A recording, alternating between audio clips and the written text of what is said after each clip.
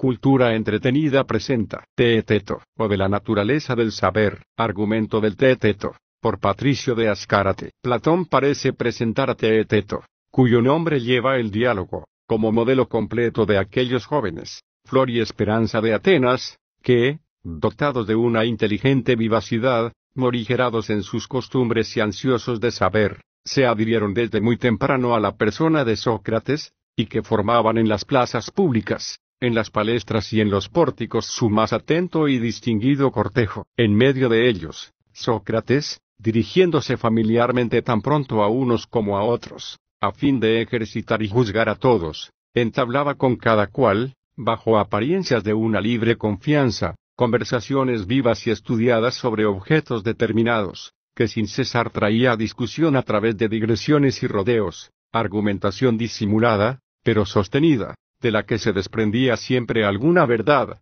y que él mismo llamaba con delicadeza el arte de alumbrar los espíritus. En el Teteto se puede estudiar este gran arte, mejor quizá que en ninguno de los diálogos precedentes, porque desde las primeras palabras de la conversación, Sócrates explica a su discípulo su secreto y ventajas con complacencia y energía, de lo cual todo este diálogo ofrece los ejemplos más interesantes, tanto por la abundancia y variedad de los detalles, como por la importancia del fondo. Nada más grato que seguir a Platón en la indagación de este problema capital, cuál es la naturaleza de la ciencia. Y saber de su boca cómo había sido resuelta por los padres de la filosofía sensualista, Heráclito y Protágoras, y seguir paso a paso la más vigorosa refutación de esta estrecha doctrina, que, desde los primeros tiempos de la filosofía griega, confundía la inteligencia con la sensibilidad, y reducía a la sola sensación toda la esfera de actividad del espíritu humano. Esta refutación forma en cierta manera la primera parte del Teeteto. En la segunda, solo separada de la primera por una transición rápida de un punto de la discusión a otro, Platón expone y desecha dos soluciones nuevas. La una, que la ciencia reside en el juicio, la otra, que está toda en el razonamiento. Ambas las lleva sucesivamente a sus consecuencias extremas, para demostrar que son igualmente insuficientes para dar una idea verdadera de la ciencia, puesto que no explican ciertas nociones fundamentales del entendimiento, es decir, las ideas primeras,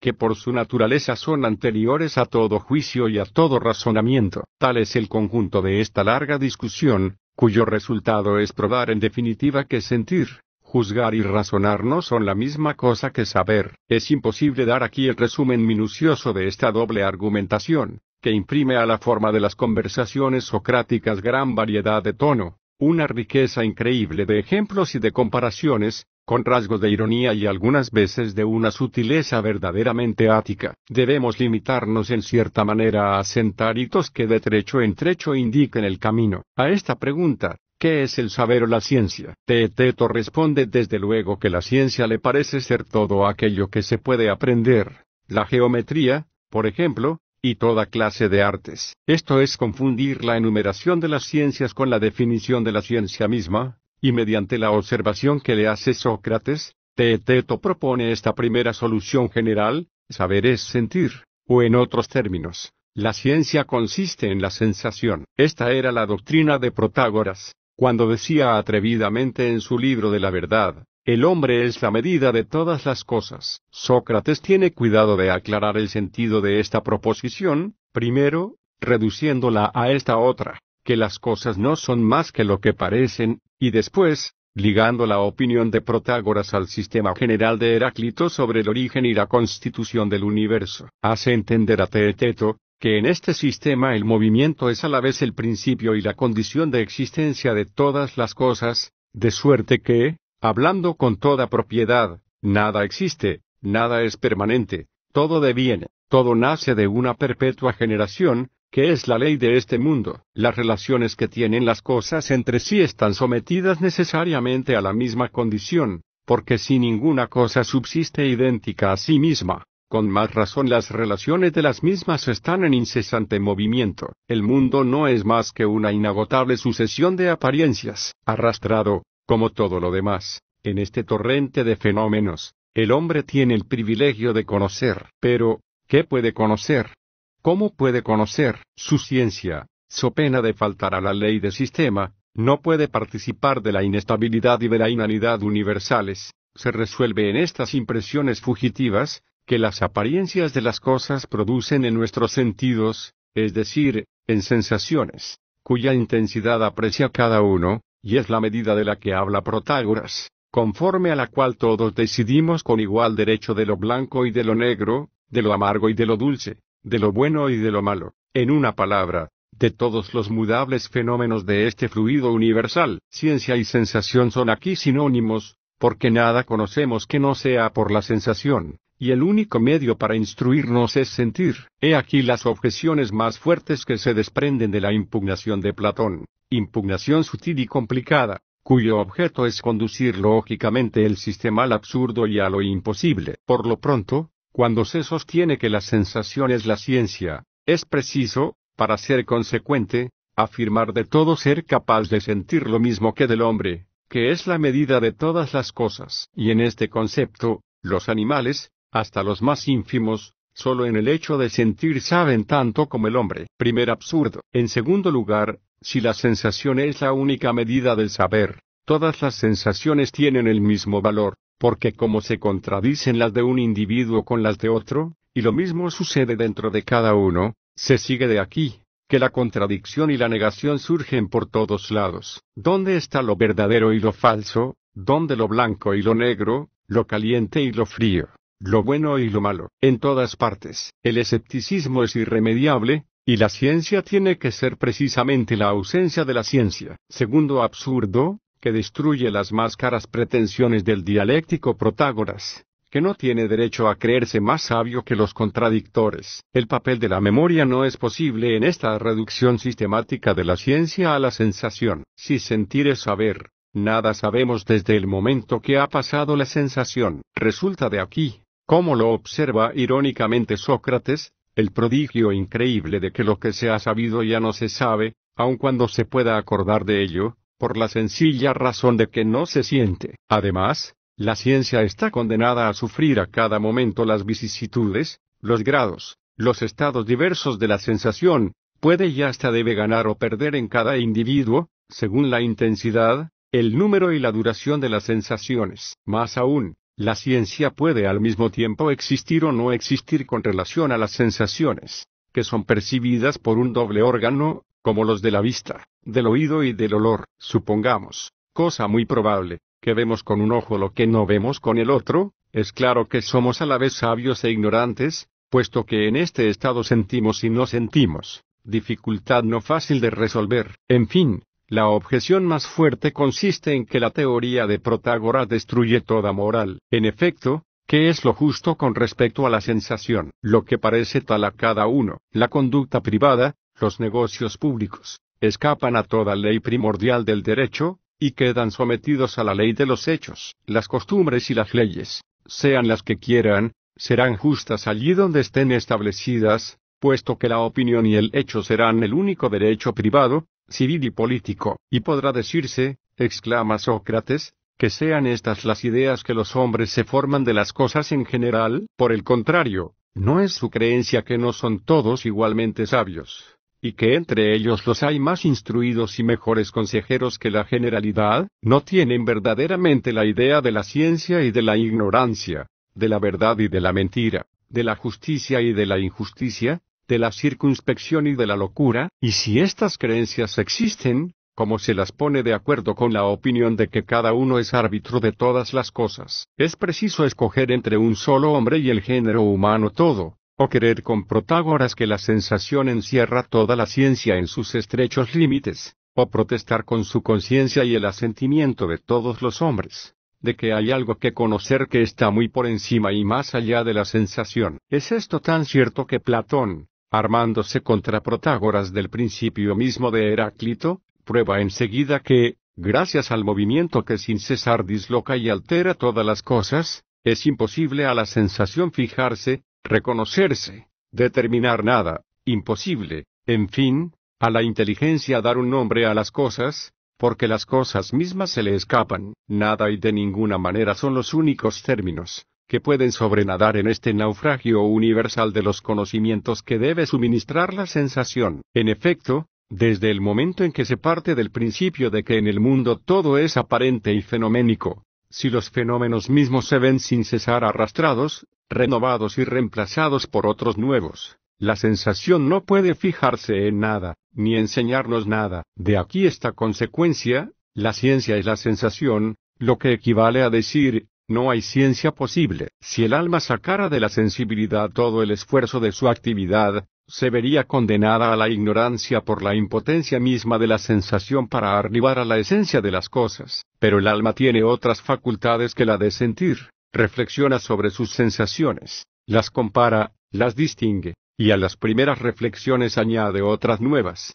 En una palabra, juzga, razona. La cuestión es saber si por medio de estas dos operaciones intelectuales es capaz de conocer la naturaleza íntima de las cosas, su esencia inmaterial e invisible, de la que los fenómenos no son más que signos, y si en definitiva el juicio y el razonamiento, bajo todas las formas que pueden tomar, constituyen o no la ciencia. Sócrates sienta desde luego en principio que sólo puede formarse juicio sobre lo que se conoce o sobre lo que no se conoce, y obliga a Teeteto a reconocer que no hay más que dos especies de juicio, el verdadero, que será el de la ciencia misma, siendo como es el juicio de lo que se conoce, y el juicio falso. Juzgar falsamente es colocarse fuera de la esfera de la ciencia, y el que pudiera decir en qué consiste, daría un paso hacia la cuestión, ¿qué es la ciencia? Puesto que por lo menos sabría lo que no es, y donde no está. Este es el procedimiento que sigue Teteto, pero ve combatidas y desechadas sucesivamente las cuatro formas que presenta del juicio falso, de suerte que, en lugar de descubrir lo que es la ciencia, no puede ni siquiera encontrar lo que no es, y de esta manera ve alejarse más y más la solución apetecida. Juzgar falsamente, pregunta Sócrates, ¿Es tomar una cosa que se conoce por otra que también se conoce? No, porque tratándose de dos objetos, el que conoce uno y otro no los confunde. ¿Es tomar lo que no se conoce por lo que tampoco se conoce? No, porque en lo que se ignora absolutamente no es posible pensar, juzgar falsamente. Tampoco es tomar lo que no se conoce por lo que se conoce, ni lo que se conoce por lo que no se conoce, porque nadie puede tomar nunca lo conocido por lo desconocido. Batido en este punto, Teeteto supone que el juicio se ejercita, no precisamente sobre el conocimiento que se tiene o no de las cosas, sino sobre el ser y el no ser, y que el juicio falso consiste en el error de tomar el ser por el no ser, es decir, un objeto que existe por otro que no existe. Pero esta tesis tampoco es sostenible. El que juzga, juzga de alguna cosa, de un objeto que ve, que toca, o que oye, es decir, un objeto que existe. Juzgar, por consiguiente, es juzgar siempre sobre el ser, y no es posible juzgar sobre el no ser, sobre lo que no existe para los sentidos ni para el pensamiento. Pero juzgar falsamente, repónete eteto, ¿no es tomar en general una cosa por otra? No, si por el juicio debe entenderse una especie de discurso interior, que el alma se dirige a sí misma, para saber lo que piensa sobre tal o cual objeto. ¿Quién se ha dicho nunca a sí mismo que un hombre sea un buey, y que lo feo sea lo bello? Nadie ciertamente, porque, una de dos cosas, o el que juzga conoce uno y otro objeto, y entonces no se engaña, o los ignora, y entonces no piensa en ellos. Parecía que no era ya posible saber lo que es un juicio falso, cuando Sócrates a su vez presenta una nueva idea, diciendo, que consiste en la confusión que tiene lugar en nuestra inteligencia, ya por precipitación, ya por ligereza, ya por turbación, entre las ideas que tenemos de las cosas en el espíritu, y el juicio que formamos cuando se presentan a nosotros. Sin duda, pero de aquí se sigue, que sabríamos mejor lo que es juzgar falsamente. Si pudiéramos decir lo que es saber, enseguida se presentan, según el juicio verdadero, tres tentativas de explicación de la ciencia, que son sucesivamente rechazadas. La ciencia no consiste en este juicio, porque el juicio verdadero de las cosas no es muchas veces más que un resultado de la persuasión que producen, por ejemplo, los oradores en el espíritu del pueblo o de los jueces, cuando abogan por la verdad. Este juicio, por ser verdadero, no da la ciencia, puesto que los que lo forman, no saben por qué, sino que están solamente persuadidos. La ciencia tampoco está en el juicio verdadero acompañado de su razón, coma es decir, de la definición, porque solo se sabe lo que puede definirse, lo que no se sabe, no se puede definir. Precisamente el objeto principal de la ciencia, esto es, los elementos de las cosas, no admite definición, porque todo lo que es simple se resiste a una determinación distinta del nombre que se le da. Sócrates llega a decir que la definición de los compuestos está lejos de ser la ciencia de los compuestos, porque no siendo estos más que una reunión de elementos, el que ignore estos, está condenado a ignorar los compuestos mismos. Para hacer entender este razonamiento sutilísimo, Sócrates se vale de una comparación tomada de las letras y de las sílabas de que se componen las palabras. Por último, la ciencia no es el juicio verdadero con la idea de la diferencia. En efecto, es cosa clara que no se puede distinguir un objeto de otro sino a condición de conocer ambos. Sin esto, ¿cómo puede saberse en qué se diferencian? De aquí se sigue que el conocimiento de las diferencias supone la ciencia y no la constituye. La cuestión parece irresoluble, y los interlocutores se separan, sin establecer nada nuevo. La conclusión que debe sacarse de este diálogo es que el teteto no conduce a ningún resultado positivo. En efecto, si nos atenemos solo a las formas del discurso, Platón no ha hecho otra cosa que sentar y probar esta proposición, la ciencia no consiste en la sensación, ni en el juicio. Pero además de la importancia de este doble resultado, es muy claro que, cuando al fin de cada una de estas dos discusiones sobre el juicio y la sensación, presenta Platón los elementos de las cosas, los seres simples, como los primeros principios de la ciencia, deja claramente entrever su pensamiento, y remite indirectamente a los otros diálogos, en los que ha expuesto su teoría de la reminiscencia y su teoría de las ideas. Si se quiere buscar el complemento del teeteto, es preciso buscarlo en el libro sexto de la República y en el Fedón, teeteto o de la naturaleza del saber o del conocimiento, Euclides de Megara.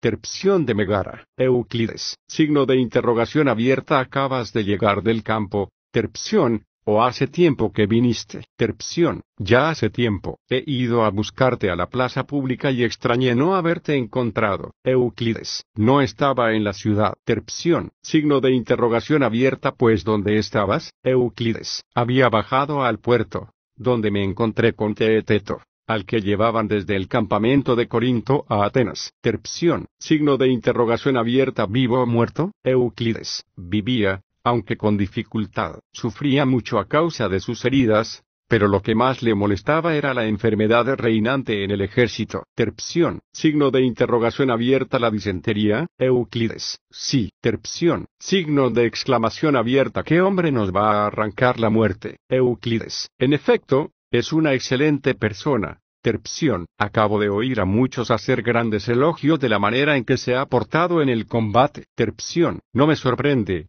y lo extraño sería que no fuera así. Pero, ¿cómo se detuvo aquí, en Megara? Euclides, tenía empeño en volver a su casa. Le supliqué y aconsejé que se detuviera, pero no quiso. Después de acompañarle, y estando de vuelta, Recordé con admiración cuán verídicas han sido las predicciones de Sócrates sobre muchos puntos, y particularmente sobre Teeteto. Pero parece que, habiéndole encontrado poco tiempo antes de su muerte, cuando apenas había salido de la infancia, tuvo con él una conversación, y quedó enamorado de la bondad de su carácter y de sus condiciones naturales. Más tarde fui yo a Atenas, me refirió lo que habían hablado, y qué bien merecía ser escuchado, y añadió que este joven se distinguiría algún día, si llegaba a la edad madura. Terpsión, el resultado, a mi parecer, prueba que dijo verdad. ¿No podrías referirme esa conversación, Euclides? A viva voz no, por Zeus, pero cuando volví a mi casa anoté los rasgos principales,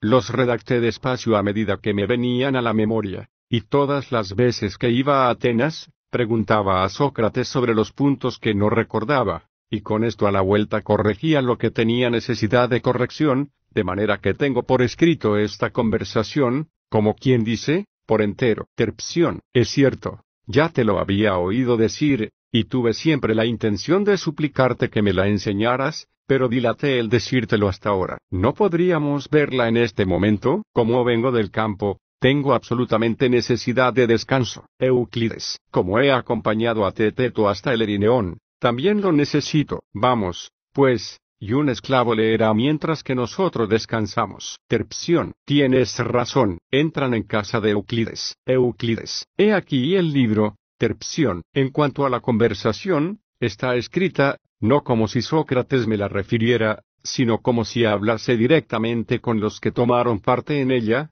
que, según me dijo, fueron Teodoro y Teeteto. Para no entorpecer el discurso, he suprimido las frases. He dicho, yo decía, conviene, lo negó y otras semejantes, que no hacen más que interrumpir, y he creído preferible que Sócrates hable directamente con ellos. Terpsión, me parece lo que has hecho muy racionalmente, Euclides. Euclides, vamos, toma este libro, tú, esclavo, y lee, Sócrates, Teodoro, Teeteto, Sócrates, si tuviese un interés particular, Teodoro, por los de Sirene, te preguntaría lo que allí pasa, y me informaría del estado en que se hallan los jóvenes que se aplican a la geometría y a los demás ramos de la filosofía, pero como quiero con preferencia a los nuestros, estoy más ansioso de conocer quiénes, entre nuestros jóvenes, ofrecen mayores esperanzas. Hago esta indagación por mí mismo, en cuanto me es posible, y además me dirijo a aquellos cerca de los cuales veo que la juventud se apresura a concurrir. No son pocos los que acuden a ti,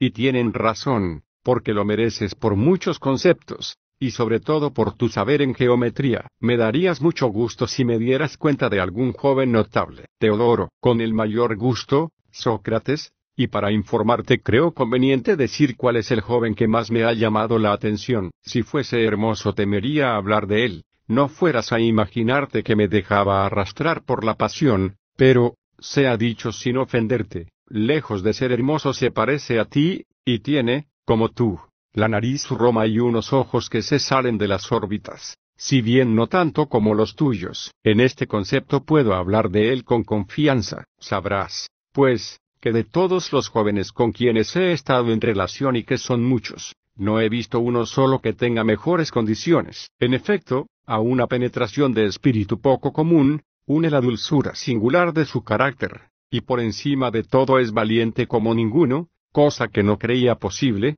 y que no encuentro en otro alguno, porque los que tienen como él mucha vivacidad, penetración y memoria, son de ordinario inclinados a la cólera, se dejan llevar acá y allá, semejantes a un buque sin lastre, y son naturalmente más fogosos que valientes. Por el contrario, los que tienen más consistencia en el carácter, llevan al estudio de las ciencias un espíritu entorpecido, y no tiene nada. Pero Teeteto marcha en la carrera de las ciencias y del estudio con paso tan fácil, tan firme y tan rápido, y con una dulzura comparable al aceite, que corre sin ruido, que no me canso de admirarle y estoy asombrado de que en su edad haya hecho tan grandes progresos. Sócrates, verdaderamente me das una buena noticia, pero ¿de quién es hijo? Teodoro, muchas veces he oído nombrar a su padre, mas no puedo recordarle, pero en su lugar he aquí al mismo Teeteto en medio de ese grupo que viene hacia nosotros. Algunos de sus camaradas y él han ido a untarse con aceite al estadio, que está fuera de la ciudad, y me parece que después de este ejercicio vienen a nuestro lado. A ver si le conoces. Sócrates, le conozco, es el hijo de Eufronio de Sunión, ha nacido de un padre, mi querido amigo, que es tal como acabas de pintar al hijo mismo, que ha gozado por otra parte de una gran consideración, y ha dejado a su muerte una cuantiosa herencia, pero no sé el nombre de este joven. Teodoro, se llama Teeteto. Sócrates, sus tutores, por lo que parece, han mermado algún tanto su patrimonio. Pero él se ha conducido con un desinterés admirable. Sócrates, me presentas un joven de alma noble, dile que venga a sentarse cerca de nosotros. Teodoro, lo deseo. Teeteto, Ven aquí cerca de Sócrates. Sócrates. Sí, vente Eteto, para que al mirarte vea mi figura, que según dice Teodoro, se parece a la tuya. Pero si uno y otro tuviésemos una lira, y aquel nos dijese que estaban unísonas, le creeríamos al punto, o examinaríamos antes si era músico. Teeteto, lo examinaríamos antes. Sócrates, si llegáramos a descubrir que es músico daríamos fe a su discurso, pero si no sabe la música no le creeríamos. Teeteto, sin duda, Sócrates. Ahora, si queremos asegurarnos del parecido de nuestras fisonomías, me parece que es preciso averiguar si Teodoro está versado o no en la pintura. Teeteto, así lo creo. Sócrates. Bien, Dime, ¿entiende Teodoro de pintura? Teeteto. No, que yo sepa. Sócrates. Signo de interrogación abierta tampoco entiende de geometría. Teeteto. Al contrario, entiende mucho. Sócrates. Sócrates. Signo de interrogación abierta posee igualmente la astronomía, el cálculo, la música y las demás ciencias, Teeteto. Me parece que sí, Sócrates. No hay que hacer mucho aprecio de sus palabras, cuando dice que hay entre nosotros, por fortuna o por desgracia, alguna semejanza respecto a nuestros cuerpos. Teeteto. Quizá no, Sócrates. Pero si Teodoro alabase el alma de uno de nosotros por su virtud y sabiduría, el que oyera este elogio, no debería apurarse a examinar el hombre por él elogiado y descubrir sin titubear el fondo de su alma, Teeteto. Ciertamente, Sócrates, Sócrates, a ti corresponde, mi querido Teeteto, manifestarte en este momento tal cual eres, y a mí examinarte, porque debes saber que Teodoro, que me ha hablado bien de tantos extranjeros y atenienses, de ninguno me ha hecho el elogio que acaba de hacerme de ti, Teeteto. Quisiera merecerlo, Sócrates, pero mira bien, no sea que lo haya dicho de broma, Sócrates, no acostumbra a hacerlo Teodoro. Así pues, no te retractes de lo que acabas de concederme, con el pretexto de haber sido una pura broma lo que dijo, porque en este caso sería necesario obligarlo a venir aquí a prestar una declaración en regla,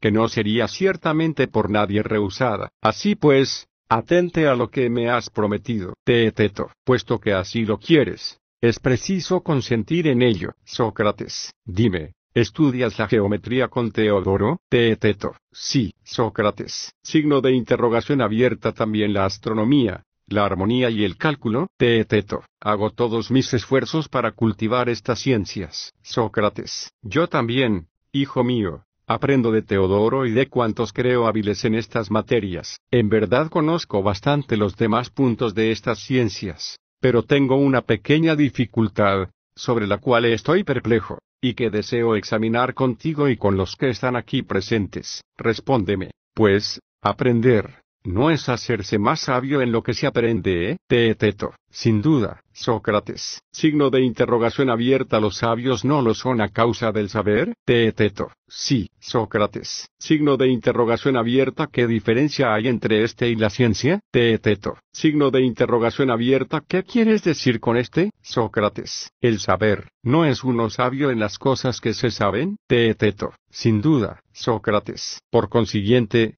¿El saber y la ciencia son una misma cosa? Teeteto. Sí, Sócrates. Aquí están justamente mis dudas. Y no puedo formarme por mí mismo una idea clara de lo que es la ciencia. ¿Podremos explicar en qué consiste? ¿Qué pensáis de esto? ¿Y quién de vosotros os dirá el primero? El que se engañe. Hará el burro. Como dicen los niños cuando juegan a la pelota. Y el que sobrepuje a los demás sin cometer ninguna falta. Será nuestro rey y nos obligará a responder a todo lo que quiera. porque guardáis silencio? O seré importuno, Teodoro, a causa de mi afición a la polémica, y del deseo que tengo de empeñaros en una conversación que puede haceros amigos y hacer que nos conozcamos los unos a los otros? Teodoro, nada de eso. Sócrates, invita a alguno de estos jóvenes, porque yo no tengo ninguna práctica en esta manera de conversar, ni estoy ya en edad de poder acostumbrarme, mientras que es conveniente a ellos, que sacarán mucho más provecho que yo. La juventud es susceptible de progreso en todas direcciones, pero no dejes a Teeteto, ya que has comenzado por él, y pregúntale, Sócrates, Teeteto, ¿entiendes lo que dice Teodoro? Supongo que no querrás desobedecerle, ni en esta clase de cosas es permitido a un joven resistir a lo que le prescribe un sabio. Dime, pues, decidida y francamente lo que piensas de la ciencia. Teeteto, hay que responder, puesto que ambos me lo ordenáis. Pero también, si me equivoco, vosotros me corregiréis. Sócrates, sí, sí somos capaces de eso. Teeteto, me parece, pues, que lo que se puede aprender con Teodoro, como la geometría y las otras artes de que has hecho mención, son otras tantas ciencias, y hasta todas las artes, sea la del zapatero o de cualquier otro oficio, no son otra cosa que ciencias. Sócrates, te pido una cosa, mi querido amigo, y tú me das liberalmente muchas. Te pido un objeto simple y me das objetos muy diversos. Teeteto. Signo de interrogación abierta ¿cómo? ¿Qué quieres decir? Sócrates, Sócrates, nada quizá. Sin embargo, voy a explicarte lo que yo pienso. Cuando nombran el arte de zapatero, ¿Quieres decir oh, otra cosa que el arte de hacer zapatos? Teeteto. No, Sócrates. Por el arte del carpintero. ¿Quieres decir oh, otra cosa que la ciencia de hacer obras de madera? Teeteto. No, Sócrates. Tú especificas. Con relación a estas dos artes, el objeto a que se dirige cada una de estas ciencias. Teeteto. Sí, Sócrates. Pero el objeto de mi pregunta, Teeteto, no es saber cuáles son los objetos de las ciencias, porque no nos proponemos contarlas, sino conocer lo que es la ciencia en sí misma. ¿No es cierto lo que digo? Teeteto, tienes razón, Sócrates. Considera lo que te voy a decir. Si se nos preguntase qué son ciertas cosas, bajas y comunes, por ejemplo, el barro, y respondiéramos que hay barro de olleros, barro de muñecas, barro de tejeros, ¿No nos pondríamos en ridículo? Teeteto. Probablemente. Sócrates. En primer lugar, porque creíamos con nuestra respuesta dar lecciones al que nos interroga, repitiendo el barro y añadiendo los obreros que en él se emplean. ¿Crees tú que cuando se ignora la naturaleza de una cosa se sabe lo que su nombre significa? Teeteto. De ninguna manera, Sócrates. Así pues, el que no tiene idea alguna de la ciencia, no comprende lo que es la ciencia de los zapateros. Teeteto. No, sin duda, Sócrates, la ignorancia de la ciencia lleva consigo la ignorancia del arte del zapatero y de cualquier otro arte. Teeteto, es cierto, Sócrates. Por consiguiente, cuando se pregunta lo que es la ciencia, es ponerse en ridículo el dar por respuesta el nombre de una ciencia, puesto que es responder sobre el objeto de la ciencia, y no sobre la ciencia misma que es a la que se refiere la pregunta. Teeteto, así parece, Sócrates. Eso es tomar un largo rodeo, cuando puede responderse sencillamente y en pocas palabras. Por ejemplo, a la pregunta, ¿qué es el barro? Es muy fácil y sencillo responder, que es tierra mezclada con agua, sin acordarse de los diferentes obreros que se sirven de él. Teeteto. La cosa me parece ahora fácil, Sócrates, la cuestión es de la misma naturaleza que la que nos ocurrió hace algunos días a tu tocayo Sócrates y a mí en una conversación que tuvimos. Sócrates, signo de interrogación abierta, ¿qué cuestión? Teeteto, Teeteto, Teodoro nos enseñaba algún cálculo sobre las raíces de los números, demostrándonos que las de tres y de cinco no son conmensurables en longitud con la de uno, y enseguida continuó así hasta la de diecisiete, en la que se detuvo, juzgando, pues, que las raíces eran infinitas en número, nos vino al pensamiento intentar incluirlas bajo un solo nombre que conviniese a todas. Sócrates. Signo de interrogación abierta. ¿Habéis hecho ese descubrimiento? Teeteto. Me parece que sí. Juzga por ti mismo. Sócrates. Veamos. Teeteto. Dividimos todos los números en dos clases, los que pueden colocarse en filas iguales, de tal manera que el número de las filas sea igual al de unidades de que cada una consta. Los hemos llamado cuadrados y equiláteros, asimilándolos a las superficies cuadradas. Sócrates. Bien, Teeteto. En cuanto a los números intermedios, tales como el 3, el 5 y los demás, que no pueden dividirse en filas iguales de números iguales, según acabamos de decir, y que se componen de un número de filas menor o mayor que el de las unidades de cada una de ellas, de donde resulta que la superficie que la representa está siempre comprendida entre lados desiguales. A estos números los hemos llamado oblongos, asimilándolos a superficies oblongas. Sócrates. Perfectamente. ¿Qué habéis hecho después de esto? Teeteto. Hemos comprendido, bajo el nombre de longitud, 1, las líneas que cuadran el número plano y equilátero, y bajo el nombre de raíz 2, las que cuadran el número oblongo, que no son conmensurables por sí mismas en longitud con relación a las primeras, sino sólo por las superficies que producen. La misma operación hemos hecho respecto a los sólidos. Sócrates. Perfectamente, hijos míos, y veo claramente que Teodoro no es culpable de falso testimonio. Teeteto. Pero, Sócrates, no me considero con fuerzas para responder a lo que me pregunta sobre la ciencia, como he podido hacerlo sobre la longitud y la raíz aunque tu pregunta me parece de la misma naturaleza que aquella. Así pues, es posible que Teodoro se haya equivocado al hablar de mí, Sócrates. Signo de interrogación abierta como, si alabando tu agilidad en la carrera, hubiese dicho que nunca había visto joven que mejor corriese, y enseguida fueses vencido por otro corredor que estuviese en la fuerza de la edad y dotado de una ligereza extraordinaria, ¿Crees tú que sería por esto menos verdadero el elogio de Teodoro? Teeteto. No, Sócrates. Signo de interrogación abierta y crees que, como antes manifesté, puede ser cosa de poca importancia el descubrir la naturaleza de la ciencia, o por el contrario, ¿crees que es una de las cuestiones más arduas? Teeteto. La tengo ciertamente por una de las más difíciles. Sócrates. Así, pues, no desesperes de ti mismo, persuádete de que Teodoro ha dicho verdad, y fija toda tu atención en comprender la naturaleza y esencia de las demás cosas y en particular de la ciencia. Teeteto, si solo dependiera de esfuerzos, Sócrates, es seguro que yo llegaría a conseguirlo. Sócrates, pues adelante, y puesto que tú mismo te pones en el camino, toma como ejemplo la preciosa respuesta de las raíces, y así como las has abarcado todas bajo una idea general, Trata de incluir en igual forma todas las ciencias en una sola definición. Teeteto, sabrás, Sócrates, que he ensayado más de una vez aclarar este punto, cuando oía hablar de ciertas cuestiones que se decía que procedían de ti,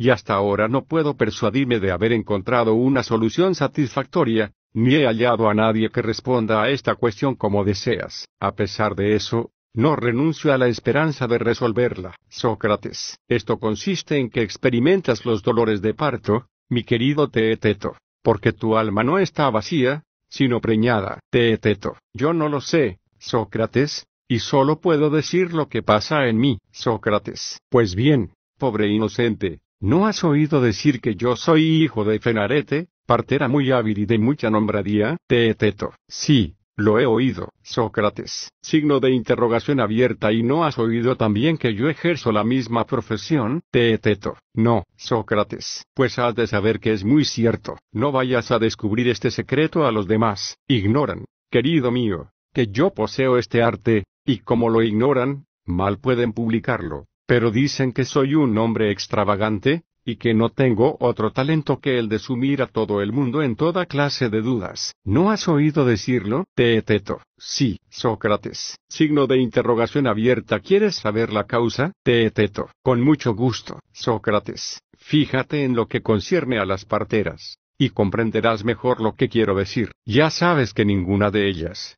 mientras puede concebir y tener hijos, se ocupa en partear a las demás mujeres, y que no ejercen este oficio, sino cuando ya no son susceptibles de preñez. Teeteto, es cierto, Sócrates, se dice que Artemis ha dispuesto así las cosas porque preside los alumbramientos, aunque ella no pare. No ha querido dar a las mujeres estériles el empleo de parteras, porque la naturaleza humana es demasiado débil para ejercer un arte del que no se tiene ninguna experiencia, y ha encomendado este cuidado a las que han pasado ya la edad de concebir, para honrar de esta manera la semejanza que tienen con ella. Teeteto, es probable, Sócrates, signo de interrogación abierta no es igualmente probable y aún necesario, que las parteras conozcan mejor que nadie, si una mujer está o no encinta. Teeteto, sin duda, Sócrates. Además, por medio de ciertos brebajes y encantamientos saben apresurar el momento del parto y amortiguar los dolores, cuando ellas quieren,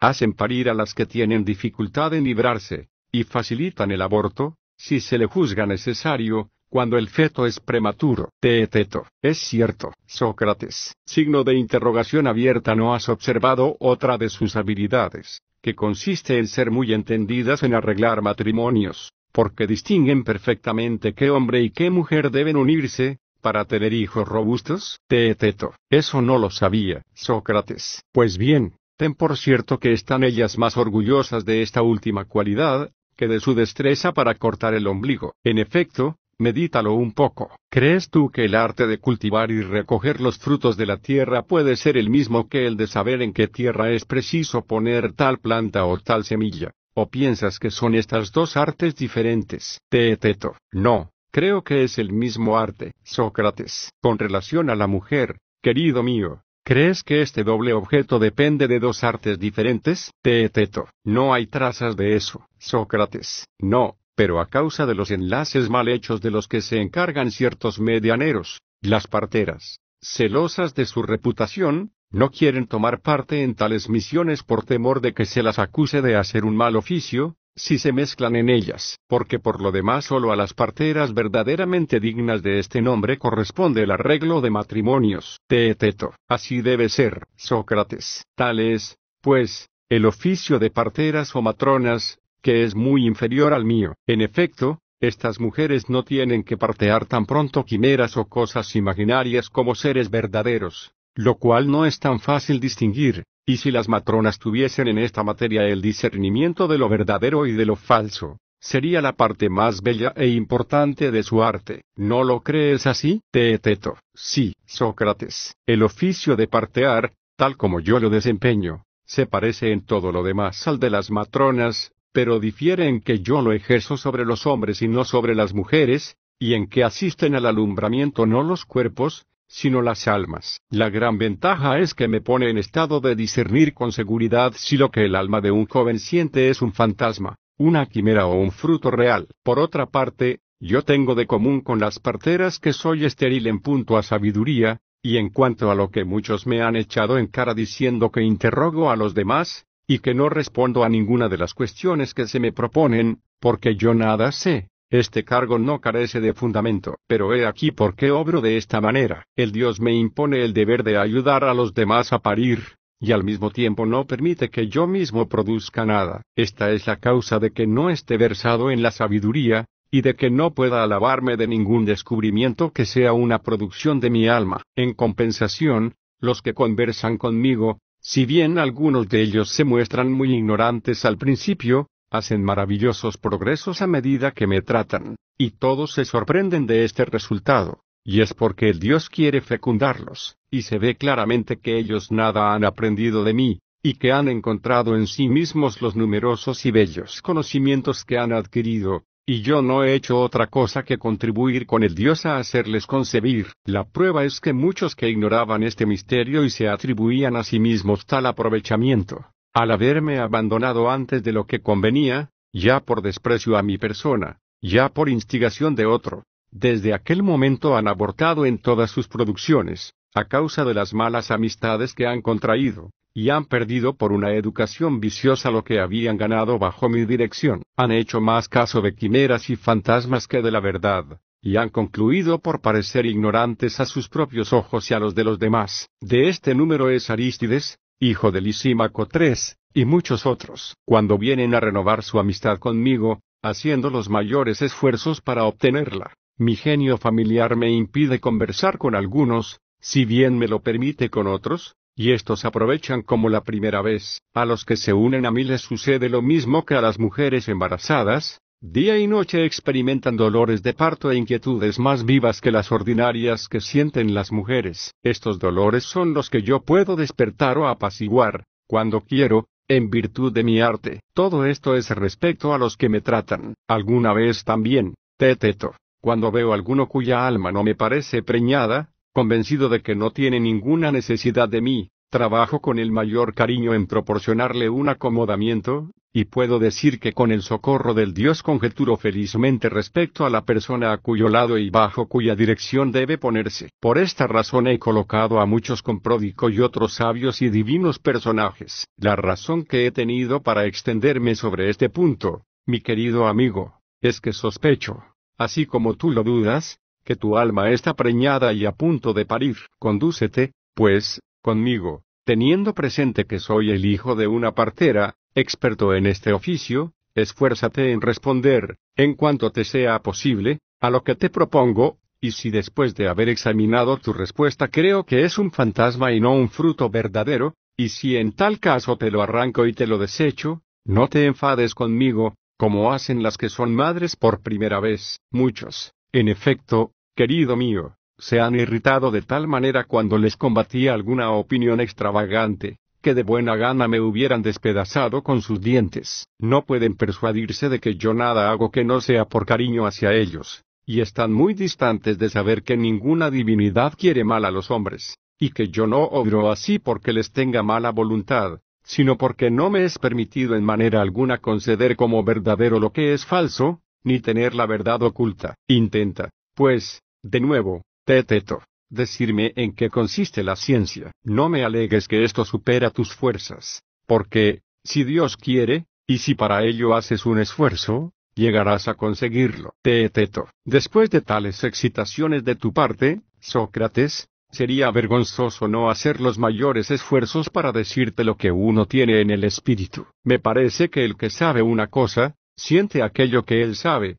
y en cuanto puedo juzgar en este momento, la ciencia no se diferencia en nada de la sensación. Sócrates, has respondido bien y con decisión, hijo mío. Es preciso decir siempre las cosas como se piensan. Se trata ahora de examinar en conjunto si esta concepción de tu alma es sólida o frívola. La ciencia es la sensación. Según dices, Teeteto. Sí, Sócrates. Esta definición que das de la ciencia no es nada despreciable. Es la misma que ha dado Protágoras, aunque se haya expresado de otra manera. El hombre, dice, es la medida de todas las cosas, de la existencia de las que existen, y de la no existencia de las que no existen. Tú has leído sin duda su obra, Teeteto. Sí, y más de una vez, Sócrates. Signo de interrogación abierta no es su opinión que las cosas son, con relación a mí, tales como a mí me parecen, y con relación a ti, tales como a ti te parecen, porque somos hombres tú y yo, Teeteto. Eso es lo que dice efectivamente, Sócrates. Es natural pensar que un hombre tan sabio no hablase al aire. Sigamos,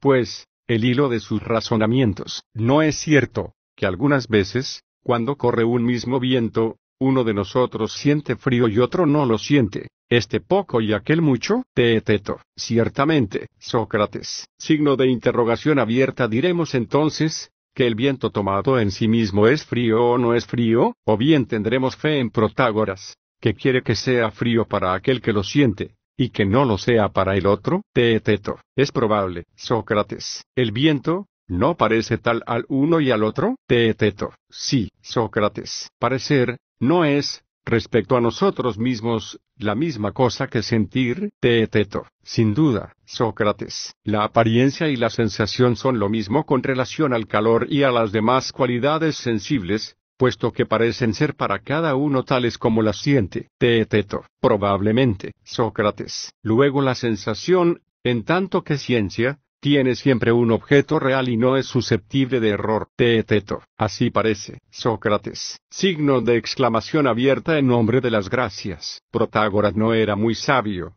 Cuando ha mostrado enigmáticamente su pensamiento a nosotros, que pertenecemos al vulgo, mientras que ha descubierto a sus discípulos la cosa tal cual es. Teeteto. Signo de interrogación abierta. ¿Qué quieres decir con esto? Sócrates, Sócrates, voy a decírtelo, se trata de una opinión que no es de pequeña importancia, pretende que ninguna cosa es una, tomada en sí misma, y que a ninguna cosa, sea la que sea, se le puede atribuir con razón denominación, ni cualidad alguna, que si se llama grande a una cosa, ella parecerá pequeña, si pesada, parecerá ligera y así de lo demás, porque nada es uno, ni igual, ni de una cualidad determinada, sino que de la traslación, del movimiento, y de su mezcla recíproca se forma todo lo que decimos que existe, sirviéndonos en esto de una expresión impropia, porque nada existe sino que todo deviene. Los sabios todos, a excepción de Parménides, convienen en este punto, como Protágoras, Heráclito, Empédocles, los más excelentes poetas en uno y otro género de poesía, Epicarmo en la comedia, Homero en la tragedia, cuando dice, el océano, padre de los dioses y Tetis su madre, con lo que da a entender, que todas las cosas son producidas por el flujo y el movimiento. ¿No juzgas que es esto lo que ha querido decir? Teeteto. Sí, Sócrates. Signo de interrogación abierta. ¿Quién podrá en los sucesivos sin ponerse en ridículo hacer frente a un ejército semejante, que tiene a Homero a la cabeza? Teeteto. No es fácil, Sócrates. Sócrates. No, sin duda, Teeteto tanto más cuanto que apoyan en pruebas fuertes su opinión de que el movimiento es el principio de lo que nos parece existir y de la generación, y el reposo el del no ser y el de la corrupción. En efecto, el fuego y el calor, que engendra y entretiene todo lo demás, son producidos por la traslación y el roce que no son más que movimiento. ¿No es esto lo que da origen al fuego? Teeteto. Sin duda, Sócrates. La especie de los animales, debe igualmente su producción a los mismos principios, Teeteto. Ciertamente, Sócrates. Pero entonces, nuestro cuerpo no se corrompe por el reposo y la inacción, y no se conserva principalmente por el ejercicio y el movimiento? Teeteto. Sí, Sócrates. El alma misma, no adquiere las ciencias, no se conserva y no se hace mejor por el estudio y por la meditación, que son movimientos, mientras que el reposo y la falta de reflexión y de estudio le impiden aprender nada, y la hacen olvidar lo que ha aprendido. Teeteto, nada más cierto. Sócrates. Signo de interrogación abierta. El movimiento es un bien para el alma como para el cuerpo, y el reposo un mal. Teeteto. Así parece. Sócrates. Signo de interrogación abierta. Te diré aún, respecto a la calma, al tiempo sereno y otras cosas semejantes, que el reposo pudre y pierde todo y que el movimiento produce el efecto contrario, no llevaré al colmo estas pruebas, forzándote a confesar que por la cadena de oro de la que habla Homero, no entiende ni designa otra cosa que el sol, porque mientras que éste y los cielos se mueven circularmente, todo existe, todo se mantiene, lo mismo para los dioses que para los hombres, al mismo tiempo que, si esta revolución llegase a detenerse y a verse en cierta manera encadenada, todas las cosas perecerían, y, como se dice comúnmente, se volvería lo de abajo arriba, teeteto. Así me parece, Sócrates, eso es lo que ha querido decir Homero. Sócrates, concibe, querido mío, desde ahora, con relación a los ojos, que lo que llamas color blanco no es algo que existe fuera de tus ojos, ni en tus ojos, no le señales ningún lugar determinado, porque entonces no tendría un rango fijo, una existencia dada y no estaría ya en vía de generación. Teeteto. Signo de interrogación abierta ¿y cómo me lo representaré? Sócrates. Sigamos el principio que acabamos de establecer, de que no existe nada que sea uno, tomado en sí. De esta manera lo negro, lo blanco y cualquier otro color nos parecerán formados por la aplicación de los ojos a un movimiento conveniente y lo que decimos que es tal color no será el órgano aplicado, ni la cosa a la que se aplica, sino un no sé qué intermedio y peculiar de cada uno de nosotros. Podría sostener, en efecto, que un color parece tal a un perro o a otro animal cualquiera, y que lo mismo te parece a ti, Teeteto. No, por Zeus, Sócrates. Signo de interrogación abierta podrías, por lo menos, asegurar que ninguna cosa parece a otro hombre la misma que a ti, y no afirmarías más bien que nada se te presenta bajo el mismo aspecto, porque nunca eres semejante a ti mismo, Teeteto, soy de este parecer más bien que del otro, Sócrates. Si el órgano con que medimos o tocamos un objeto fuese grande, blanco o caliente, no llegaría nunca a ser otro, aun cuando se le aplicara a un objeto diferente, si no se verificaba en él algún cambio. De igual modo, si el objeto medido o tocado tuviera alguna de aquellas cualidades, aun cuando le fuera aplicado otro órgano o el mismo, después de haber sufrido alguna alteración, no por esto llegaría a ser otro, si él no experimentaba cambio alguno. Tanto más, querido amigo, cuanto que según la otra opinión, nos veríamos precisados a admitir cosas realmente sorprendentes y ridículas, como dirían Protágoras y cuantos quisiesen sostener su parecer. Teeteto. Signo de interrogación abierta ¿de qué hablas? Sócrates. Un sencillo ejemplo te hará comprender lo que quiero decirte. Si pones seis tabas enfrente de cuatro, diremos que aquellas son más y que superan a las cuatro en una mitad. Si pones las seis enfrente de las doce, diremos que quedan reducidas a menor número, porque son la mitad de doce. ¿Podría explicarse esto de otra manera? ¿Lo consentirías tú? Teeteto. Ciertamente que no, Sócrates. Bien, si Protágoras o cualquier otro te preguntase, Teeteto, ¿es posible que una cosa se haga más grande o más numerosa de otra manera que mediante el aumento? ¿Qué responderías? Teeteto. Sócrates, fijándome solo en la cuestión presente, te diré que no, pero si lo hago teniendo en cuenta la precedente, para evitar contradecirme, te diré que sí, Sócrates. Signo de exclamación abierta por era. Eso se llama responder bien y divinamente, mi querido amigo. Me parece, sin embargo, que si dices que sí, sucederá algo parecido al dicho de Eurípides, pues nuestra lengua estará al abrigo de toda crítica, pero no nuestra intención. 4. Teeteto. Es cierto, Sócrates, si uno y otro fuésemos hábiles y sabios, y hubiésemos agotado las indagaciones sobre todo lo que es del resorte del pensamiento, no nos quedaría más que ensayar mutuamente nuestras fuerzas, disputando a manera de los sofistas, y refutando resueltamente unos discursos con otros discursos. Pero como somos ignorantes, tomaremos el partido de examinar ante todas cosas lo que tenemos en el alma, para ver si nuestros pensamientos están de acuerdo entre sí, o si ellos se combaten. Teeteto, sin duda, eso es lo que deseo, Sócrates. Yo también, sentado esto.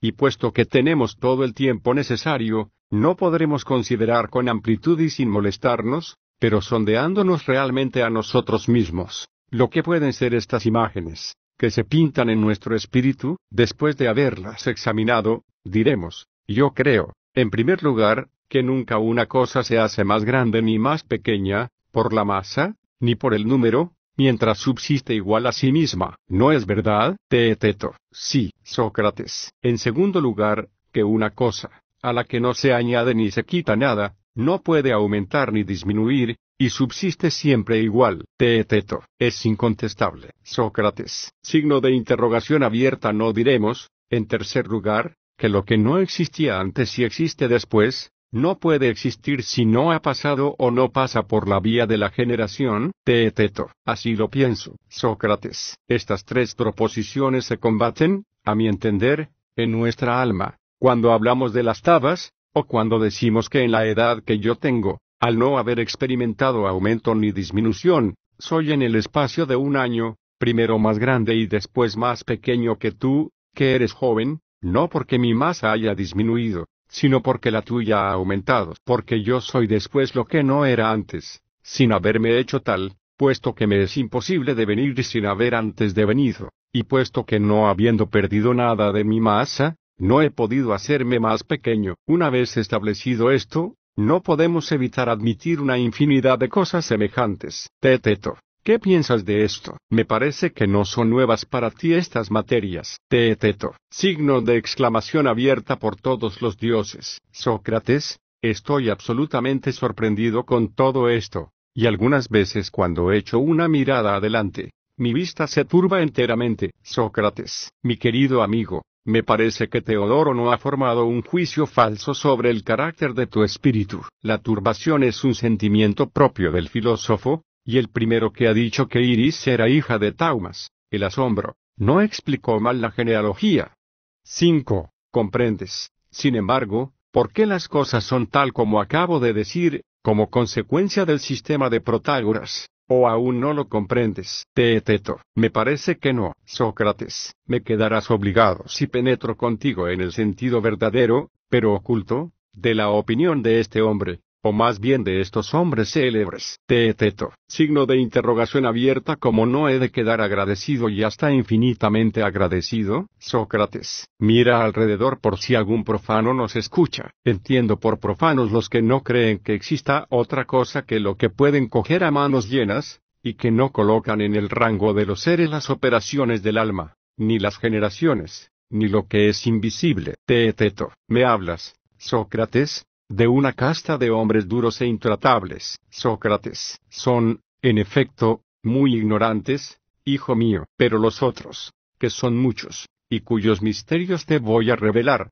son más cultos. Su principio, del que depende lo que acabamos de exponer, es el siguiente, todo es movimiento en el universo, y no hay nada más. El movimiento es de dos clases, ambas infinitas en número, pero en cuanto a su naturaleza, una es activa y otra pasiva. De su concurso y de su contacto mutuo se forman producciones infinitas en número, divididas en dos clases, la una de lo sensible, la otra de la sensación, que coincide siempre con lo sensible y es engendrada al mismo tiempo. Las sensaciones son conocidas con los nombres de vista, oído, olfato, gusto, tacto, frío, caliente, y aún placer, dolor, deseo, temor, dejando a un lado otras muchas que no tienen nombre, o que tienen uno mismo. La clase de cosas sensibles es producida al mismo tiempo que las sensaciones correspondientes, los colores de todas clases corresponden a visiones de todas clases, sonidos diversos son relativos a diversas afecciones del oído, y las demás cosas sensibles a las demás sensaciones. ¿Concibes, Teteto, la relación que tiene este razonamiento con lo que precede? Teteto, no mucho. Sócrates, Sócrates, fíjate en la conclusión a que conduce. Significa, como ya hemos explicado, que todo está en movimiento, y que este movimiento es lento o rápido, que lo que se mueve lentamente ejerce su movimiento en el mismo lugar y sobre los objetos próximos que engendra de esta manera, y que lo que así engendra tiene más lentitud, que, por el contrario, lo que se mueve rápidamente, desplegando su movimiento sobre objetos lejanos, engendra de esta manera, y lo que así engendra tiene más velocidad, porque corre en el espacio, y su movimiento consiste en la traslación, cuando el ojo, de una parte, y un objeto, de otra, se encuentran y han producido la blancura y la sensación que naturalmente le corresponde, las cuales jamás se habrían producido si el ojo se hubiera fijado en otro objeto recíprocamente, entonces, moviéndose estas dos cosas en el espacio intermedio, a saber, la visión hacia los ojos y la blancura hacia el objeto que produce el color juntamente con los ojos, el ojo se ve empapado en la visión, percibe y se hace, no visión, sino ojo que ve. En igual forma, el objeto, concurriendo con el ojo a la producción del color, se ve empapado en la blancura, y se hace, no blancura, sino blanco, sea madera, piedra o cualquier otra cosa la que reciba la tintura de este color. Es preciso formarse la misma idea de todas las demás cualidades, tales como lo duro, lo caliente y otras, y concebir que nada de esto es una realidad en sí, como decíamos antes, sino que todas las cosas se engendran en medio de una diversidad prodigiosa por su contacto mutuo, que es un resultado del movimiento. En efecto, es imposible, dicen, representarse de una manera fija un ser en sí bajo la cualidad de agente o de paciente, porque nada es agente antes de su unión con lo que es paciente, ni paciente antes de su unión con lo que es agente, y tal cosa, que en su choque con un objeto dado, es agente, se convierte en paciente al encontrarse con otro objeto. De todo esto resulta, como se dijo al principio, que nada es uno tomado en sí, que cada cosa se hace lo que es por su relación con otra, y que es preciso suprimir absolutamente la palabra ser. Es cierto que muchas veces, y ahora mismo nos hemos visto precisados a usar esta palabra por hábito y como resultado de nuestra ignorancia, pero el parecer de los sabios es que no se debe usar, ni decirse, hablando de mí o de cualquier otro, que yo soy alguna cosa, esto o aquello, ni emplear ningún otro término que signifique un estado de consistencia, y que, para expresarse según la naturaleza, debe decirse que las cosas se engendran, se hacen, perecen y se alteran sin pasar de aquí, porque si se presenta en el discurso alguna cosa como estable, es fácil rebatir a quien se conduzca de esta manera. Tal es el modo en que debe hablarse de estos elementos y también de las colecciones de los mismos que se llaman hombre, piedra, animal, sean individuos o especies. ¿Te causa placer, Teteto? ¿Esta opinión? ¿Es de tu gusto, Teteto? No sé qué decir, Sócrates, porque no puedo descubrir si hablas conforme con tu pensamiento, o si tratas solo de sondearme. Sócrates, has olvidado, mi querido amigo, que yo no sé ni me apropio nada de todo esto, y que en tal concepto soy estéril, pero te ayudaré a parir, y para ello he recurrido a encantamientos y he querido que saborees las opiniones de los sabios, hasta tanto que yo haya puesto en evidencia la tuya, cuando haya salido de tu alma, examinaré si es frívola o sólida. Cobra, pues, ánimo y paciencia, y responde libre y resueltamente lo que te parezca verdadero acerca de lo que yo te pregunte. Teeteto, no tienes más que preguntar, Sócrates, dime de nuevo, si te agrada la opinión de que ni lo bueno, ni lo bello, ni ninguno de los objetos de que acabamos de hacer mención, están en estado de existencia, sino que están siempre en vía de generación. Teeteto, cuando te oí hacer la explicación, me pareció perfectamente fundada, y estoy persuadido de que debe creerse que las cosas son como tú las has explicado. Sócrates, no despreciemos lo que todavía tengo que exponer. Tenemos aún que hablar de los sueños, de las enfermedades, de la locura sobre todo, y de lo que se llama entender, ver, en una palabra, sentir con desbarajuste. Sabes que todo esto es mirado como una prueba incontestable de la falsedad del sistema de que hablamos porque las sensaciones que se experimentan en estas circunstancias, son de hecho mentirosas, y que lejos de ser las cosas entonces tales como aparecen a cada uno, sucede todo lo contrario, porque todo lo que parece ser no es en efecto. Teeteto, dices verdad, Sócrates, Sócrates, signo de interrogación abierta que medio de defensa queda, mi querido amigo, al que pretende que la sensación es ciencia, y que lo que parece a cada uno es tal como le parece, Teeteto, no me atrevo a decir, Sócrates, que no sé qué responder, porque no hace un momento que me regañaste por haberlo dicho, pero verdaderamente yo no hallo ningún medio de negar que en la locura y en los sueños se forman opiniones falsas, imaginándose, unos, que ellos son dioses, y otros que tienen alas, y que vuelan durante el sueño. Sócrates. Signo de interrogación abierta. ¿No recuerdas la controversia que suscitan con tal motivo los partidarios de este sistema, y principalmente sobre los estados de la vigilia y del sueño? Teeteto. Signo de interrogación abierta. ¿Qué dicen? Sócrates. Lo que has oído, creo yo, muchas veces a los que nos exigen pruebas de si en este momento dormimos, siendo nuestros pensamientos otros tantos sueños, o si estamos despiertos y conversamos realmente juntos. Teeteto. Es muy difícil, Sócrates, distinguir los verdaderos signos, que sirven para reconocer la diferencia, porque en uno y en otro estado se corresponden, por decirlo así, los mismos caracteres. Nada impide que imaginemos que, estando dormidos, hablamos lo mismo que en este momento, y cuando soñando creemos referir nuestros ensueños, es singular la semejanza con lo que pasa en el estado de vigilia. Sócrates, ya ves con qué facilidad se suscitan dificultades en este punto, puesto que se llega a negar la realidad del estado de vigilia o la del sueño, y que, siendo el tiempo en que dormimos igual al tiempo en que velamos, nuestra alma sostiene en sí misma, en cada uno de estos estados, que los juicios que forma entonces son los únicos verdaderos, de manera que durante un espacio igual de tiempo decimos, o bien que estos son verdaderos, o bien que lo son aquellos, y nos decidimos igualmente por los unos que por los otros. Teeteto, es cierto, Sócrates. Lo mismo debemos decir de las enfermedades y de los accesos de locura, si bien no son iguales en razón de la duración. Teeteto, muy bien, Sócrates. Bien,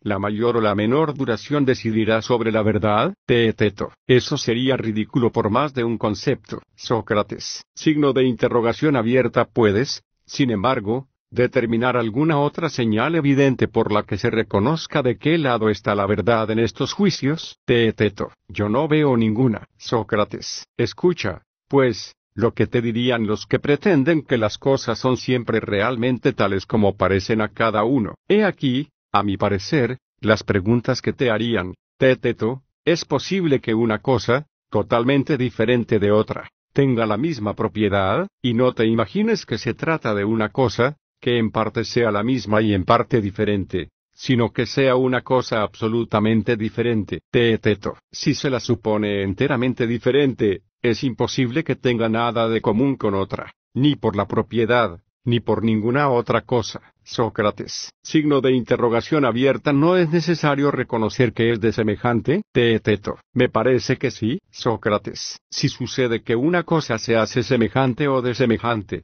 sea en sí misma, sea respecto a cualquiera otra, diremos que, en tanto que semejante, ella es la misma, y que, en tanto que de semejante, ella es otra. Teeteto. Sin duda, Sócrates. Signo de interrogación abierta. No dijimos antes que hay un número infinito de causas activas de movimiento, y lo mismo de causas pasivas. Teeteto. Sí, Sócrates. Signo de interrogación abierta y que cada una de ellas, llegando a unirse tan pronto a una cosa como a otra, no producirá en estos dos casos los mismos efectos, sino efectos diferentes, teeteto, convengo en ello, Sócrates. Signo de interrogación abierta no podríamos decir lo mismo de ti, de mí y de todo lo demás. Por ejemplo, diremos que Sócrates sano y Sócrates enfermo son semejantes o que son diferentes. Teeteto. Signo de interrogación abierta cuando hablas de Sócrates enfermo consideras a este por entero, y le opones al Sócrates sano considerándolo también por entero? Sócrates, has penetrado muy bien mi pensamiento.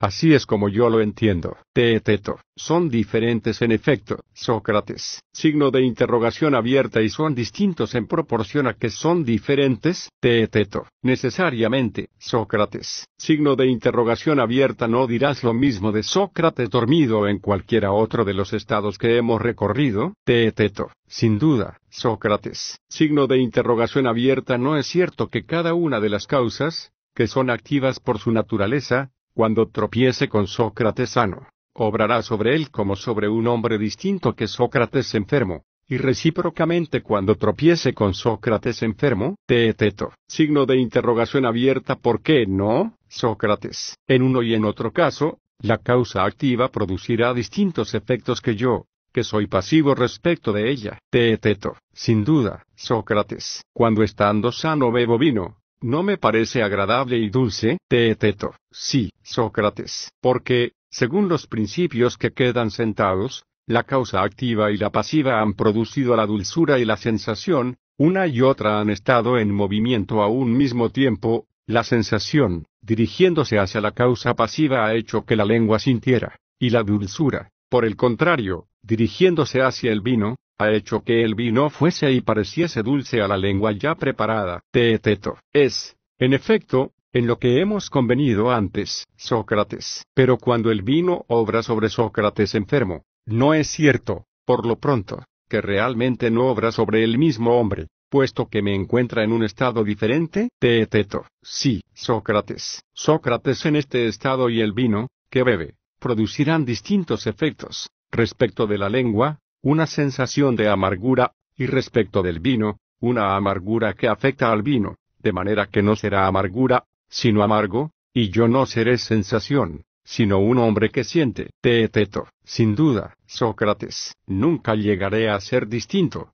mientras me vea afectado de esta manera, porque una sensación diferente supone que el sujeto no es ya el mismo, y hace al que la experimenta diferente y distinto de lo que él era. Tampoco es de temer que lo que me afecta, afectando también a otro sujeto, produzca un mismo efecto, puesto que, produciendo otro efecto por su unión con otro sujeto, se hará distinto. Teeteto, es cierto, Sócrates. Por lo tanto, yo no llegaré a ser lo que soy a causa de mí mismo, ni tampoco la causa en razón de sí misma. Teeteto, no, sin duda, Sócrates. Signo de interrogación abierta no es indispensable que, cuando yo siento, sea en razón de alguna cosa, puesto que es imposible que se experimente una sensación sin causa, y en igual forma, lo que se hace dulce, amargo, o recibe cualquier otra cualidad semejante, no es indispensable que se haga tal con relación a alguno, puesto que no es menos imposible que lo que se hace dulce no sea tal para nadie. Teeteto. Ciertamente, Sócrates. Resulta, pues, que, a mi parecer, el sujeto que siente y el objeto sentido, ya se los suponga en estado de existencia o en vía de generación, tienen una existencia o una generación relativas, puesto que es una necesidad que su manera de ser sea una relación, pero una relación que no es de ellos a otra cosa, ni de cada uno de ellos a sí mismo. Resulta, por consiguiente, que tiene que ser una relación recíproca, de uno respecto del otro, de manera que, ya se diga de una cosa que existe o ya que deviene, es preciso decir que siempre es a causa de alguna cosa, o de alguna cosa, o hacia alguna cosa, y no se debe decir, ni consentir que se diga, que existe o se hace cosa alguna en sí y por sí, esto es lo que resulta de la opinión que hemos expuesto. Teeteto, nada más verdadero, Sócrates, Sócrates. Por consiguiente, lo que obras sobre mí es relativo a mí y no a otro. Yo lo siento y otro no lo siente. Teeteto, sin dificultad. Sócrates, mi sensación.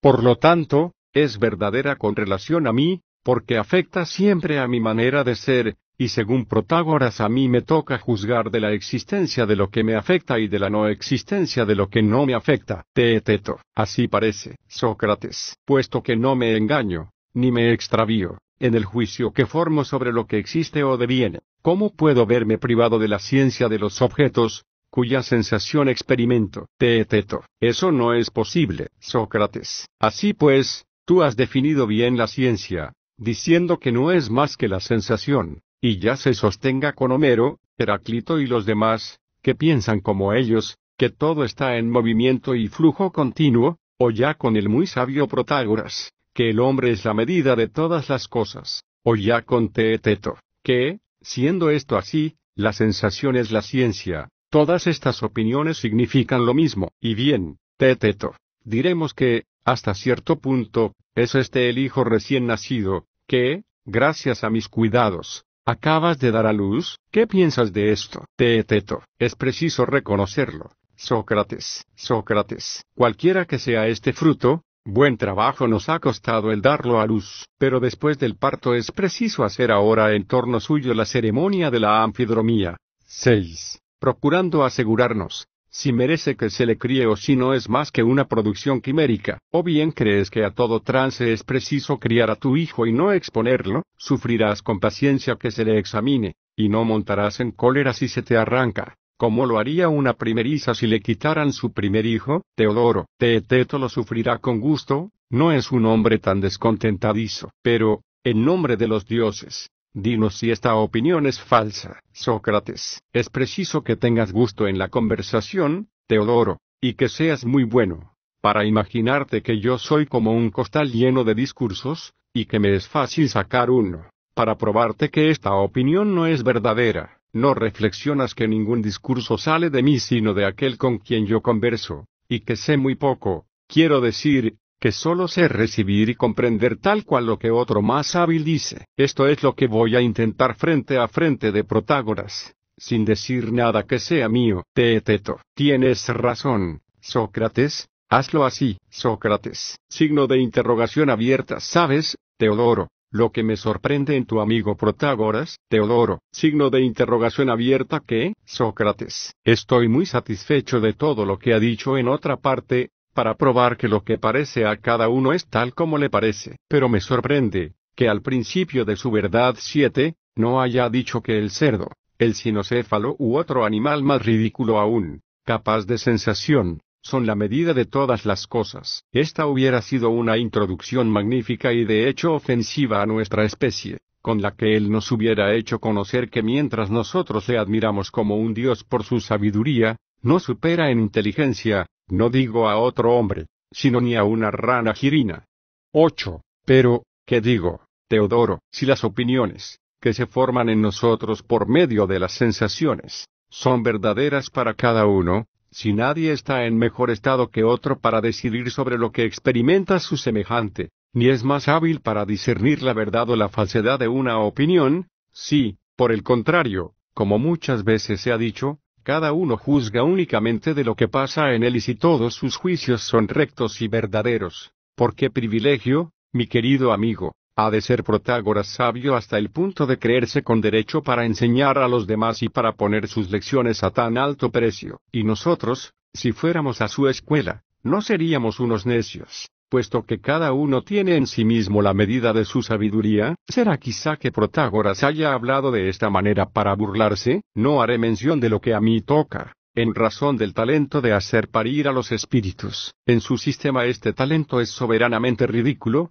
lo mismo, a mi parecer, que todo el arte de la dialéctica, porque, no es una insigne extravagancia querer examinar y refutar mutuamente nuestras ideas y opiniones mientras que todas ellas son verdaderas para cada uno, si la verdad es como la define Protágoras, salvo que nos haya comunicado por diversión los oráculos de su santo libro, Teodoro, Sócrates, Protágoras es mi amigo, tú mismo acabas de decirlo, y no puedo consentir que se le refute con mis propias opiniones, ni defender su sistema frente a frente de ti contra mi pensamiento. Continúa, pues, la discusión con Teeteto con tanto más motivo cuanto que me ha parecido que te está escuchando con una atención sostenida, Sócrates. Sin embargo, si tú te encontrases en la ceremonia en el circo de los ejercicios, Teodoro, después de haber visto a los otros desnudos y algunos de ellos bastante mal formados, te creerías dispersado de despojarte de tu traje, y mostrarte a ellos a tu vez, Teodoro, signo de interrogación abierta, ¿por qué no? Si querían permitírmelo y rendirse a mis razones, como ahora espero persuadiros a que me permitáis ser simple espectador, y no verme arrastrado por fuerza a la arena en este momento,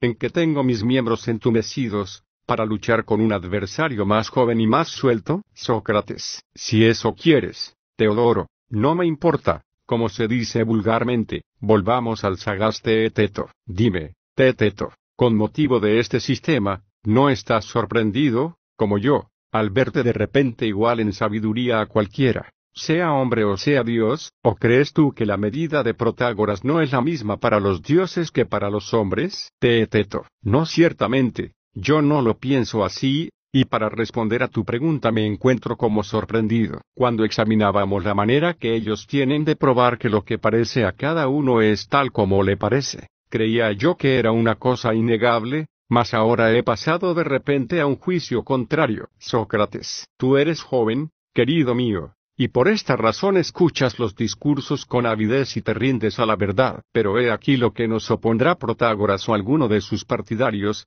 generosos jóvenes y ancianos. Vosotros discurrís sentados en vuestros asientos y ponéis a los dioses de vuestra parte, mientras que yo, hablando y escribiendo sobre este punto, Dejo a un lado si ellos existen o no existen. Vuestras objeciones son por su naturaleza favorablemente acogidas por la multitud, como cuando decís que sería extraño que el hombre no tuviese ninguna ventaja en razón de sabiduría sobre el animal más estúpido.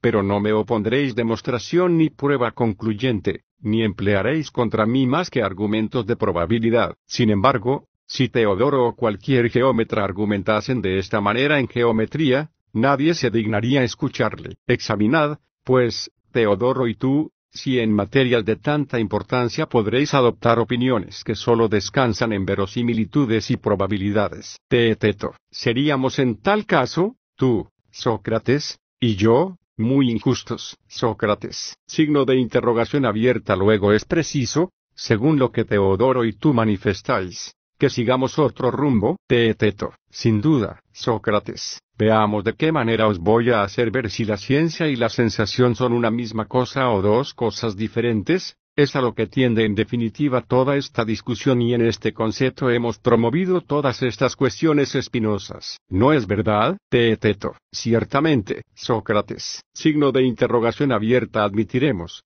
que al mismo tiempo que experimentamos la sensación de un objeto por la vista o por el oído, adquirimos igualmente la ciencia, por ejemplo, antes de haber aprendido la lengua de los bárbaros, diremos que cuando ellos hablan, nosotros no los entendemos, o que los entendemos y comprendemos lo que dicen. En igual forma, si no sabiendo leer, echamos una mirada sobre las letras, aseguraremos que no las vemos o que las vemos y que tenemos conocimiento de ellas. Teeteto. Diremos, Sócrates, que sabemos lo que vemos, es decir, en cuanto a las letras, que vemos y conocernos su figura y su color. En cuanto a los sonidos, que entendemos y conocemos lo que tienen de agudo o de grave, pero que no tenemos por la vista ni por el oído ninguna sensación ni conocimiento de lo que los gramáticos y los intérpretes enseñan en la escritura. Sócrates. Muy bien, mi querido Teeteto. No quiero disputar sobre tu respuesta, para que, Así te encuentres más firme, pero fija tu atención en una nueva dificultad que se presenta en primer término,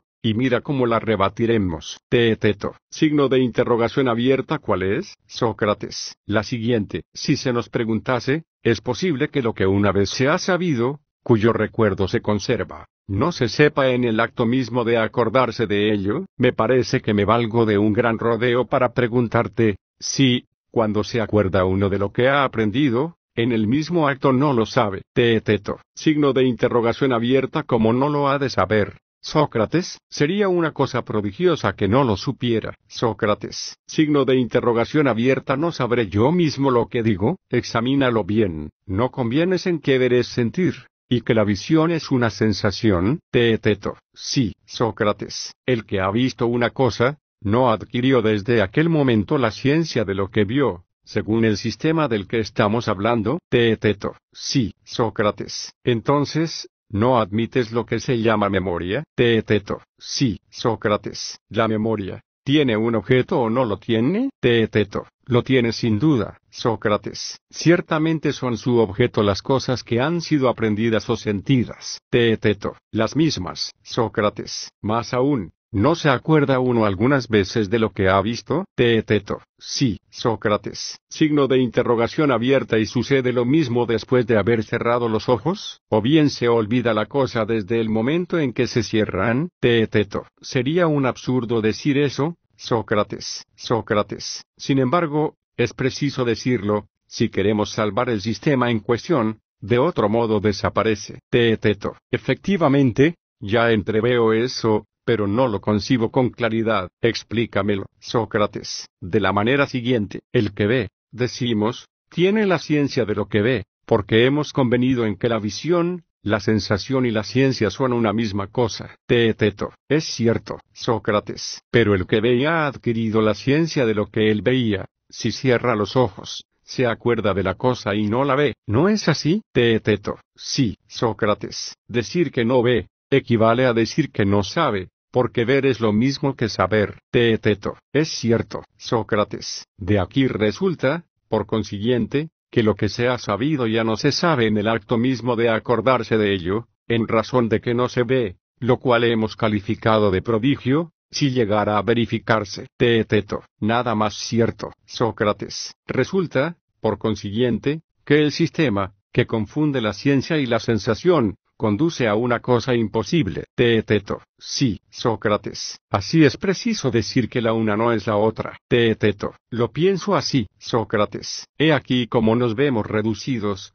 a mi parecer, a dar una nueva definición de la ciencia. Sin embargo, Teeteto, ¿Qué deberemos hacer? Teeteto. Signo de interrogación abierta sobre qué? Sócrates. Me parece que, semejantes a un gallo sin coraje, nos retiramos del combate y cantamos antes de haber conseguido la victoria. Teeteto. Signo de interrogación abierta como, Sócrates. Hasta ahora no hemos hecho más que disputar y convenir por una y otra parte acerca de las palabras, y, después de haber maltratado a nuestro adversario con tales armas, creemos que no queda nada por hacer. Nos damos por sabios y no por sofistas sin tener presente que incurrimos o nos ponemos en el caso de estos disputadores de profesión. Teeteto, no comprendo lo que quieres decir, Sócrates. Voy a hacer un ensayo. Para explicarte mi pensamiento, hemos preguntado si el que ha aprendido una cosa y conserva su recuerdo, no la sabe, y después de haber demostrado que cuando se ha visto una cosa y se han cerrado enseguida los ojos, se acuerda de ella aunque no la vea,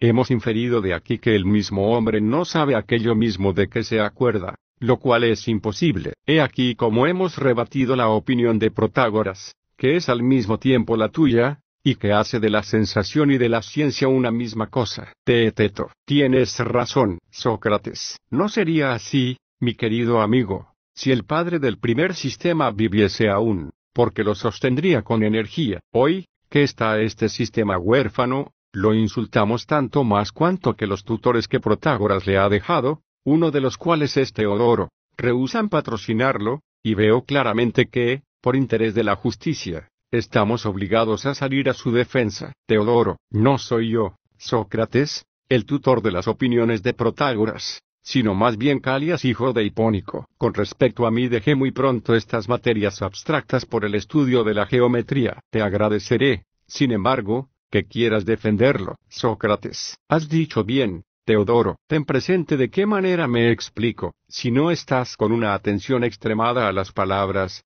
de las que tenemos costumbre de servirnos, ya para conceder, ya para negar, te verás obligado a confesar absurdos mayores aún que los que acabamos de ver. Me dirigiré a ti o a Teeteto, para explicaros cómo, Teodoro, dirígete a ambos, pero el más joven será el que responda. Si da algún paso en falso, será menos vergonzoso para él. Sócrates. Entro desde luego en una cuestión más extraña, a mi parecer, y es la siguiente, ¿es posible que la persona misma, que sabe una cosa, no sepa lo que sabe? Teodoro. Signo de interrogación abierta. ¿Qué responderemos? Teeteto, Teeteto. Tengo por imposible la proposición. Sócrates. Sin embargo, no lo es tanto, si supones que ver es saber. ¿Cómo saldrás de esta cuestión inevitable? O, como suele decirse, cómo te librarás de caer en la trampa, cuando un adversario intrépido, tapando con la mano uno de tus ojos, te pregunte si ves su vestido con el ojo cerrado. Teeteto, le responderé que no,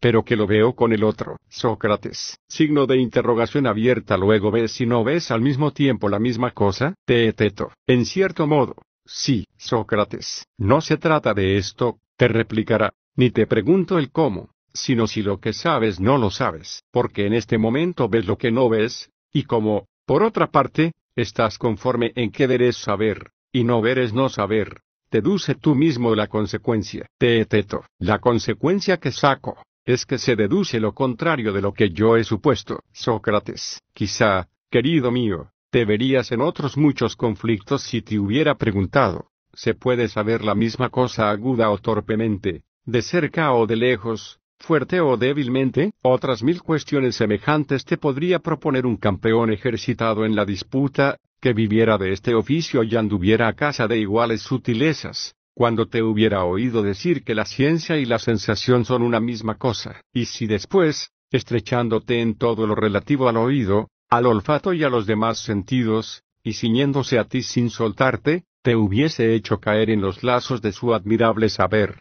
se hubiera hecho dueño de tu persona, y, teniéndote encadenado, te habría obligado a pagar el rescate en que hubierais convenido ambos. Y bien, me dirás quizá, ¿qué razones alegará Protágoras en su defensa? ¿Quieres que las exponga? Teeteto. Con mucho gusto, Sócrates. Por lo pronto hará valer todo lo que hemos dicho en su favor, y enseguida, estrechando el terreno, creo yo que nos dirá en tono desdeñoso. El buen Sócrates me ha puesto en ridículo en sus discursos, porque un joven, aterrado con la pregunta que le hizo, de si es posible que un hombre se acuerde de una cosa y que al mismo tiempo tenga conocimiento de ella, le respondió temblando, que no, por no alcanzársele más. Pero, cobarde Sócrates, escucha lo que hay en esta materia. Cuando examinas por medio de preguntas algunas de mis opiniones, si confundes al que interrogas, respondiendo él lo que yo mismo respondería, yo soy el vencido. Pero si dice una cosa distinta de la que yo diría, lo será él y no yo. Y entrando ya en materia, ¿crees tú que se te haya de conceder que se conserva la memoria de las cosas que se han sentido cuando la impresión no subsiste, y que esta memoria sea de la misma naturaleza que la sensación que experimentaba y que ya no se experimenta? De ninguna manera. ¿Crees que hay inconveniente en confesar que el mismo hombre puede saber y no saber la misma cosa? Si se teme semejante confesión, ¿Crees tú que se te conceda que el que se ha hecho diferente, sea el mismo que era antes de este cambio, o más bien, que este hombre sea uno y no muchos, y que estos muchos no se multipliquen al infinito, puesto que los cambios se producen sin cesar, si se han de descartar de una y otra parte los lazos que se puede entender con las palabras? Pero, querido mío, proseguirá, ataca mi sistema de una manera más noble y pruébame, si puedes, que cada uno de nosotros no tiene sensaciones que le son propias, o si lo son, que no se sigue de aquí que aquello, que parece a cada uno, deviene, o si es preciso valerse de la palabra ser, es tal por sí solo. Además, cuando hablas de certos y de sinocéfalos, no solo demuestras, respecto a mis escritos, la estupidez de un cerdo, sino que comprometes a los que te escuchan a hacer otro tanto, y esto no es decoroso. Con respecto a mí, Sostengo que la verdad es tal como la he descrito, y que cada uno de nosotros es la medida de lo que es y de lo que no es, que hay, sin embargo, una diferencia infinita entre un hombre y otro hombre, en cuanto las cosas son y parecen unas a este y otras a aquel, y lejos de no reconocer la sabiduría, ni los hombres sabios. Digo, por el contrario, que uno es sabio, cuando mudando la faz de los objetos, los hace parecer y ser buenos a aquel para quien parecían y eran malos antes. Por lo demás, no es una novedad que se me ataque solo sobre palabras, pero penetrarás más claramente mi pensamiento con lo que voy a decir. Recuerda lo que ya se dijo antes, que los alimentos parecen y son amargos al enfermo,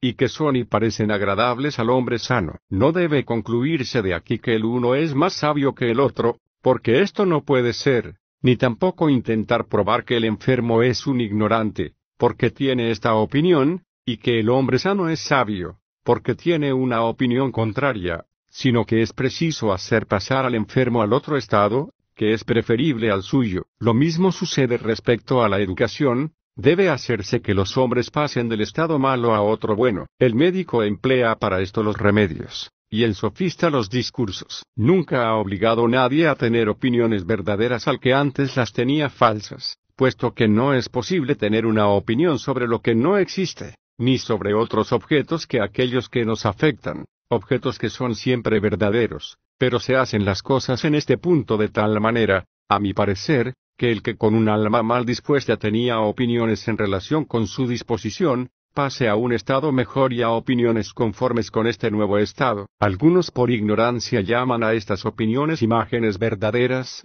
en cuanto a mí, convengo en que las unas son mejores que las otras, pero no más verdaderas. Disto de llamar ranas a los sabios. Mi querido Sócrates, por el contrario, tengo a los médicos por sabios en lo que concierne al cuerpo, y a los labradores en lo que toca a las plantas, porque en mi opinión los labradores, cuando las plantas están enfermas, en lugar de sensaciones malas, las procuran buenas, saludables y verdaderas, y los oradores sabios y virtuosos hacen, respecto de los estados, que las cosas buenas sean justas y no las malas. En efecto, lo que parece bueno y justo a cada ciudad es tal para ella mientras forma este juicio, y el sabio hace que el bien, y no el mal, sea y parezca tal a cada ciudadano. Por la misma razón el sofista, capaz de formar de este modo a sus discípulos, es sabio, y merece que ellos le den un gran salario. Así es como los unos son más sabios que los otros, sin tener por esto nadie opiniones falsas, y quieras o no,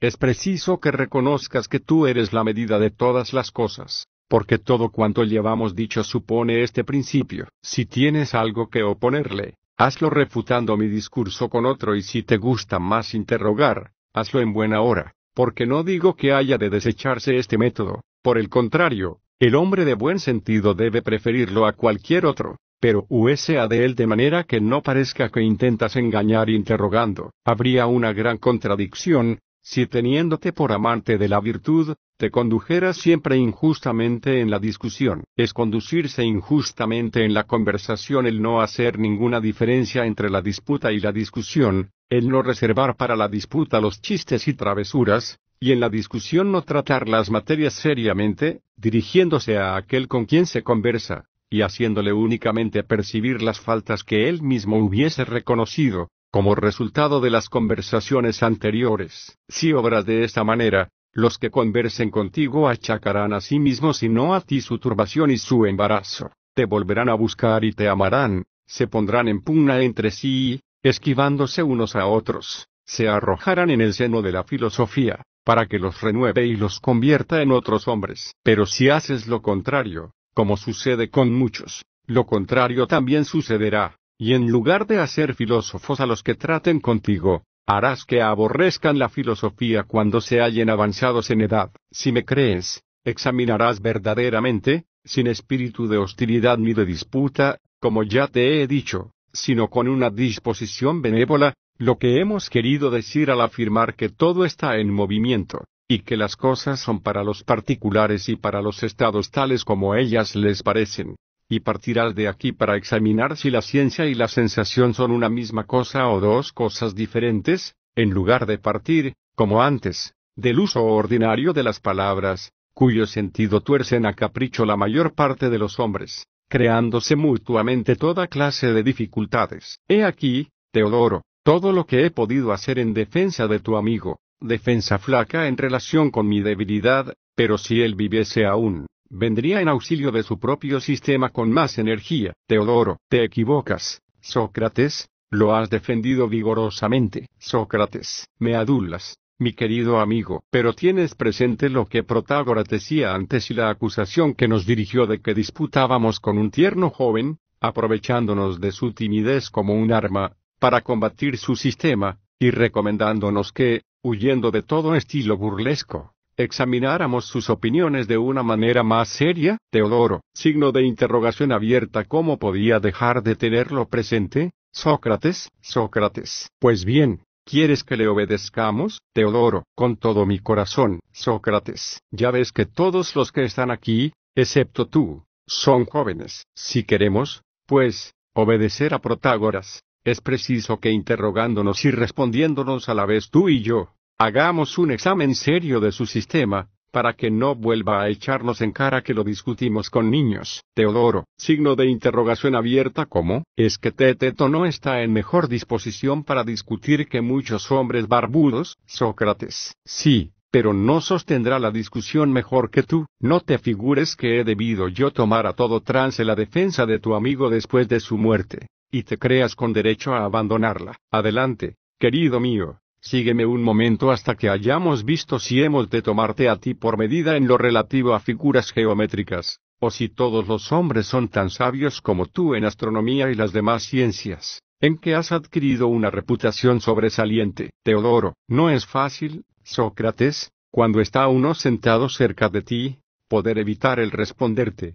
y me equivoqué antes cuando dije que me permitirías no despojarme de mis vestidos. Y que no me obligarías en este concepto a luchar como hacen los lacedemonios. Se me figura, por el contrario, que te pareces más a Esirrón. 9. Porque los lacedemonios solo dicen, que se retire o que se despoje de sus vestidos. Pero tú haces lo que Anteo. 10. No dejas en paz a los que se te aproximan hasta forzarlos a que se despojen y luchen de palabra contigo. Sócrates, has pintado bien mi enfermedad. Teodoro, sin embargo, yo soy más fuerte que esos que citas, porque ya he encontrado una multitud de Heracles y de Teseo, temibles en la disputa, que me han batido en regla, pero no por eso me abstengo de disputar, tan violento y tan arraigado está en mí el amor a esta clase de luchas. No me rehuses el placer de medirme contigo, será ventajoso a uno y otro. Teodoro, ya no me opongo más, y toma el camino que te acomode. Es preciso sufrir el destino que me preparas, y consentir de buena voluntad en verme refutado. Te advierto, sin embargo, que no podré pasar más allá de lo que me has propuesto. Sócrates, basta que me sigas hasta ese punto. Te suplico que estés atento. No nos suceda que, sin darnos cuenta, conversemos de una manera frívola, lo cual sería causa de una nueva acusación. Teodoro, en cuanto pueda, yo estaré con cuidado. Sócrates, comencernos tomando por base un punto del que ya hemos hablado y veamos, si hemos atacado y desechado este sistema con razón o sin ella. En cuanto se pretende que cada uno se basta a sí mismo en lo referente a la sabiduría, y si Protágoras nos ha concedido que unos superan a otros para discernir lo mejor y lo peor, que son los que él llama sabios. ¿No es así, Teodoro? Sí, Sócrates. Si él mismo hubiera hecho en persona esta confesión, y no nosotros en su nombre, al defender su causa, no sería necesario reproducirla para fortificarla más, pero quizás se nos podría objetar que no estamos autorizados para hacer por él semejantes confesiones. Esta es la razón por la que es preferible que convengamos en la verdad de este punto, tanto más, cuanto que importa poco que la cosa sea así o de otra manera. Teodoro, tienes razón, Sócrates. Deduzcamos, pues, lo más brevemente que podamos, esta confesión de los propios discursos de Protágoras y no de ningún otro. Teodoro, signo de interrogación abierta como, Sócrates, de la manera siguiente, ¿no dice Protágoras que lo que parece a cada uno es para él tal como le parece? Teodoro, lo dice en efecto, Sócrates. De este modo se explica Protágoras, mas también nosotros enunciamos las opiniones de un hombre, más bien de todos los hombres, cuando decimos que no hay nadie que bajo cierto punto de vista no se crea más sabio que los demás, y otros igualmente más sabios que él, que en los mayores peligros, en la guerra, en las enfermedades, en el mar, se tienen por dioses los que mandan en estos conflictos, y se espera de ellos la salud, y sin embargo, estos no tienen otra ventaja sobre los otros que la de la ciencia. En todos los negocios humanos se buscan maestros y jefes para sí mismos, para dirigir a los demás y para todas las obras que se emprenden, y que hay igualmente hombres que tienen la convicción de que están en posición de enseñar y de mandar, y en vista de esto, ¿qué otra cosa podemos decir sino que los hombres piensan que acerca de todas estas cosas hay, entre sus semejantes, sabios e ignorantes. Teodoro, nada más cierto. Sócrates, signo de interrogación abierta, no tienen la sabiduría por una opinión verdadera, y la ignorancia por una opinión falsa? Teodoro, sin duda. Sócrates, signo de interrogación abierta, ¿qué partido tomaremos? Protágoras, diremos que los hombres tienen siempre opiniones verdaderas, o tan pronto verdaderas como falsas. A cualquier lado que nos inclinemos, resulta de todos modos que las opiniones humanas no son siempre verdaderas, sino que son verdaderas o falsas. En efecto, Teodoro, Mira si alguno de los partidarios de Protágoras querría, o si tú mismo querrías sostener que no puede uno pensar que otro es un ignorante, y que tiene opiniones falsas. Teodoro, esta aserción no encontraría defensor. Sócrates, Sócrates, he aquí a qué extremo se ven reducidos los que quieren que el hombre sea la medida de todas las cosas. Teodoro, signo de interrogación abierta como, Sócrates, si formas algún juicio sobre un objeto cualquiera y me participas tu opinión, esta opinión, según Protágoras, será verdadera para ti, pero no nos será permitido a los demás ser jueces de tu juicio, juzgaremos siempre que tus opiniones son verdaderas, o, más bien, muchas personas que tienen opiniones contrarias a las tuyas, no te contradicen todos los días, imaginándose que tú juzgas mal, Teodoro. Sí, por Zeus, Sócrates, hay, como dice Homero, mil personas que me ocasionan muchas dificultades bajo este punto de vista. Sócrates. Bien, ¿quieres entonces que digamos que tienes una opinión verdadera para ti y falsa para todos los demás? Teodoro. Parece que es un resultado necesario de la opinión de Protágoras. Sócrates. Con respecto a Protágoras mismo, si no hubiera creído que el hombre es la medida de todas las cosas, y si el pueblo no lo creyese tampoco, como de hecho no lo cree, no sería una consecuencia necesaria que la verdad, tal como la ha definido, no existe para nadie, y si ha sido de esta opinión, y la multitud cree lo contrario, no observas, en primer lugar, que tanto como el número de los que son de la opinión del pueblo supere al de sus partidarios, otro tanto la verdad, tal como él la entiende, debe no existir más bien que existir, Teodoro. Eso es incontestable, y existe o no existe según la opinión de cada cual. Sócrates. En segundo lugar, he aquí lo más gracioso. Protágoras, reconociendo que lo que parece a cada uno es verdadero,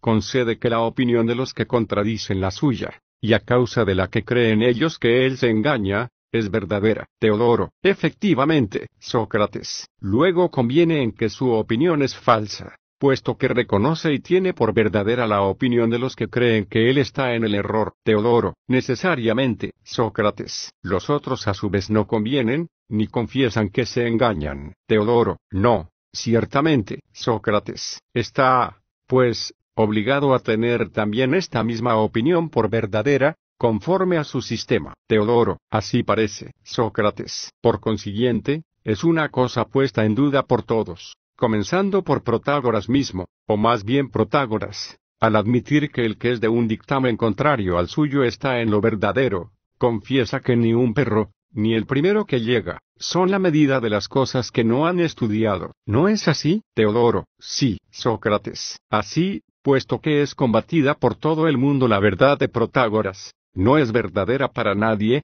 ni para él mismo. Teodoro, Sócrates, Tratamos muy mal a mi amigo, Sócrates. Sí, querido mío, pero no sé si traspasamos la línea de lo verdadero. Lo que parece es que, siendo de más edad que nosotros, es igualmente más hábil, y si en este momento saliese del sepulcro, asomando solo la cabeza, probablemente nos convencería, a mí de no saber lo que digo, y a ti de haber concedido muchas cosas indebidamente. Dicho lo cual, desaparecería y se sumiría bajo tierra. Pero yo creo que es en nosotros una necesidad usar de nuestras facultades, tales como son, y hablar siempre conforme a nuestras ideas, y no diremos, que todo el mundo conviene en que hay hombres más sabios que otros, e igualmente más ignorantes, Teodoro, por lo menos, Así me lo parece, Sócrates. Signo de interrogación abierta ¿Te parece igualmente que la opinión de Protágoras puede sostenerse en otro punto que hemos indicado al tomar su defensa,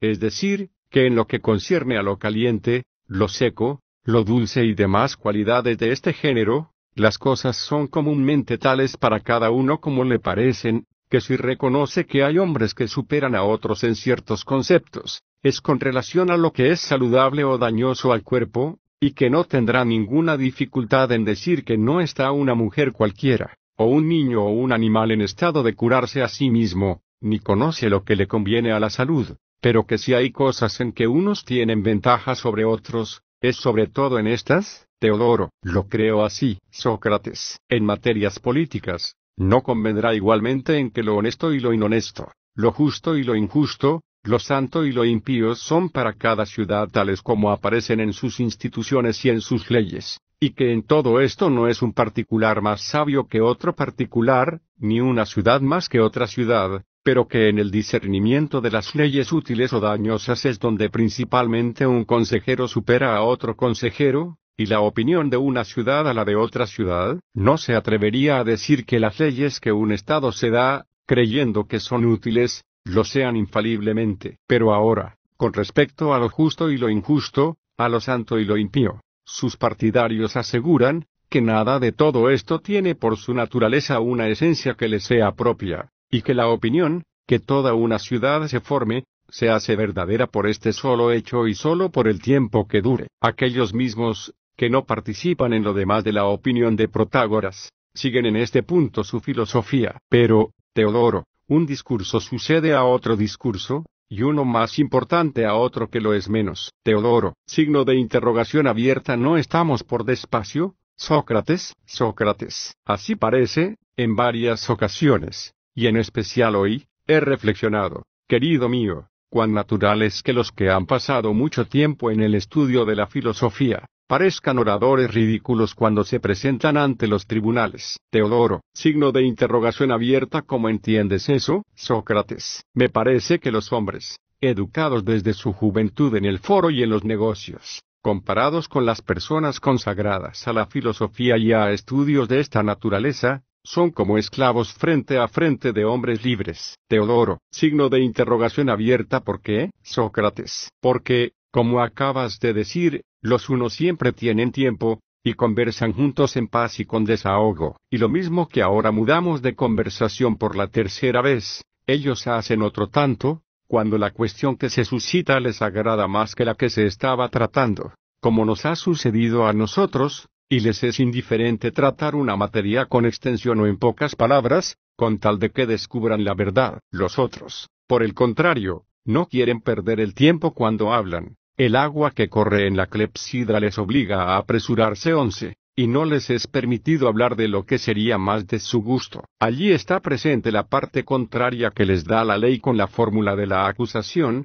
que ellos llaman antomosía 12, juramentos opuestos, que se lee, y de cuyo contenido está prohibido separarse. Sus alegaciones son en pro en contra de un esclavo como ellos, y se dirigen a un señor sentado, que tiene en su mano la justicia. Sus disputas no quedan sin resultado. Siempre media algún interés para ellos, y muchas veces va en ello la vida. Si bien todo esto les hace ardientes, ásperos y hábiles para adular al juez con palabras y complacerle en sus acciones. Por lo demás tienen el alma pequeña sin rectitud, porque la servidumbre, a la que está sujeta desde la juventud, le ha impedido elevarse, y la ha despojado de su nobleza, obligándola a obrar por caminos torcidos y exponiéndola, cuando aún era tierna, a grandes peligros y grandes temores, como no tienen bastante fuerza para arrostrarlos, tomando el partido de la justicia y de la verdad, se ejercitan enseguida en la mentira y en el arte de dañarse los unos a los otros, se doblegan y ligan de mil maneras,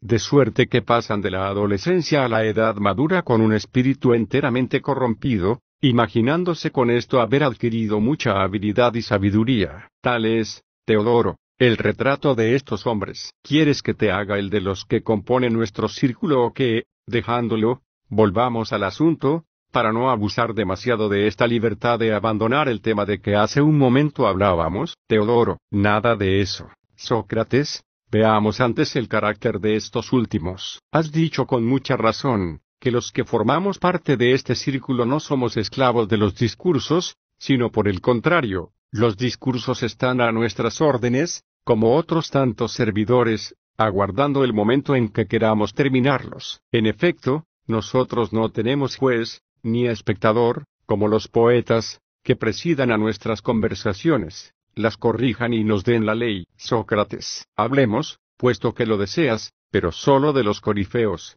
porque, para que mencionar a aquellos que sin genio se dedican a la filosofía, los verdaderos filósofos ignoran desde su juventud el camino que conduce a la plaza pública, los tribunales, donde se administra justicia, el paraje donde se reúne el Senado, y los sitios donde se reúnen las asambleas populares, les son desconocidos, no tienen ojos ni oídos para ver y oír las leyes y decretos que se publican de viva voz o por escrito, y respecto a las facciones e intrigas para llegar a los cargos públicos, a las reuniones secretas, a las comidas y diversiones con los tocadores de flauta, no les vienen al pensamiento concurrir a ellas, ni aun por sueños. Nace uno de alto o bajo nacimiento en la ciudad, sucede a alguno una desgracia por la mala conducta de sus antepasados, varones o hembras, y el filósofo no da más razón de estos hechos que del número de gotas de agua que hay en el mar, ni sabe él mismo que ignora todo esto, porque si se abstiene de enterarse de ello, no es por vanidad, sino que, a decir verdad, es porque está presente en la ciudad solo con el cuerpo. En cuanto a su alma, mirando todos estos objetos como indignos, y no haciendo de ellos ningún caso, se pasea por todos los lugares, midiendo, según la expresión de Píndaro, lo que está por debajo y lo que está por encima de la tierra, se eleva hasta los cielos, para contemplar allí el curso de los astros, y dirigiendo su mirada escrutadora a todos los seres del universo, no se baja a objetos que están inmediatos a aquella. Teodoro, signo de interrogación abierta, ¿cómo entiendes eso? Sócrates, Sócrates, se cuenta, Teodoro, que ocupado tales en la astronomía, y mirando a lo alto, cayó un día en un pozo, y que una sirvienta de Tracia de espíritu alegre y burlón se rió, diciendo que quería saber lo que pasaba en el cielo, y que se olvidaba de lo que tenía delante de sí y a sus pies. Este chiste puede aplicarse a todos los que hacen profesión de filósofos. En efecto, no solo ignoran lo que hace su vecino, y si es hombre o cualquier otro animal, sino que ponen todo su estudio en indagar y descubrir lo que es el hombre, y lo que conviene a su naturaleza hacer o padecer, a diferencia de los demás seres. ¿Comprendes, Teodoro, a dónde se dirige mi pensamiento? Teodoro, sí, y dices verdad, Sócrates. Esta es la razón, por la que, mi querido amigo, en las relaciones ya particulares, ya públicas, que un hombre de este carácter tiene con sus semejantes, así como cuando se ve precisado a hablar delante de los tribunales o en otra parte de las cosas que están a sus pies y a su vista. Como dije al principio, da lugar a que se rían de él, no solo las sirvientas de Tracia, sino todo el pueblo, cayendo a cada instante por su falta de experiencia en pozos y en toda suerte de perplejidades, y en conflictos tales que le hacen pasar por un imbécil. Si se le injuria, como ignora los defectos de los demás, porque nunca ha querido informarse, no puede echar en cara al ofensor nada personal, de manera que, al no ocurrírsele qué decir, aparece como un personaje ridículo. Cuando oye a los demás dirigirse alabanzas o alabarse a sí mismos, se ríe, no por darse tono, sino con sana intención, y se le toma por un extravagante. Si en su presencia se alaba a un tirano o a un rey, se figura oír exaltar la felicidad de algún pastor, porquero guarda de ganados lanares y vacunos, porque de ellos saca mucha leche, y cree que los reyes están encargados de apacentar y ordeñar una especie de animales, más difíciles de gobernar y más traidores, sin que por otra parte los mismos tiranos o reyes sean menos groseros e ignorantes que los pastores, a causa del poco tiempo que tienen para instruirse, permaneciendo encerrados dentro de murallas como en un aprisco situado sobre una montaña. Se dice en su presencia que un hombre tiene inmensas riquezas, porque posee en fincas diez mil acres o más,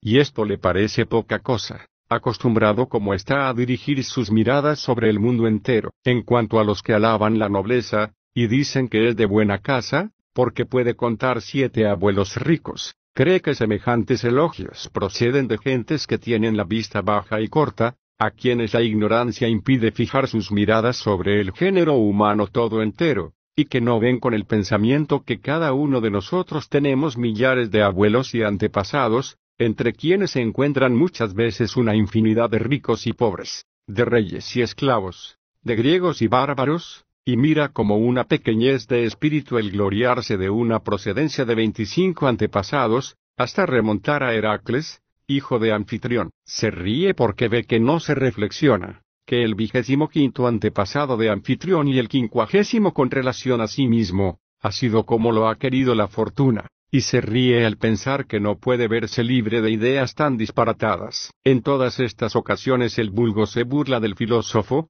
a quien en cierto concepto supone lleno de orgullo e ignorante por otra parte de las cosas más comunes, y además inútil para todo. Teodoro, lo que dices, Sócrates, se ve todos los días, Sócrates. Pero, querido mío, cuando el filósofo puede a su vez atraer a alguno de estos hombres hacia la región superior, y el atraído se aviene a prescindir de estas cuestiones, ¿qué mal te hago yo? ¿Qué mal me haces tú? Para pasar a la consideración de la justicia y de la injusticia, de su naturaleza y de lo que distingue la una de la otra y de todo lo demás, o prescindir de la cuestión de si un rey o tal, hombre, que tiene grandes tesoros, son dichosos, y pasa al examen de la institución real, y en general a lo que constituye la felicidad o la desgracia del hombre, para ver en qué consisten la una y la otra y de qué manera nos conviene aspirar a aquella y huir de esta, cuando es preciso que este hombre de alma pequeña, rudo y ejercitado en la cizaña, se explique sobre todo esto, entonces rinde las armas al filósofo, y suspendido en el aire y poco acostumbrado a contemplar de tan alto los objetos, se le va la cabeza, se aturde, pierde el sentido, no sabe lo que dice, y se ríen de él, no las sirvientas de Tracia, ni los ignorantes, porque no se aperciben de nada, sino aquellos cuya educación no ha sido la de los esclavos. Tal es, Teodoro, el carácter de uno y otro. El primero, que tú llamas filósofo, educado en el seno de la libertad y del ocio, no tiene a deshonra pasar por un hombre cándido e inútil para todo, cuando se trata de llenar ciertos ministerios serviles, por ejemplo, arreglar una maleta, sazonar viandas o hacer discursos. El otro, por el contrario, desempeña perfectamente todas estas comisiones con destreza y prontitud, pero no sabe llevar su capa como conviene a una persona libre, no tiene ninguna idea de la armonía del discurso, y es incapaz de ser el cantor de la verdadera vida de los dioses y de los hombres bienaventurados. Teodoro, si llegases a convencer a todos los demás, como a mí, de la verdad de lo que dices, Sócrates, habría más paz y menos males entre los hombres. Sócrates, sí, pero no es posible, Teodoro, que el mal desaparezca por entero, porque es preciso que siempre haya alguna cosa contraria al bien, y como no es posible colocarlo entre los dioses, es de necesidad que circule sobre esta tierra y alrededor de nuestra naturaleza mortal. Esta es la razón por la que debemos procurar huir lo más pronto posible desde esta estancia a la de los dioses. Al huir nos asemejamos a Dios en cuanto depende de nosotros, y nos asemejamos a Él por la sabiduría, la justicia y la santidad. Pero, amigo mío, no es cosa fácil el persuadir de que no se debe seguir la virtud y huir del vicio por el motivo que mueve al común de los hombres que es evitar la reputación de malo y pasar por virtuoso. La verdadera razón es la siguiente, Dios no es injusto en ninguna circunstancia ni de ninguna manera, por el contrario, es perfectamente justo, y nada se le asemeja tanto como aquel de nosotros que ha llegado a la cima de la justicia. De esto depende el verdadero mérito del hombre o su bajeza y su nada. El que conoce a Dios es verdaderamente sabio y virtuoso, el que no lo conoce es verdaderamente ignorante y malo. En cuanto a las demás cualidades, que el vulgo llama talento y sabiduría, si se despliegan en el gobierno político, no producen sino tiranos, y si en las artes, mercenarios. Lo mejor que debe hacerse es negar el título de hábil al hombre injusto, que ofende a la piedad en sus discursos y acciones, porque aunque sea esta una censura, se complacen en oírla y se persuaden de que se les quiere decir con esto, no que son gentes despreciables, carga inútil sobre la tierra, sino hombres tales como deben serlo, para hacer papel en un Estado. Y es preciso, decirles lo que es verdad, que cuanto menos crean ser lo que son, tanto más lo son en realidad, porque ignoran cuál es el castigo de la injusticia, que es lo que menos debe ignorarse. Estos castigos no son, como se imaginan, los suplicios ni la muerte que algunas veces saben evitar, aun logrando mal. No, es un castigo al cual es imposible que se sustraigan. Teodoro, signo de interrogación abierta ¿cuál es? Sócrates. Hay en la naturaleza de las cosas dos modelos, mi querido amigo,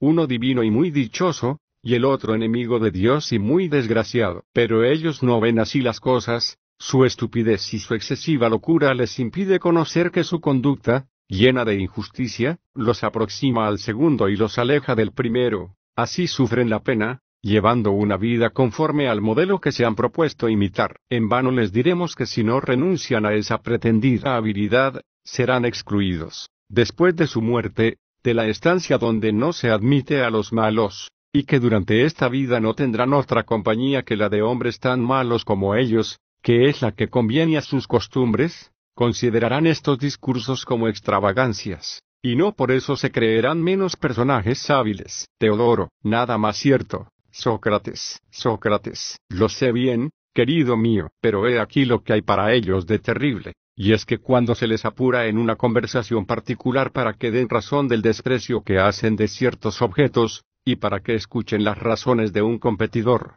por poco que quieran sostener con interés a la conversación durante algún tiempo y no abandonar cobardemente el campo, se encuentran al fin, amigo mío, en el mayor apuro, nada de lo que dicen les satisface, Toda su elocuencia se desvanece hasta el punto de podérseles tomar por chiquillos. Pero dejemos esto, que no es más que una digresión, porque, si no, de unas en otras perderemos de vista el primer objeto de nuestra conversación. Volvamos atrás, si conscientes en ello. Teodoro, esta digresión, Sócrates, no es la que con menos gusto te he oído. A mi edad tienen buena acogida reflexiones de esta naturaleza. Sin embargo, respetando tu parecer, volvamos a nuestro primer asunto. Sócrates, el punto en que quedamos es, a mi parecer, aquel en que decíamos, que los que pretenden que todo está en movimiento, y que toda cosa es siempre para cada uno tal como le parece, están resueltos a sostener en todo lo demás,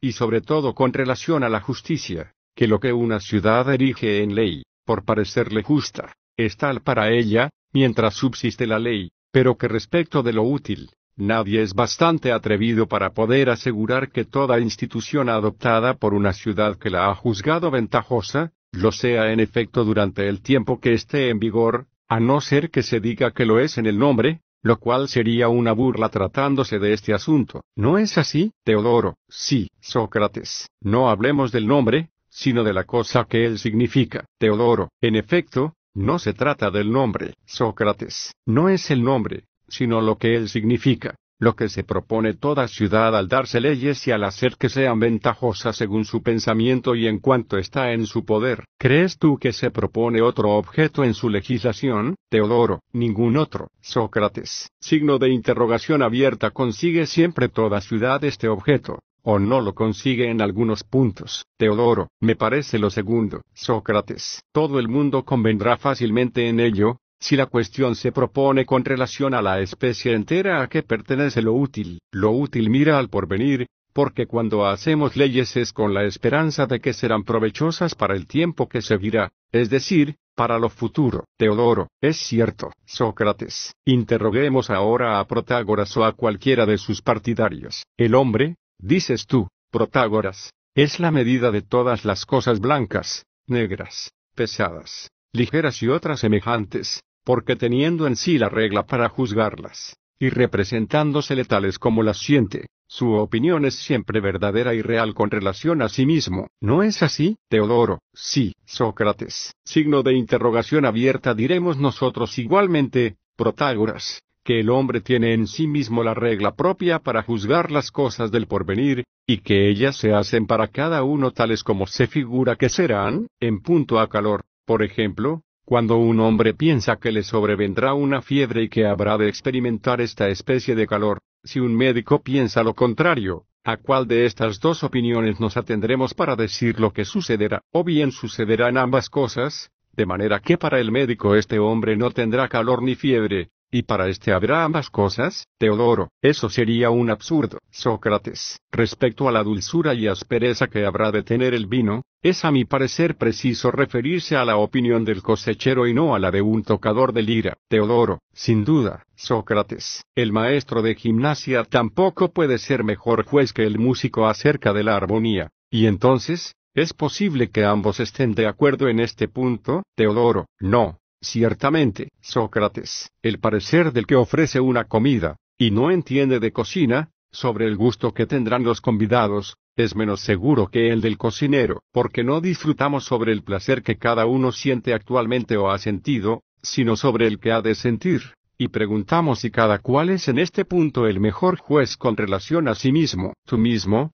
Protágoras, no juzgarás de antemano mejor que un cualquiera de lo que convendrá decir para triunfar ante un tribunal. Teodoro, es muy cierto, Sócrates, y precisamente de esto se alababa Protágoras en primer término, suponiéndose superior a todos los demás. Sócrates, signo de exclamación abierta por Zeus, así era preciso que sucediera, amigo mío y ciertamente nadie le hubiera dado gruesas sumas por asistir a sus lecciones si hubiera convencido a sus discípulos de que ningún hombre ni adivino alguno estaba en estado de juzgar de lo que deberá suceder más de lo que está cada uno por sí mismo. Teodoro, es muy cierto, Sócrates, pero la legislación y lo útil, no miran al porvenir, y no confesará todo el mundo, que es imposible que una ciudad, al darse leyes, deje de faltar muchas veces a lo que es más ventajoso? Teodoro, sin duda, Sócrates. Tenemos, pues, razón para decir a tu maestro, que no puede dispensarse de confesar que un hombre es más sabio que otro,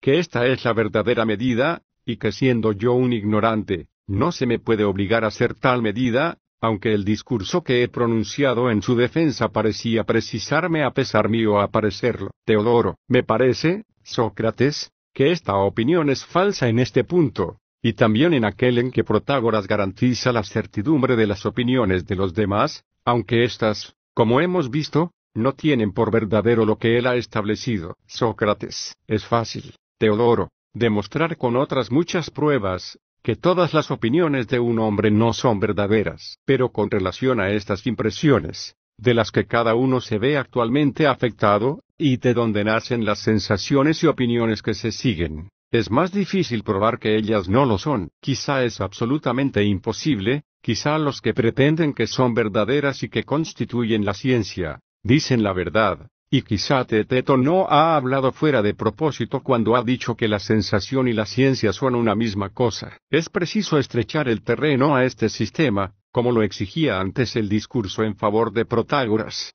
y examinar esta esencia siempre en movimiento, tocándola como se toca un vaso para ver si está roto o entero. Sobre esta esencia ha habido una disputa, que ni carece de interés ni ha tenido lugar entre pocas personas. Teodoro, está muy distante de ser pequeña, se agranda constantemente en la Jonia, porque los partidarios de Heráclito defienden esta opinión con mucho vigor. Sócrates, es una razón más, mi querido Teodoro, para examinar de nuevo cómo la apoyan. Teodoro, es cierto, en efecto, Sócrates, entre estos sectarios de Heráclito, o como tú dices, de Homero o de algún autor más antiguo, los de Éfeso, que se tienen por sabios, son tales, que disputar con ellos es disputar con furiosos. Nada hay fijo en sus doctrinas. Detenerse sobre una materia, sobre una cuestión, responder e interrogar a su vez pacíficamente, es una cosa que les es imposible, absolutamente imposible, tan poca formalidad tienen. Si les interrogas, sacan al momento, como de una aljaba,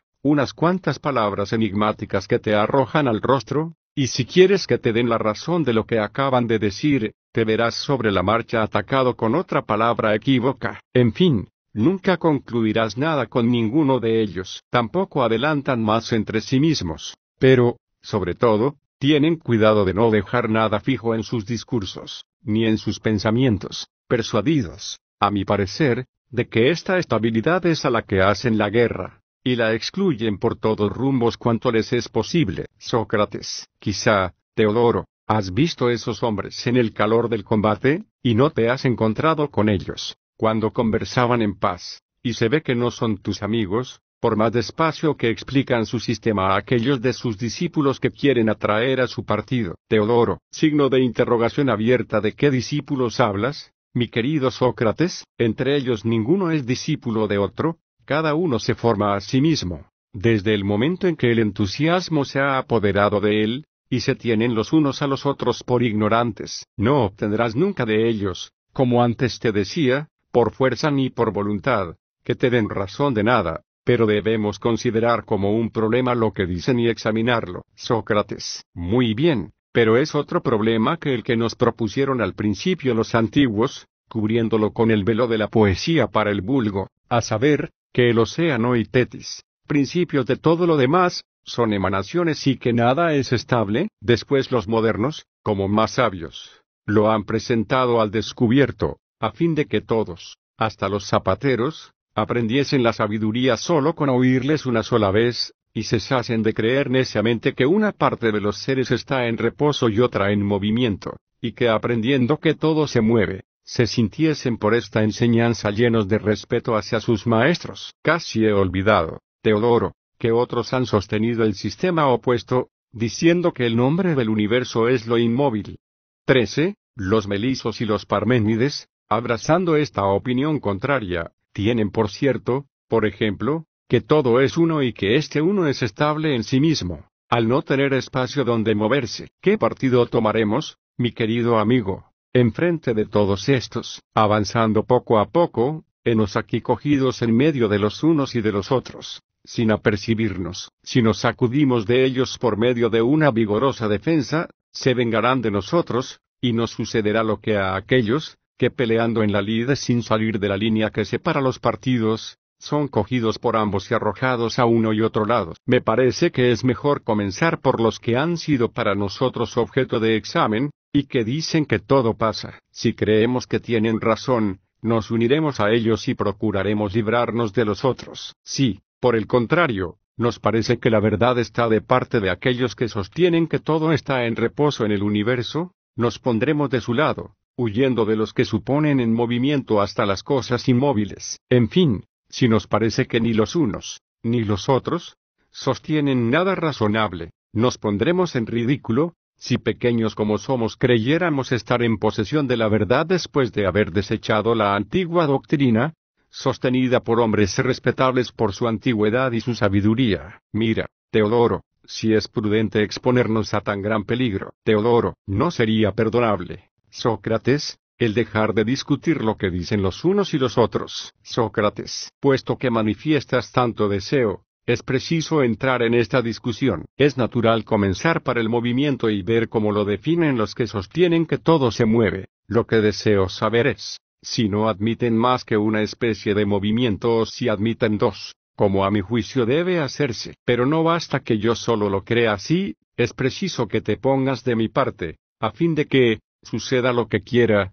lo experimentemos en común. Dime, cuando una cosa pasa de un lugar a otro o gira sobre sí misma sin mudar de lugar, ¿llamas a esto movimiento? Teodoro, sí, Sócrates. Sea, pues, esta una especie de movimiento, y cuando, permaneciendo la cosa en el mismo lugar, envejece, o de blanca se hace negra, o de blanda dura, o experimenta cualquier otra alteración, ¿No debe decirse que esta es una segunda especie de movimiento? Teodoro, me parece que sí, Sócrates. No es posible desconocerlo. Cuento, pues, con dos clases de movimiento, el uno de alteración, el otro de traslación. Teodoro, es cierto, Sócrates. Hecha esta distinción, dirijamos ahora la palabra a los que sostienen que todo se mueve, y hagámosles esta pregunta. Decís que todas las cosas se mueven con este doble movimiento de traslación y de alteración o que algunas se mueven de estas dos maneras y otras solo de una de ellas. Teodoro, en verdad no sé qué responder.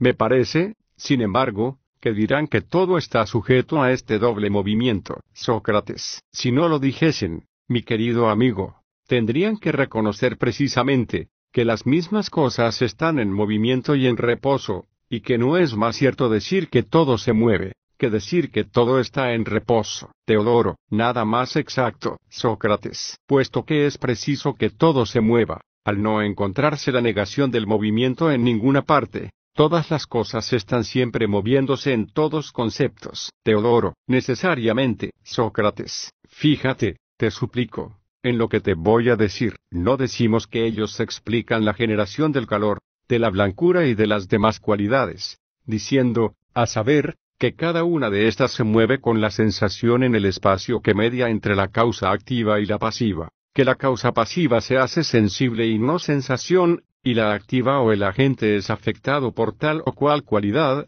sin llegar a su cualidad en sí, quizá esta palabra cualidad te parecerá extraña, y no concibes la cosa bajo esta expresión general, te la diré al pormenor, la causa activa no se hace calor, ni blancura, sino caliente, blanca, y así de lo demás, porque te acordarás, sin duda, de lo que se dijo antes, esto es que nada es uno, tomado en sí, ni lo que obra, ni lo que padece, sino que de su contacto mutuo nacen las sensaciones y las cualidades sensibles, de donde resulta, de un lado, lo que tiene tal o cual cualidad, y de otro, lo que experimenta tal o cual sensación. Teodoro, signo de interrogación abierta, ¿cómo podía no acordarme? Sócrates, dejemos todo lo demás de su sistema sin tomarnos el trabajo de saber de qué manera lo explican, atengámonos solo al punto de que hablamos y preguntémosles, todo se mueve, decís, todo pasa, ¿No es así, Teodoro? Sí, Sócrates, mediante el doble movimiento de traslación y de alteración que hemos distinguido. Teodoro, sin duda, si se pretende que todo se mueve plena y completamente, Sócrates, si las cosas fuesen simplemente transportadas de un punto a otro y no se alterasen,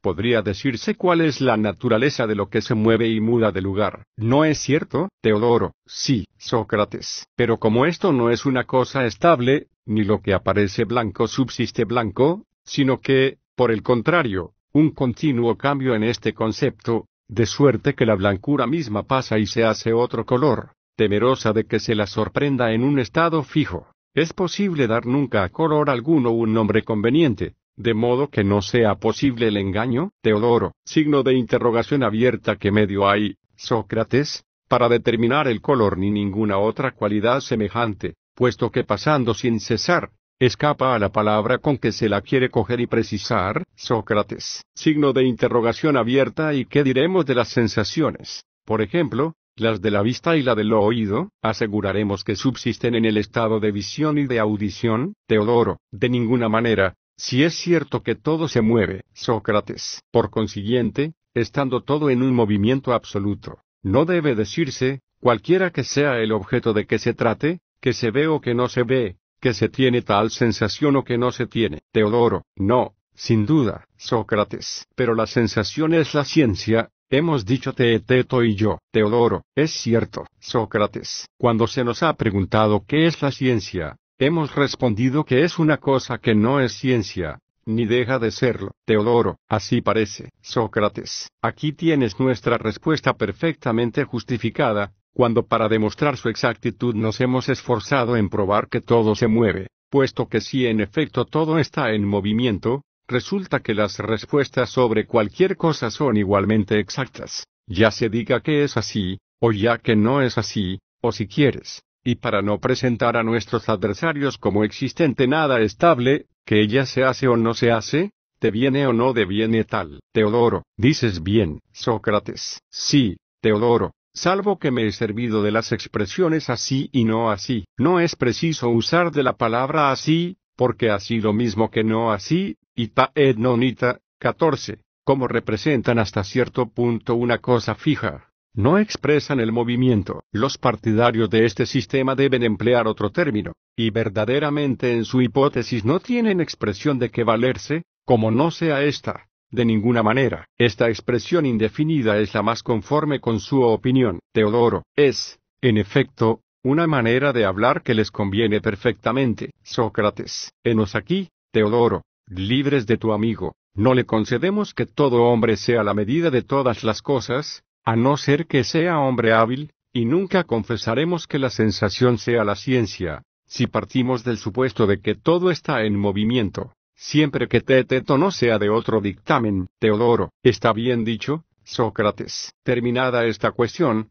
estoy también libre de la obligación de responderte, como habíamos convenido, una vez que se encuentra terminado el examen del sistema de Protágoras. Teeteto. Nada de eso. Teodoro, seguida hasta que Sócrates y tú hayáis discutido la opinión de los que dicen que todo está en reposo, según nos propusisteis antes. Teodoro, signo de exclamación abierta como, Teteto, tú, tan joven, das lecciones de injusticia a los ancianos, enseñándoles a violar sus compromisos. Prepárate a responder a Sócrates sobre lo que resta por decir. Teeteto, con mucho gusto, si Sócrates lo consiente, hubiera oído, sin embargo, con el mayor placer lo que pensáis sobre esta materia. Teodoro, invitar a Sócrates a la discusión es invitar a buenos jinetes a correr en la llanura. Interrógale y quedarás satisfecho. Sócrates, no pienses, Teodoro, que voy a aceptar la invitación de Teeteto. Teodoro, signo de interrogación abierta, ¿por qué no? Sócrates, aunque temo criticar con alguna dureza a Meliso y a los demás que sostienen que todo es uno e inmóvil, lo siento menos respecto de estos que con relación a Parménides. Parménides me parece a la vez respetable y temible, sirviéndome de las palabras de Homero. Le traté siendo yo joven y cuando él era muy anciano, y me pareció que había en sus discursos una profundidad poco común. Temo que no comprendamos sus palabras y que no penetremos bien su pensamiento, y más que todo, Temo que las digresiones que nos vengan encima, si no las evitamos, nos hagan perder de vista el objeto principal de esta discusión, que es conocer la naturaleza de la ciencia. Por otra parte, el objeto de que nos ocupamos aquí, es de una extensión inmensa, y sería falta de consideración el examinarlo de pasada, y si no le damos toda la amplitud que merece, acabaron nuestras indagaciones sobre la ciencia. Así, es preciso que no suceda lo uno ni lo otro, y vale más que, apelando a mi arte de comadrón, auxilie a Teeteto a parir sus concepciones sobre la ciencia. Teeteto, sea como quieres,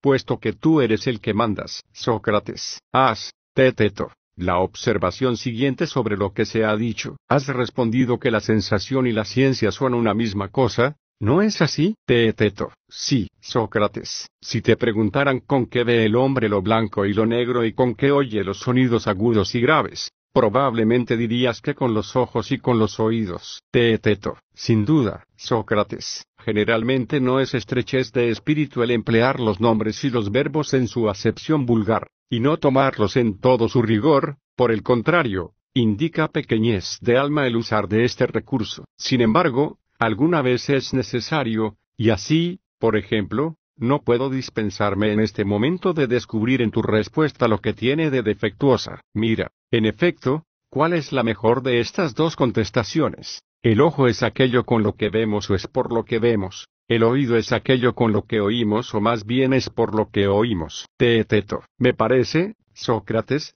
que es mejor decir los órganos por los que sentimos que no con los que sentimos. Sócrates. Efectivamente, sería extraño, querido mío, que en nosotros hubiese muchos sentidos como en los caballos de palo 15, y que ellos no se refiriesen todos a una sola esencia, llámese el alma o de cualquier otro modo, con la que, valiéndonos de los sentidos como de otros tantos órganos, sentimos lo que es sensible. Teeteto. Me parece que debe ser así, Sócrates. La razón por la que procuro aquí la exactitud de las palabras, es porque quiero saber si en nosotros hay un solo y mismo principio, por el que sabemos, por medio de los ojos, lo que es blanco o negro, y los demás objetos por medio de los demás sentidos, y si tú achacas cada una de estas sensaciones a los órganos del cuerpo, pero quizá vale más que seas tú mismo el que diga todo esto, en lugar de tomarme yo este trabajo por ti, respóndeme, pues, atribuyes al cuerpo a otra sustancia los órganos por los que sientes lo que es caliente, seco, ligero, dulce, teeteto. Los atribuyo al cuerpo solamente, Sócrates. Signo de interrogación abierta. ¿Consentirías en concederme que lo que sientes por un órgano te es imposible sentirlo por ningún otro? Por ejemplo, por la vista lo que sientes por el oído o por el oído lo que sientes por la vista. Teeteto. Signo de interrogación abierta como no lo he de consentir, Sócrates. Luego, si tienes alguna idea sobre los objetos de estos dos sentidos, tomados en junto, no puede venirte esta idea colectiva de uno ni de otro órgano. Teeteto. No, sin duda, Sócrates. La primera idea que tú tienes respecto al sonido y al color, tomados en conjunto, es que los dos existen. Teeteto. Sí, Sócrates. Y que el uno es diferente del otro y semejante a sí mismo. Teeteto. Sin duda, Sócrates. Y que, tomados juntos, ellos son dos, y que, tomado cada uno aparte, cada cual es uno. Teeteto. Así lo entiendo.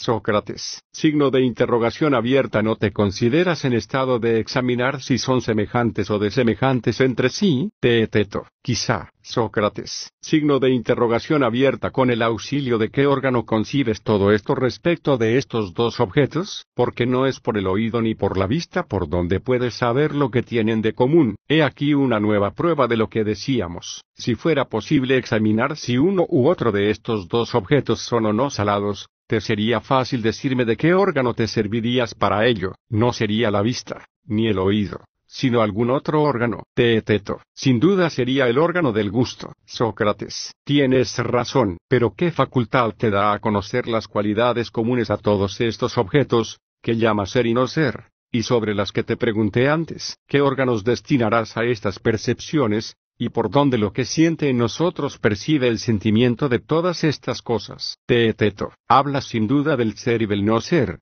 de la semejanza y de la desemejanza, de la identidad y de la diferencia, y también de la unidad y de los demás números. Y es evidente que tú me preguntas por qué órganos del cuerpo siente nuestra alma todo esto, así como lo par, lo impar y todo lo que depende de ellos. Sócrates, perfectamente, Teeteto. Eso es lo que yo quiero saber, Teeteto. En verdad, Sócrates, no sé qué decirte, sino que desde el principio me ha parecido que no tenemos un órgano particular para esta clase de cosas como para las otras, pero que nuestra alma examina inmediatamente por sí misma lo que los objetos tienen de común entre sí. Sócrates, tú eres hermoso, Teeteto, y no feo como decía Teodoro, porque el que responde bien es bello y bueno. Además me has hecho un servicio dispensándome de una larga discusión. Si juzgas que hay objetos que el alma conoce por sí misma, y otros que conoce por los órganos del cuerpo, esto, en efecto, ya lo esperaba yo de ti,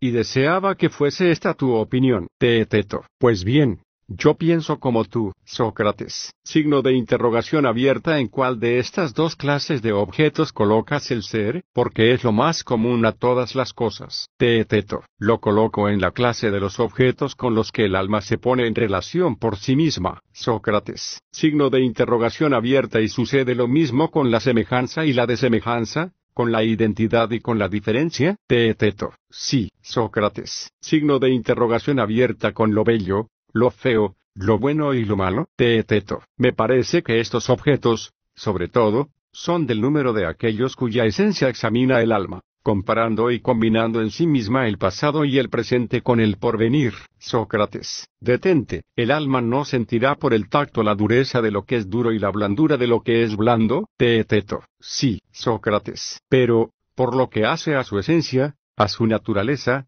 a su oposición y a la naturaleza de esta oposición, ensaya el alma juzgarlas por sí mismas, después de repetidos esfuerzos y de confrontarlas unas con las otras, Teeteto, sin duda, Sócrates, la naturaleza ha dado a los hombres y a las bestias, desde el acto de nacer, el sentimiento de ciertas afecciones que pasan al alma por los órganos del cuerpo, mientras que las reflexiones sobre estas afecciones, su esencia y su utilidad, no vienen o no se presentan sino a la larga y con mucho trabajo mediante los cuidados y estudio de las personas en cuya alma se forman. Teeteto. Es cierto, Sócrates. Signo de interrogación abierta. ¿Es posible que el que no descubra la esencia, descubra la verdad? Teeteto. No, Sócrates. Signo de interrogación abierta. ¿Se obtendrá la ciencia cuando se ignora la verdad? Teeteto. Signo de interrogación abierta. ¿Cómo? Sócrates, Sócrates, la ciencia no reside en las sensaciones sino en el razonamiento sobre las sensaciones, puesto que, según parece, sólo por el razonamiento se puede descubrir la ciencia y la verdad, y es imposible conseguirlo por otro rumbo. Teeteto, así parece, Sócrates. Signo de interrogación abierta dirás que lo uno y lo otro son una misma cosa. Cuando hay entre ellas una gran diferencia, teeteto, eso no sería exacto, Sócrates. Signo de interrogación abierta ¿qué nombre das a estas afecciones? Ver, oír, olfatear, resfriarse, calentarse, teeteto. A todo esto lo llamo sentir.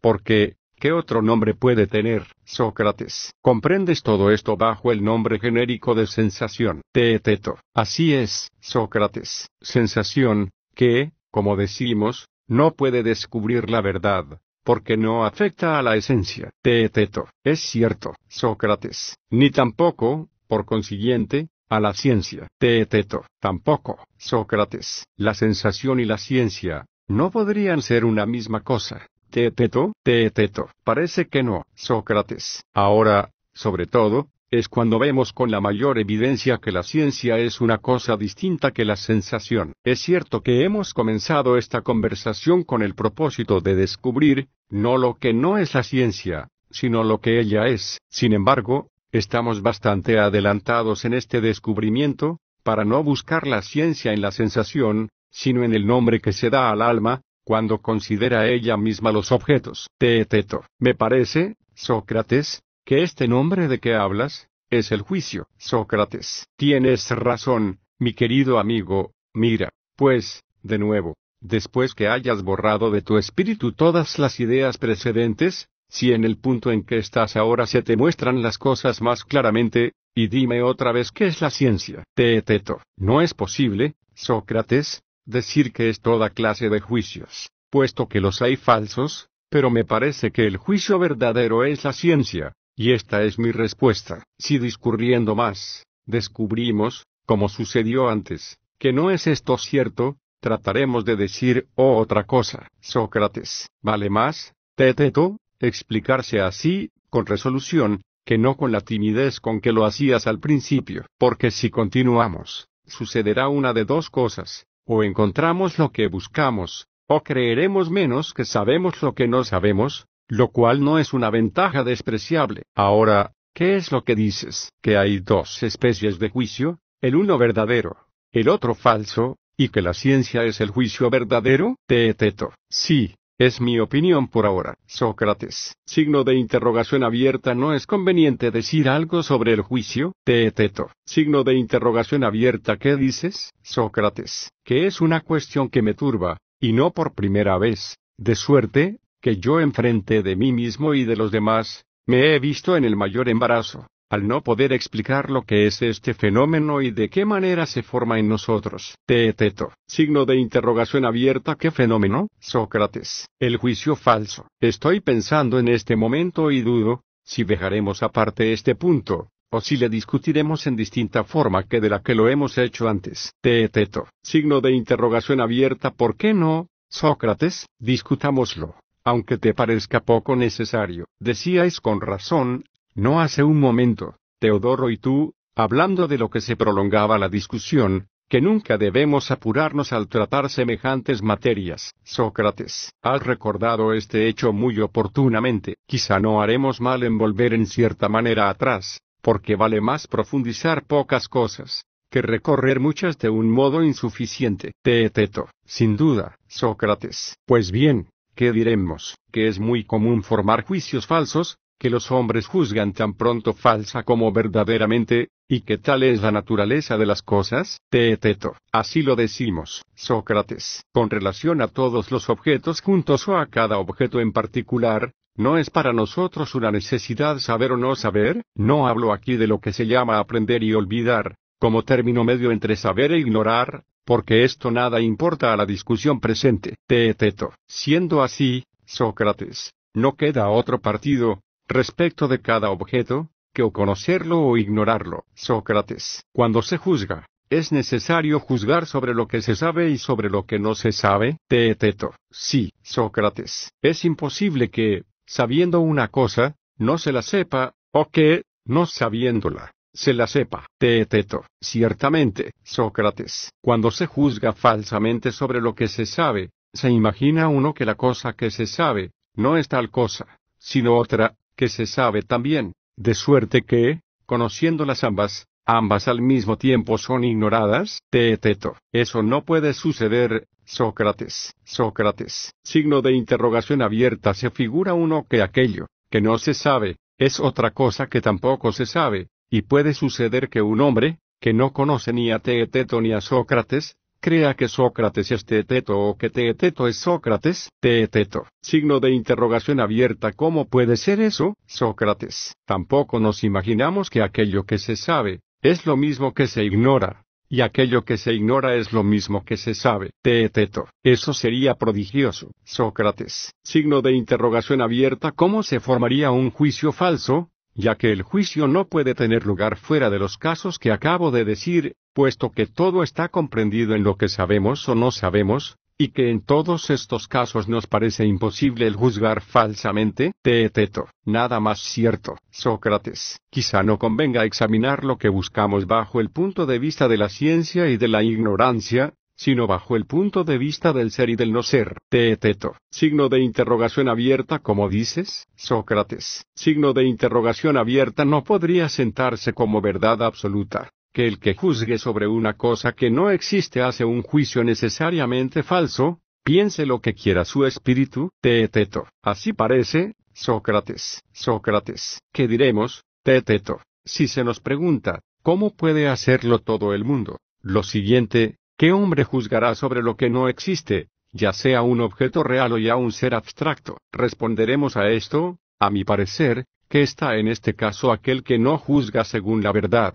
porque no cabe otra respuesta. Teeteto, ninguna otra. Sócrates. Signo de interrogación abierta pero tiene lugar esto en cualquier otro caso. Teeteto. Signo de interrogación abierta cuando, Sócrates. Signo de interrogación abierta puede darse el caso de que se ve alguna cosa, y que aquello, que se ve, no sea nada, teeteto, signo de interrogación abierta como, Sócrates, cuando se ve un objeto, aquello que se ve es alguna cosa real, o piensas que aquello, que es alguna cosa, no es nada, teeteto, de ninguna manera, Sócrates, aquel, que ve una cosa, ¿Ve una cosa que existe? Teeteto. Me parece que sí, Sócrates. Signo de interrogación abierta y aquel que oye una cosa, oye una cosa. Y, por consiguiente, una cosa que existe, teeteto. Sí, Sócrates. En igual forma, el que toca una cosa, toca un objeto que existe, puesto que es alguna cosa, teeteto. Es cierto igualmente, Sócrates. El que juzga, no lo hace sobre un objeto, teeteto, necesariamente, Sócrates, y juzgando sobre algún objeto, no juzga sobre algo que existe, teeteto, lo concedo, Sócrates. Luego el que juzga sobre lo que no existe, no juzga nada, teeteto, parece que sí, Sócrates, y juzgar de nada es no juzgar absolutamente, teeteto, parece evidente, Sócrates. Luego no es posible juzgar ni sobre lo que no existe, ni sobre un objeto real, ni sobre un ser abstracto. Teeteto, parece que no, Sócrates. Juzgar falsamente no es, pues, otra cosa, que juzgar sobre lo que no existe. Teeteto, al parecer, Sócrates. Así, pues, el juicio falso no se forma en nosotros de esta manera, ni de la manera que antes expusimos. Teeteto, es cierto, Sócrates, pero veamos si se forma de esta otra manera. Teeteto, signo de interrogación abierta como, Sócrates, llamamos juicio falso todo hierro de cierto género en que incurrimos cuando, tomando un objeto real por otro objeto real, se afirma que tal objeto es tal otro. De esta manera se juzga siempre sobre lo que existe, pero tomando una cosa por otra, y puede decirse con razón que cuando falta el verdadero objeto que se considera, el juicio es falso. Teeteto, eso me parece muy bien dicho, porque cuando se tiene una cosa fea por bella, o una bella por fea, entonces es cuando verdaderamente el juicio es falso. Sócrates, se ve claramente, Teeteto, que ni me tienes en consideración ni me temes. Teeteto, signo de interrogación abierta ¿por qué? Sócrates, porque no crees, a lo que parece, que yo no dejaré pasar esta expresión, verdaderamente falso, preguntándote si es posible que lo que es rápido se haga con lentitud, lo que es ligero con pesadez, y cualquier otra cosa, no según su naturaleza, sino según la de su contraria y en oposición consigo mismo. Pero dejo esta objeción para que no decaiga la confianza que me muestras. ¿Crees, como dices,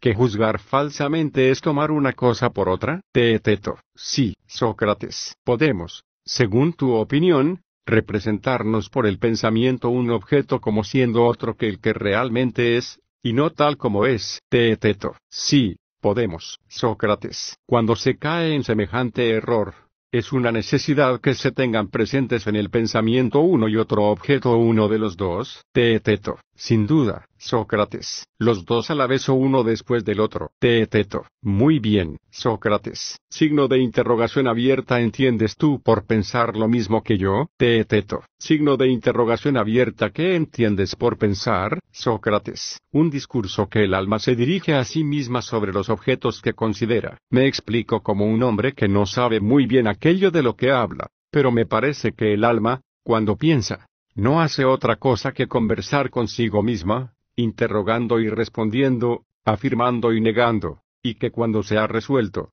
sea más o menos pronto y ha dicho su pensamiento sobre un objeto sin permanecer más en duda, en esto consiste el juicio. Así, pues, juzgar, en mi concepto, es hablar, y la opinión es un discurso pronunciado, no a otro, ni de viva voz, sino en silencio y a sí mismo. ¿Qué dices tú, Teeteto? Lo mismo, Sócrates. Cuando se juzga que una cosa es otra, a mi parecer, se dice uno a sí mismo que tal cosa es tal otra. Teeteto, sin duda, Sócrates. Recuerda si alguna vez te has dicho a ti mismo que lo bello es feo, o lo injusto justo, y para decirlo en una palabra, mira si has intentado nunca persuadirte de que una cosa es otra, o sí, por el contrario, Jamás te ha venido a las mientes, ni en sueños, que el impar es ciertamente el paro cosa semejante. Teeteto, nunca, Sócrates. Signo de interrogación abierta piensas que cualquier otro que tenga sentido común, o aunque esté demente,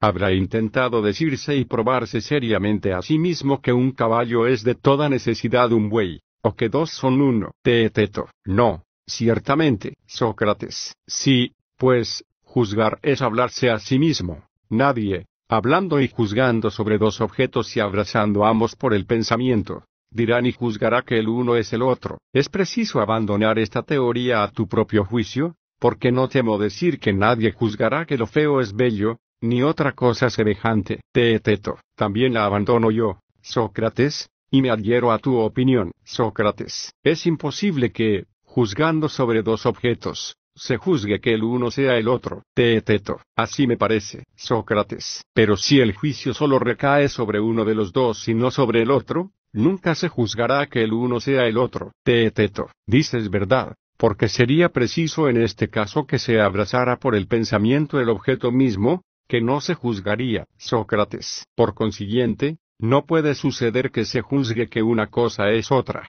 ni cuando se juzga sobre ambas, ni cuando se juzga sobre una de las dos. Así es que definir el juicio falso diciendo que es el juicio de una cosa por otra, es no decir nada, y no parece que por este camino, ni por los precedentes, podamos formar juicios falsos. Teeteto. No, ciertamente, Sócrates. Sin embargo, Teeteto, si no reconociésemos que existen juicios falsos, nos veríamos precisados a admitir una multitud de absurdos. Teeteto. Signo de interrogación abierta. ¿Qué absurdos? Sócrates. Te los diré cuando hayamos considerado la cosa bajo todas sus fases, porque sería vergonzoso para ti y para mí, si en el conflicto en que estamos nos viésemos reducidos a admitir lo que yo quiero decir, pero si llegamos a descubrir lo que buscamos y a estar fuera de todo peligro, entonces, no pudiendo temer ya que nos pongamos en ridículo, Hablaré de esos absurdos como de un inconveniente con el que tropiezan otras personas. Por el contrario, si no aclaramos nuestras dudas,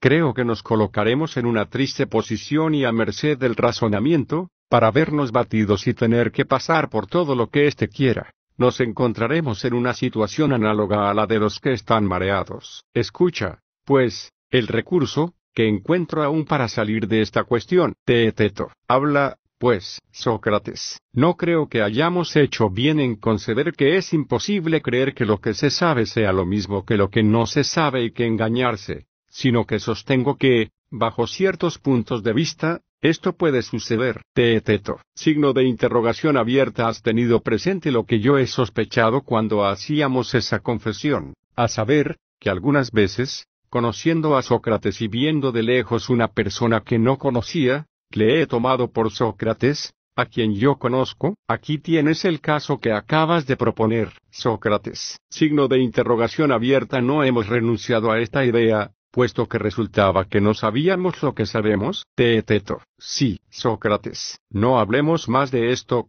sino del siguiente modo. Y quizá todo nos saldrá perfectamente, si bien también así podremos encontrar obstáculos, pero estamos en una situación crítica, en la que es una necesidad para nosotros examinar los objetos por todos lados, para penetrar la verdad. Mira si lo que te digo es fundado. Es posible que, no sabiendo una cosa antes, se la aprenda después, teeteto, sin duda, Sócrates. Signo de interrogación abierta después una segunda cosa y luego una tercera, teeteto. Signo de interrogación abierta ¿por qué no? Sócrates. Supón conmigo, siguiendo nuestra conversación, que hay en nuestras almas planchas de cera, más grandes en unos, más pequeñas en otros, de una cera más pura en este, menos en aquel, demasiado dura o demasiado blanda en algunos y un término medio en otros. Teeteto, lo supongo, Sócrates. Decimos que estas planchas son un don de Nemósine, 16, madre de las musas, y que marcamos en ellas como con un sello la impresión de aquello de que queremos acordarnos entre todas las cosas que hemos visto, oído o pensado por nosotros mismos, estando ellas dispuestas siempre a recibir nuestras sensaciones y reflexiones que conservamos el recuerdo y el conocimiento de lo que está en ellas grabado, en tanto que la imagen subsiste, y que cuando se borra o no es posible que se verifique esta impresión, lo olvidamos si no lo sabemos. Teeteto. Sea así, Sócrates. Cuando se ven o se escuchan cosas que se conocen, y se fija la consideración en alguna de ellas, Mira si se puede entonces formar un juicio falso. Teeteto. Signo de interrogación abierta. ¿De qué manera? Sócrates. Imaginándose que lo que se sabe es tan pronto aquello que se sabe como aquello que no se sabe, porque ha sido un error nuestro el haber concedido antes que esto es imposible. Teeteto. Signo de interrogación abierta. ¿Cómo lo entiendes ahora? Sócrates. He aquí lo que es preciso decir sobre esta materia tomando las cosas desde su principio. Es imposible que lo que se sabe, cuya impresión se conserva en el alma, y que no se siente actualmente, imaginemos que es alguna otra cosa que se sabe, cuya impresión se tiene también y que no se siente, y asimismo que aquello que se sabe es otra cosa que no se sabe y de la que no se tiene impresión, y también que aquello que no se sabe es otra cosa que tampoco se sabe, y aquello que se siente, otra cosa que también se siente, y aquello que se siente, otra cosa que no se siente, y aquello que no se siente, otra cosa que tampoco se siente, y aquello que no se siente otra cosa que se siente. Es aún más imposible, si cabe, figurarse que lo que se sabe y se siente, cuya impresión tenemos en el alma por la sensación, es alguna otra cosa que se sabe y que se siente, y cuya impresión tenemos igualmente por la sensación. Es igualmente imposible que aquello que se sabe, aquello que se siente, cuya imagen conservamos grabada en la memoria,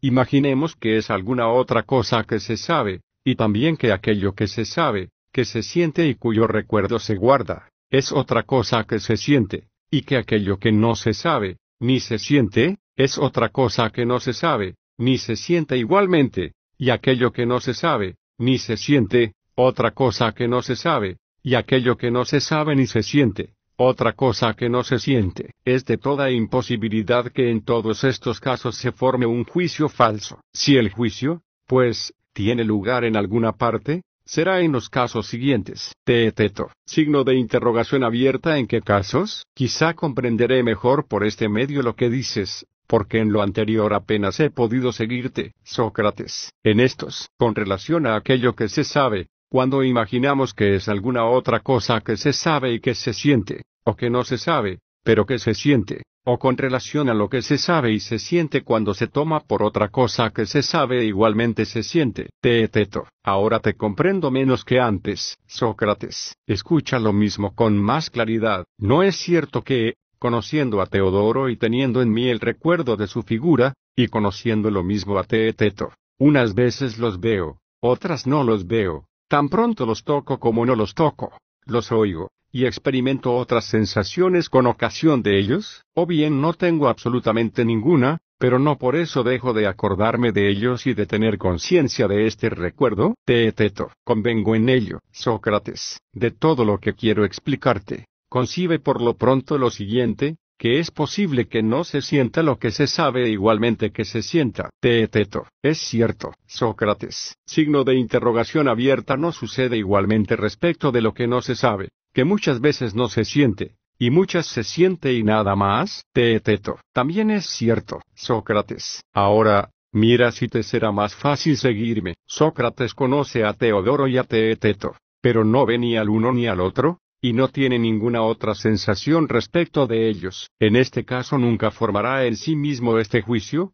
que Teeteto es Teodoro. ¿Tengo razón o no? Teeteto. Tienes razón, Sócrates. Tal es el primer caso del que he hablado. Teeteto. En efecto, es el primero, Sócrates. El segundo es que, conociendo a uno de vosotros dos y no conociendo el otro y no teniendo por otra parte ninguna sensación ni del uno ni del otro, no me figuraré jamás que aquel que yo conozco es el otro que yo no conozco. Teeteto. Muy bien, Sócrates. El tercero es que no conociendo ni sintiendo el uno ni el otro, no pensaré nunca que el uno, que no me es conocido, es el otro, que tampoco conozco. En una palabra, imagínate oír de nuevo todos los casos que he propuesto en primer lugar, en los cuales jamás formaré un juicio falso sobre ti, ni sobre Teodoro, ya os conozca o no os conozca a ambos, ya conozca al uno y no al otro. Lo mismo sucede respecto a las sensaciones. ¿Me comprendes? Teeteto. Sí, Sócrates. Resta, por consiguiente, formar juicios falsos en el caso en que, conociéndoos a ti y a Teodoro, y teniendo vuestras facciones grabadas sobre las citadas planchas de cera, viéndoos a ambos de lejos, sin distinguiros suficientemente, me esfuerce yo en aplicar la imagen del uno y del otro a la visión que le es propia, adaptando y ajustando esta visión sobre las huellas que ella me ha dejado, a fin de que el reconocimiento tenga lugar, y cuando enseguida, engañándome en este punto y tomando el uno por el otro, como sucede a los que ponen el zapato de un pie en el otro pie, yo aplico la visión del uno y del otro a la fisonomía que no es la suya, o cuando caigo en el error, experimentando lo mismo que cuando se mira en un espejo, donde lo que está a la derecha aparece a la izquierda, entonces sucede que se toma una cosa por otra, y se forma un juicio falso. Teeteto. Esta comparación, Sócrates, conviene admirablemente a lo que pasa en el juicio. Sócrates. Lo mismo acontece cuando, conociéndoos a los dos, tengo, además de esto, la sensación del uno y no del otro y no tengo conocimiento de este otro por la sensación, que es lo que yo decía antes, y que entonces no me comprendiste. Teeteto, verdaderamente no. Sócrates, decía, pues, que conociendo una persona, sintiéndola, y teniendo conocimiento de ella por la sensación, jamás nos imaginaremos que es otra persona que ya se conoce, que se siente, y de la que se tiene igualmente un conocimiento distinto por la sensación. Esto es lo mismo que yo decía, y que no entendiste. Teeteto, sí, Sócrates. Queda el caso de que voy a hablar ahora. Decimos que el juicio falso tiene lugar cuando, conociendo estas dos personas y viendo la una y la otra, o teniendo cualquier otra sensación de ambas, yo no achaco la imagen de cada una a la sensación que tengo de ella, y semejante a un tirador poco diestro, no doy en el blanco, y que esto es lo que se llama errar. Teeteto, con razón, Sócrates. Por consiguiente,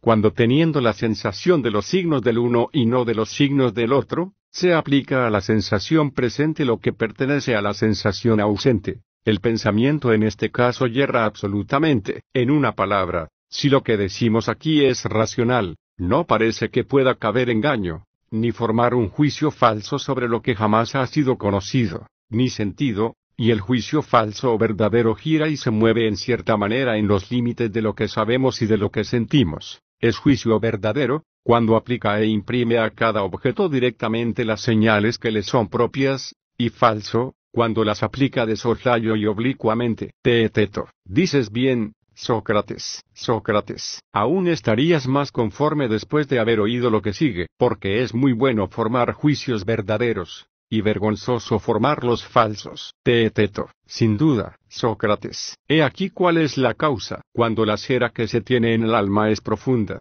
grande en cantidad, bien unida y bien preparada, los objetos que entran por los sentidos y se graban en este corazón del alma, como le ha llamado Homero, designando así de una manera simulada su semejanza con la cera, dejan allí huellas distintas de una profundidad suficiente, y que se conservan largo tiempo. Los que están en este caso tienen la ventaja, en primer lugar, de aprender fácilmente, en segundo, de retener lo que han aprendido, y en fin, la de no confundir los signos de las sensaciones y formar juicios verdaderos, porque como estos signos son claros y están colocados en un lugar espacioso, aplican con prontitud cada uno a su sello, es decir, a los objetos reales, y a esto se da el nombre de sabios. ¿No eres de este parecer, Teeteto? Sí, Sócrates. Por el contrario, cuando este corazón está cubierto de pelo, lo cual alaba el muy sabio Homero, o la cera es impura y llena de suciedad, o es demasiado blanda o demasiado dura, por lo pronto, los que la tienen demasiado blanda aprenden fácilmente, pero olvidan lo mismo, que es lo contrario de lo que sucede a los que la tienen demasiado dura. En cuanto a las personas, cuya cera está cubierta de pelo, es áspera y en cierta manera petrosa o mezclada de tierra y cieno. El signo de los objetos no es limpio en ellas, tampoco lo es en aquellos que tienen la cera demasiado dura, porque no hay profundidad, ni en aquellos que la tienen demasiado blanda, porque, confundiéndose las huellas, se hacen bien pronto oscuras. Menos claros son, cuando además de esto se tiene un alma pequeña, puesto que, siendo estrecho el local, los signos se mezclan los unos con los otros. Todos estos están en situación de formar juicios falsos, porque cuando ven, oyen o imaginan alguna cosa, al no poder aplicar en el acto cada objeto a su signo, son lentos, atribuyen a un objeto lo que corresponde a otro, y generalmente ven, oyen y conciben caprichosamente, y así se dice de ellos que se engañan y que son unos ignorantes. Teeteto, no es posible hablar mejor, Sócrates, Sócrates. Bien, diremos que se dan en nosotros juicios falsos, teeteto. Ciertamente, Sócrates. Signo de interrogación abierta y juicios verdaderos, teeteto. Sí, Sócrates. Signo de interrogación abierta consideraremos ya como punto suficientemente probado que hay estos dos juicios, teeteto. Sí, ya está bien decidido, Sócrates. En verdad, teeteto, es preciso convenir en que un hombre hablador es un ser muy importuno y fastidioso. Teeteto. ¿Cómo? ¿A qué viene eso, Sócrates? Porque yo estoy de mal humor con mi pobre inteligencia, o a decir verdad, contra mi charlatanismo, porque, ¿qué otro término se puede emplear cuando un hombre por estupidez provoca la conversación por arriba y por abajo? No se da nunca por convencido y no abandona el asunto sino con una extrema dificultad. Teeteto. Signo de interrogación abierta. ¿Qué es lo que tanto te incomoda, Sócrates? No solo estoy incomodado, sino que temo no saber qué responder. Si se me pregunta, Sócrates, has averiguado que el juicio falso no se encuentra en las sensaciones comparadas entre sí, ni en los pensamientos, sino en el concurso de la sensación y del pensamiento, yo le diré que sí. Me parece, complaciéndome de esto como de un magnífico descubrimiento. Teeteto. A mí, Sócrates, me parece que la demostración, que acabamos de hacer, no es de desechar, Sócrates. Pero tú dices, replicará él, que conociendo un hombre por el pensamiento solamente y no viéndolo, es imposible que se le tome por un caballo, que no se ve, que no se toca, y que no se conoce por ninguna otra sensación sino únicamente por el pensamiento. Yo le responderé que esto es verdad. Teeteto, con razón, Sócrates. Pero, proseguirá él, no se sigue de aquí, que no se tomará nunca el número once, que sólo se conoce por el pensamiento, por el número doce, que igualmente es sólo conocido por el pensamiento, vamos, responde a esto, Teeteto, Teeteto, responderé que, respecto de los números que se ven y que se tocan, se puede tomar once por doce, pero nunca diré esto con respecto a los números, que están en el pensamiento. Sócrates, ¿qué? ¿Crees tú que nadie se ha propuesto examinar en sí mismo los números cinco y siete? No digo cinco hombres, siete hombres, ni nada que a esto se parezca, sino los números cinco y siete, que están grabados como un monumento sobre las planchas de cera de que hablamos, no siendo posible que se juzgue falsamente respecto de ellos. ¿No ha sucedido que, reflexionando sobre estos dos números y hablando consigo mismo y preguntándose cuánto suman, el uno ha respondido que once y lo ha creído así, y el otro que doce, o bien todos dicen y piensan que suman doce, teeteto. No ciertamente, muchos creen que suman once, y aún se engañarían más, si examinaran un número mayor, porque presumo que hablas aquí de toda especie de números. Sócrates, adivinas bien, y mira si en este caso no es el número abstracto 12 el que se toma por 11, o si esto se verifica respecto de otros números. Teeteto. Así parece, Sócrates. He aquí, por consiguiente, que hemos entrado donde decíamos antes, porque el que está en este caso, se imagina que lo que él conoce es otra cosa que él conoce igualmente, lo cual hemos dicho que es imposible, y de donde hemos concluido, como necesario, que no hay juicio falso, para no vernos precisados a conceder que el mismo hombre sabe y no sabe al mismo tiempo la misma cosa. Teeteto, nada más cierto, Sócrates. Así, es preciso decir que el juicio falso es otra cosa que el error, que resulta del concurso del pensamiento y de la sensación. Porque si esto fuera así, nunca nos engañaríamos cuando solo se tratase de pensamientos. Por esto, o no hay juicio falso, o puede suceder que no se sepa lo que se sabe. ¿Cuál de estos dos extremos escoges? Teeteto, me propones una elección muy embarazosa, Sócrates, Sócrates, no pueden dejarse a un tiempo subsistentes estas dos cosas, pero puesto que estamos dispuestos a atrevernos a todo, si llegáramos a perder todo pudor, teeteto, signo de interrogación abierta como, Sócrates, intentando explicar lo que es saber, teeteto, signo de interrogación abierta ¿qué impudencia habría en eso, Sócrates, me parece que no reflexionas que toda nuestra discusión tiene por objeto, desde el principio, la indagación de la ciencia, como si fuera para nosotros una cosa desconocida. Teeteto, verdaderamente me haces reflexionar, Sócrates. Signo de interrogación abierta y no adviertes que es una impudencia explicar lo que es el saber, cuando no se conoce lo que es la ciencia, pero, Teeteto, después de tanto hablar, nuestra conversación es un hormiguero de defectos. Hemos empleado una infinidad de veces estas expresiones, conocemos, no conocemos, sabemos, no sabemos, como si nos entendiéramos uno a otro, mientras que ignoramos aún lo que es la ciencia, y para darte una nueva prueba de ello, te haré notar que en este momento mismo nos servimos de las palabras ignorar y comprender, como si nos fuese permitido usarlas. estando privados de la ciencia. Teeteto. Signo de interrogación abierta. ¿Cómo podrás conversar, Sócrates? Si te abstienes de usar estas expresiones, Sócrates, de ninguna manera, mientras yo sea quien soy, es cierto, por lo menos, que si yo fuese un disputador o se encontrase aquí alguno, me miraría y me diría con el mayor cuidado las palabras de que me sirvo. Pero, puesto que nosotros somos unos pobres discursistas, ¿Quieres que me atreva a explicarte lo que es saber? Creo que esto nos permitirá avanzar algún tanto. Teeteto, atrévete, por Zeus, te perdonaremos fácilmente que te sirvas de estas expresiones. Sócrates, signo de interrogación abierta, ¿has oído cómo se define hoy día el saber? Teeteto, quizá,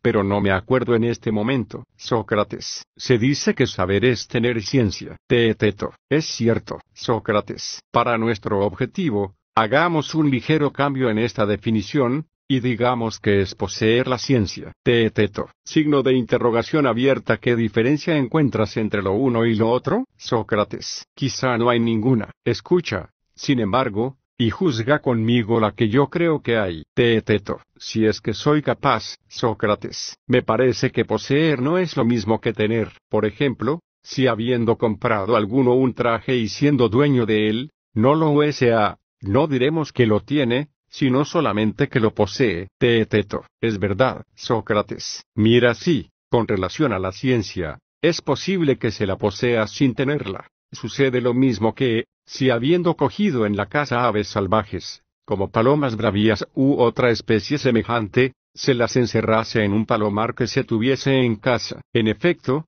diríamos que en cierto concepto se tienen siempre estas palomas porque es uno poseedor de ellas. ¿No es así? Teeteto. Sí, Sócrates. Y en otro concepto, que no se tiene ninguna, pero que como se las tiene encerradas en un recinto del que es uno dueño, se puede coger o tener la que se quiera y siempre que se quiera, y enseguida soltarla, lo cual se puede repetir cuantas veces a uno se le antoje. Teeteto. Es cierto, Sócrates. Lo mismo que supusimos antes en las almas aquello de las planchas de cera. Formemos ahora en cada alma una especie de palomar de toda clase de aves, estas que viven en bandadas y separadas de las otras, aquellas reunidas también, pero en pequeños bandos, y otras solitarias y volando a la aventura entre las demás. Teeteto, ya está formado el palomar. ¿A dónde quieres ir ahora, Sócrates? En la infancia, es preciso considerarlo como vacío, y en lugar de pájaros imaginarse ciencias. Cuando uno,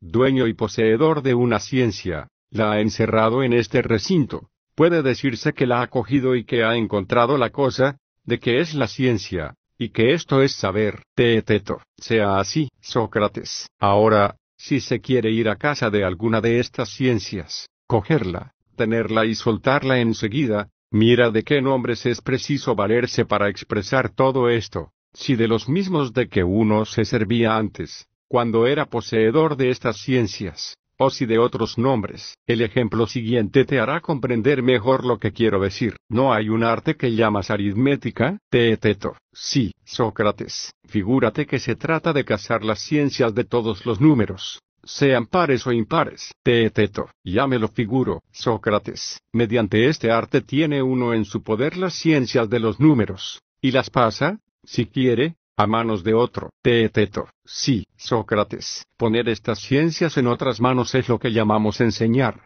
Recibirlas, es aprender. Tenerlas. En tanto que se está en posesión de ellas en el palomar de que he hablado, se llama saber. Teeteto. Sin duda, Sócrates. Atiéndeme a lo que sigue. El perfecto aritmético, no sabe todos los números, puesto que tiene en su alma la ciencia de todos, Teeteto. Ciertamente, Sócrates. Signo de interrogación abierta. Este hombre no calcula algunas veces en sí mismo los números que tiene en su cabeza o ciertos objetos exteriores capaces de ser contados, Teeteto. Sin duda, Sócrates. Calcular, según nosotros, es otra cosa que examinar cuál es la cuantidad de un número, Teeteto. Es lo mismo, Sócrates. Resulta, pues, que examina lo que sabe, como si no lo supiese, y esto lo hace él mismo que, según hemos dicho, sabe todos los números. ¿Te haces cargo de cómo se proponen algunas veces dificultades de esta naturaleza? Teeteto. Sí, Sócrates. Así,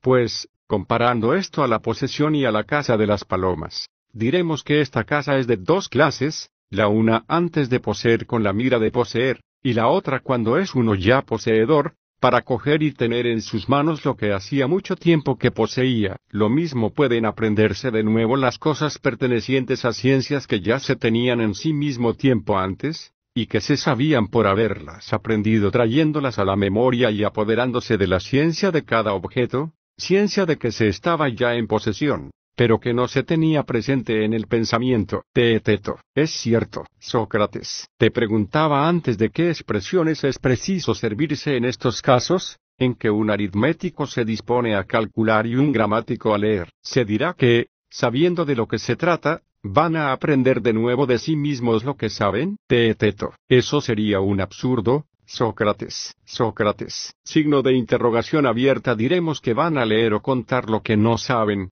después de haber concedido al uno la ciencia de todas las letras y al otro la de todos los números? Teeteto. No es menos absurdo eso, Sócrates. Signo de interrogación abierta. ¿Quieres tú que digamos que nos importa poco de qué nombre sabremos de servirnos? para expresar lo que se entiende por saber y aprender, y que habiendo quedado sentado que una cosa es poseer una ciencia y otra tenerla, sostenemos que es imposible que no se posea lo que se posee, y por consiguiente que no se sepa lo que se sabe, que, sin embargo, puede suceder que sobre esto mismo se juzgue mal, porque sería posible tomar una falsa ciencia por la verdadera en el acto en que queriendo casar alguna de las ciencias que se posee, y estando todas revueltas, se pierde el tino y se coge al vuelo una por otra, así como cuando se cree que once es la misma voz que doce, se toma la ciencia de once por la de doce, como si se tomase una tórtola por un palomo. Teeteto. Esa explicación parece verosímil, Sócrates. Pero si se pone la mano sobre la que se quiere coger,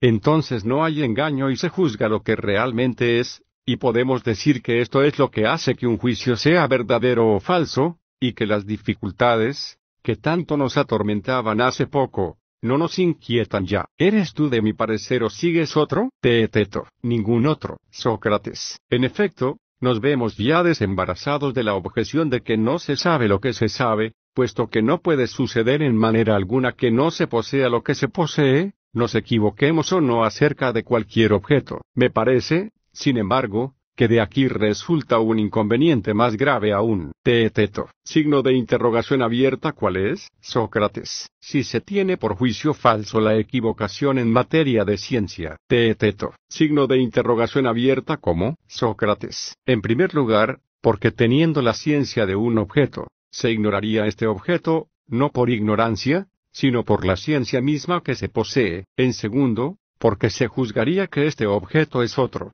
y que otro es aquel. No es un gran absurdo que en presencia de la ciencia el alma no conozca nada e ignore todas las cosas. En efecto, nada impide en este concepto que la ignorancia nos haga conocer y la obsecación nos haga ver. Si es cierto que la ciencia es causa de nuestra ignorancia, Teeteto, quizá, Sócrates, no hemos tenido razón para haber supuesto solo ciencias en vez de pájaros, y debimos suponer ignorancias revoloteando en el alma con aquellas, de manera que el cazador, tomando tan pronto una ciencia como una ignorancia, juzgase el mismo objeto falsamente por la ignorancia y verdaderamente por la ciencia. Sócrates, es difícil, Teteto, negarte las alabanzas que mereces. Sin embargo, examina de nuevo lo que acabas de decir. Supongamos que la cosa sea así. Aquel que coja una ignorancia, juzgará falsamente según tú, ¿No es así? Teeteto. Sí, Sócrates. Pero no se imaginará que forma un juicio falso. Teeteto. Signo de interrogación abierta. ¿Cómo se lo ha de imaginar? Sócrates. Por el contrario, creerá juzgar bien, y pretenderá saber lo que realmente ignora. Teeteto. Sin duda, Sócrates. Se imaginará haber cogido en la casa una ciencia y no una ignorancia. Teeteto. Eso es evidente, Sócrates. Después de un largo rodeo, Henos aquí otra vez en nuestro primer conflicto, porque ese disputador, de que hablé antes, nos dirá sonriéndose, amigos míos, explicadme, pues, si, conociendo la una y la otra, tanto la ciencia como la ignorancia, se figura uno que aquella que se sabe es otra que también se sabe, o como no conociendo la una, ni la otra, se cree que aquella que no se sabe es otra que tampoco se sabe, o como conociendo la una y no conociendo la otra, se toma aquella que se sabe, por la que no se sabe, o la que no se sabe por la que se sabe. Me diréis también que hay otras ciencias para estas ciencias y estas ignorancias, y que el que las posee, teniéndolas encerradas en otros palomares ridículos o grabadas en otras planchas de cera, las sabe durante el tiempo que las posee, aunque ellas no estén presentes en el espíritu, de esta suerte os veréis precisados a recurrir mil veces al mismo asunto, y no adelantaréis nada. ¿Qué responderemos a esto? Teeteto, Teeteto. En verdad, Sócrates, yo no sé qué puede responderse. Sócrates, estos cargos que se nos hacen, mi querido amigo, no son ciertamente fundados, y no nos harán conocer que no tenemos razón para indagar lo que es el juicio falso antes de conocer la ciencia, y que es imposible conocer el falso juicio, si no se conoce antes en qué consiste la ciencia, teeteto, preciso es confesar por ahora, que es como tú dices, Sócrates. Signo de interrogación abierta, ¿cómo se definirá de nuevo la ciencia? Porque no renunciaremos aún a descubrirla. Teeteto, nada de eso.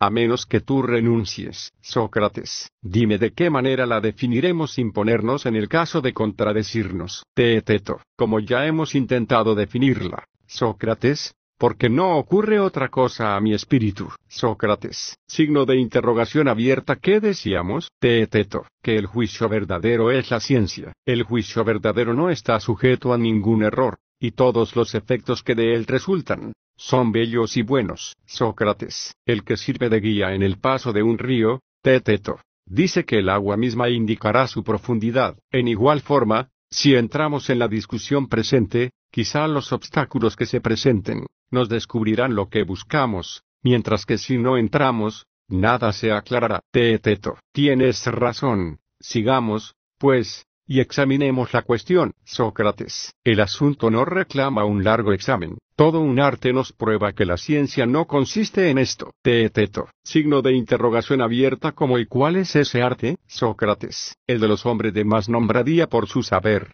que se llaman oradores y hombres de ley. En efecto, por medio de su arte saben persuadir, no a modo de enseñanza, sino inspirando a sus oyentes el juicio que les parece. ¿O bien crees tú, que hay maestros bastante hábiles para poder, mientras corre un poco de agua en la clepsidra, instruir suficientemente sobre la verdad de ciertos hechos a hombres que no los presenciaron, ya se trate de un robo de dinero, o ya de cualquier otra violencia. Teeteto, de ningún modo.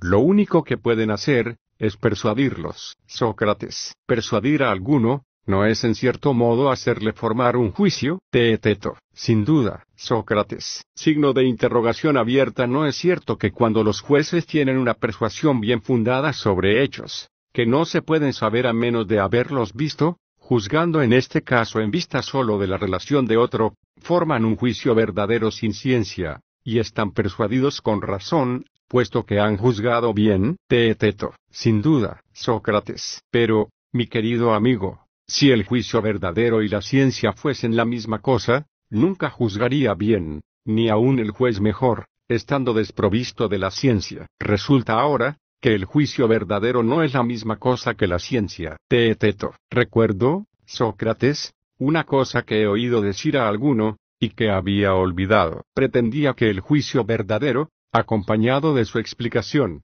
es la ciencia, y que el que no puede explicarse, está fuera de la ciencia, que los objetos que no son susceptibles de explicación no pueden saberse, y que los que son susceptibles de ella son los únicos científicos. En estos términos se expresaba, Sócrates, ciertamente, pero explícame por dónde distinguía él los objetos que pueden saberse de los que no pueden saberse. Así conoceré yo si hemos entendido ambos lo mismo. Teeteto, no sé si me acordaré, pero si otro me lo dijese, creo que podría seguirle fácilmente. Sócrates, escucha, pues, un sueño en cambio de ese otro sueño. Creo haber oído también decir a algunos que los primeros elementos, si puedo decirlo así, de los que el hombre y el universo se componen, son inexplicables, que a cada uno, tomado en sí mismo, no puede hacerse más que darle nombre, y que es imposible enunciar nada más ni en pro ni en contra, porque sería ya atribuirle el ser o el no ser, que no debe añadirse nada al elemento, si se quiere enunciarlo solo, que ni aún deben unirse a él las palabras él, este, cada, solo, esto, ni otras muchas semejantes, porque, al no ser nada fijo, se aplican a todas las cosas si son de algún modo diferentes de aquellas a las que se aplican, que sería preciso enunciar el elemento en sí mismo. Si esto fuera posible, y si tuviese una explicación que le fuera propia, por medio de la cual se le pudiese enunciar sin el auxilio de ninguna otra cosa, pero que es imposible explicar ninguno de los primeros elementos, y que sólo puede nombrárselos simplemente, porque no tienen más que el nombre. Por el contrario, respecto a los seres compuestos de estos elementos, como hay una combinación de principios, la hay también en cuanto a los nombres que hacen posible la demostración, porque ésta resulta esencialmente de la reunión de los nombres, que por lo tanto, los elementos no son ni explicables, ni cognoscibles, sino tan solo sensibles, mientras que los compuestos pueden ser conocidos, enunciados y estimados por un juicio verdadero, que, por consiguiente, cuando se forma sobre cualquier objeto un juicio verdadero, pero destituido de explicación, el alma en verdad pensaba exactamente sobre este objeto, pero no lo conocía, porque no se tiene la ciencia de una cosa, en tanto que no se puede dar ni entender la explicación, pero que cuando al juicio verdadero se unía la explicación, se estaba entonces en estado de conocer, y se tenía todo lo requerido para la ciencia. ¿Es así como has entendido este sueño o de otra manera? Teeteto. Así es precisamente, Sócrates. ¿Y bien? ¿Opinas que se debe definir la ciencia como un juicio verdadero acompañado de explicación? Teeteto. Sí, Sócrates. Entonces, Teeteto, Habremos nosotros descubierto en un día lo que muchos sabios han intentado hace largo tiempo, llegando a la vejez sin haber encontrado la solución. Teeteto. A mí,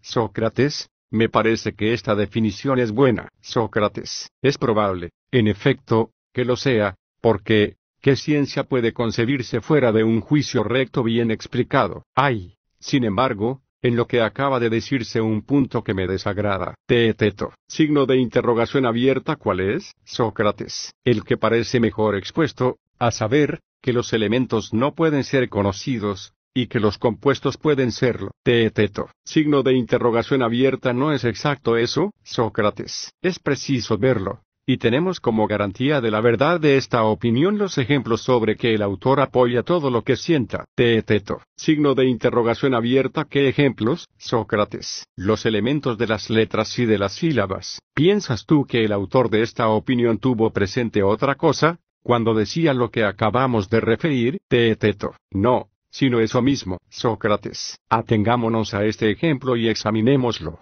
O más bien, Veamos si es así o de otra manera como nosotros mismos hemos aprendido las letras. Y, por lo pronto, ¿tienen las sílabas una definición y los elementos no? Teeteto. Probablemente, Sócrates. Pienso lo mismo que tú. Si alguno te preguntase sobre la primera sílaba de mi nombre de esta manera, Teeteto. Dime, ¿qué cosa es O? ¿Qué responderías? Teeteto, que es una S y una O, Sócrates. Signo de interrogación abierta ¿no es esa la explicación de esta sílaba? Teeteto, sí, Sócrates. Dime, ¿cuál es la de la S? Teeteto, signo de interrogación abierta ¿cómo pueden nombrarse los elementos de un elemento? La S, Sócrates, es una letra muda y un sonido simple, que forma la lengua silbando. ve no es una vocal, ni un sonido, lo mismo que la mayor parte de los elementos, de suerte que se puede decir fundadamente, que son inexplicables los elementos, puesto que los más sonoros de ellos,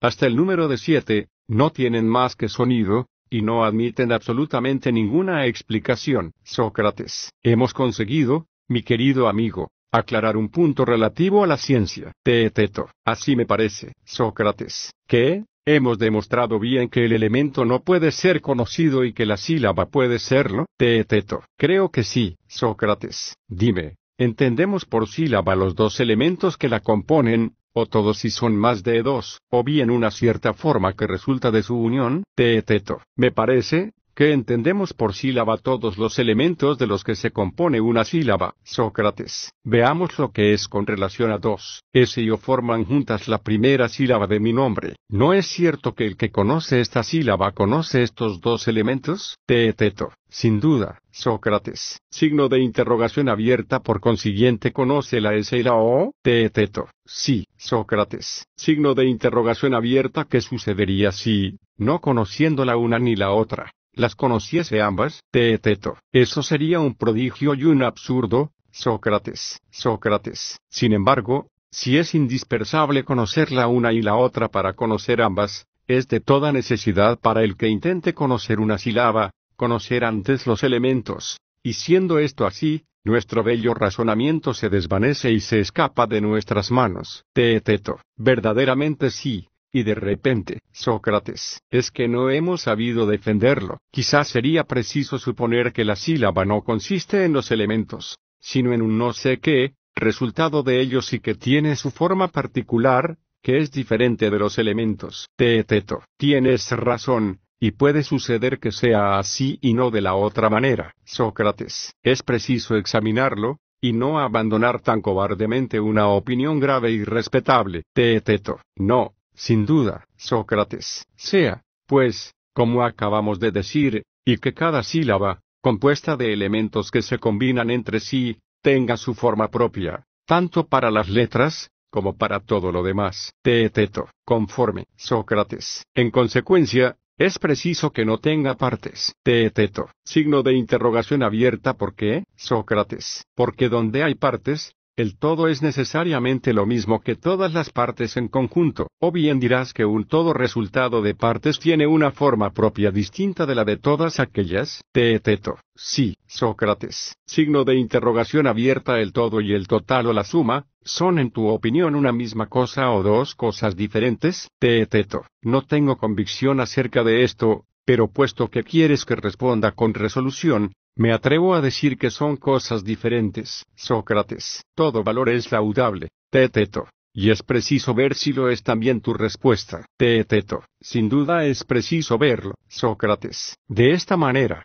según tu definición, el todo difiere del total. Teeteto. Sí, Sócrates. Pero que, ¿hay alguna diferencia entre todas las partes y el total? Por ejemplo, cuando decimos, 1, 2, 3, 4, 5, seis, o dos veces tres, o tres veces dos, o cuatro y dos, o tres, dos y uno, o cinco y uno. ¿Dan todas estas expresiones el mismo número o números diferentes? Teeteto. Dan el mismo número. Sócrates. Signo de interrogación abierta no es el de seis. Teeteto. Sí, Sócrates. Signo de interrogación abierta no hemos comprendido en cada expresión todas las seis unidades. Teeteto. Sí, Sócrates. Signo de interrogación abierta no expresamos nada cuando decimos todas las seis unidades. Teeteto. ¿Alguna cosa queremos decir ciertamente? Sócrates. Signo de interrogación abierta otra cosa que seis. Teeteto. No, Sócrates. Por consiguiente, en todo lo que resulta de los números, entendemos lo mismo por el total que por todas sus partes. Teeteto. Así parece, Sócrates. Hablemos de otra manera. El número, que expresa un acre, y el acre mismo son una misma cosa. ¿No es así? Teeteto. Sí, Sócrates. El número que forma el estadio, ¿Está en el mismo caso? Teeteto. Sí, Sócrates. Signo de interrogación abierta no sucede lo mismo con el número respecto de un ejército de una armada y de otras cosas semejantes, porque la totalidad del número es precisamente cada una de estas cosas tomada en conjunto. Teeteto. Sí, Sócrates. Signo de interrogación abierta pero ¿qué es el número respecto de cada una sino sus partes? Teeteto. Ninguna otra cosa. Sócrates. Todo lo que tiene partes resulta, pues, de estas partes, Teeteto, parece que sí, Sócrates. Es preciso confesar que todas las partes constituyen el total.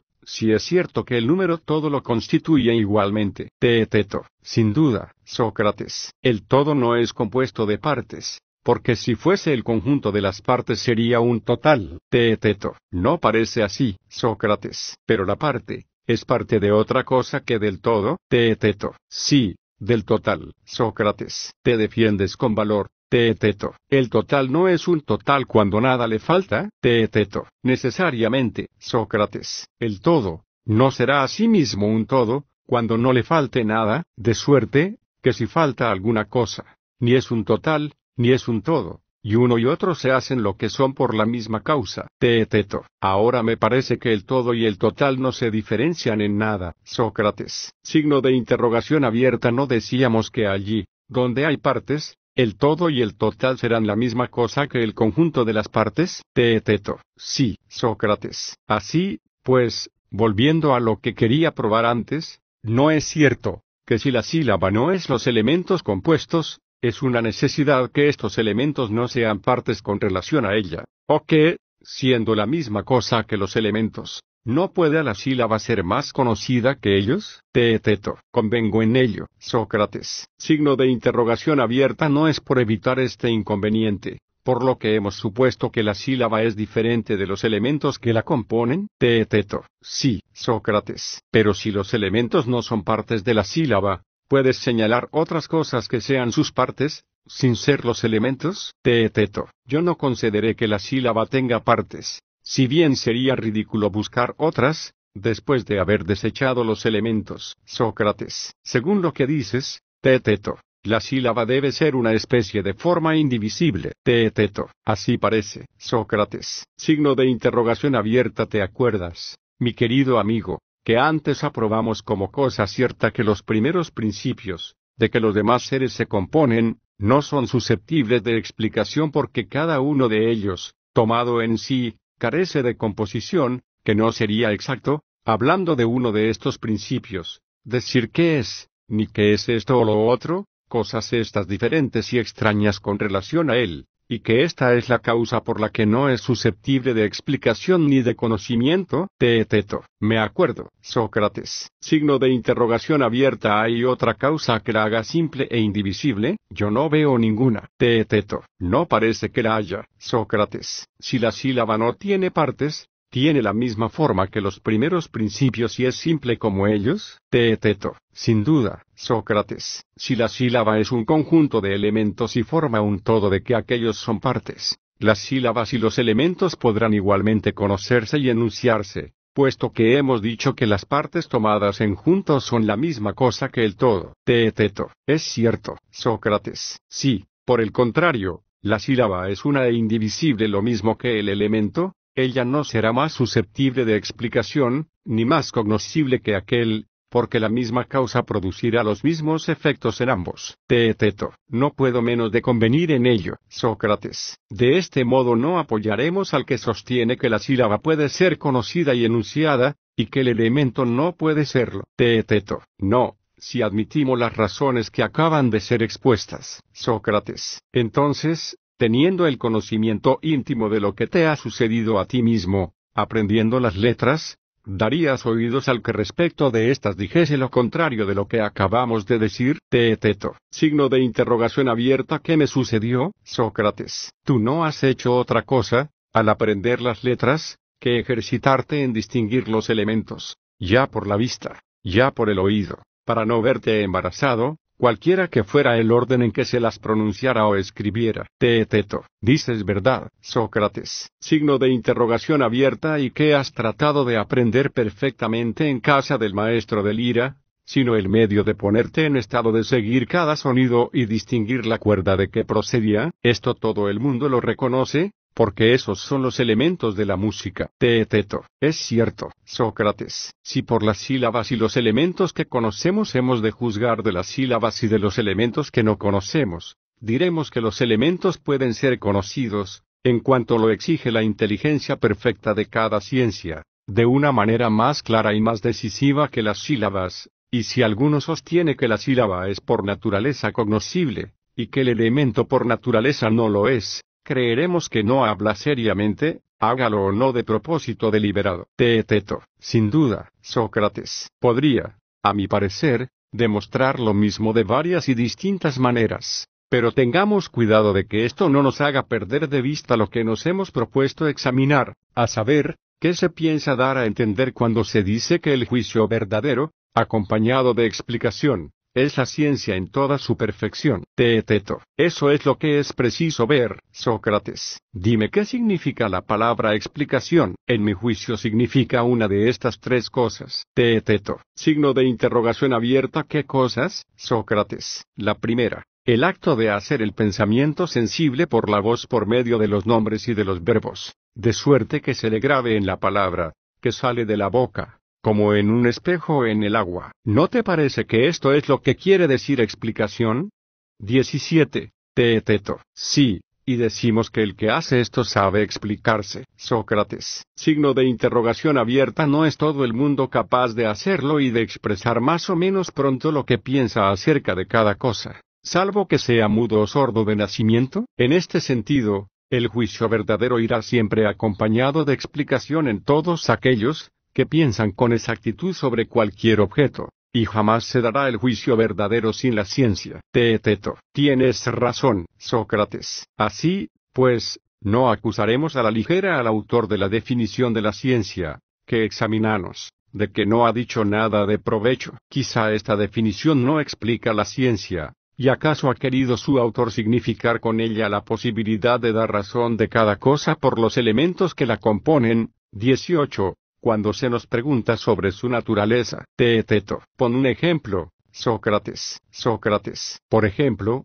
Hesíodo dice 19, que el carro se compone de 100 piezas. Yo no podría enumerarlas. Y creo que tú tampoco. Y si se nos preguntase lo que es un carro, creeríamos haber dicho mucho respondiendo, que son las ruedas, el eje, las alas, las llantas y la lanza. Teeteto. Ciertamente, Sócrates. Pero respondiendo así, pareceríamos al que nos hiciese esta pregunta tan ridículos, como si preguntándonos tu nombre, le respondiéramos sílaba por sílaba, y nos imagináramos, creyendo formar un juicio exacto y bien enunciado, que éramos gramáticos y que conocíamos y explicábamos conforme a las reglas de la gramática el nombre de Teeteto, cuando no sería responder como un hombre que sabe, a no ser que con el juicio verdadero se diera razón exacta de cada cosa por sus elementos, como se ha dicho precedentemente, Teeteto. Así lo hemos dicho en efecto, Sócrates. Es cierto que nosotros formamos un juicio exacto respecto al carro,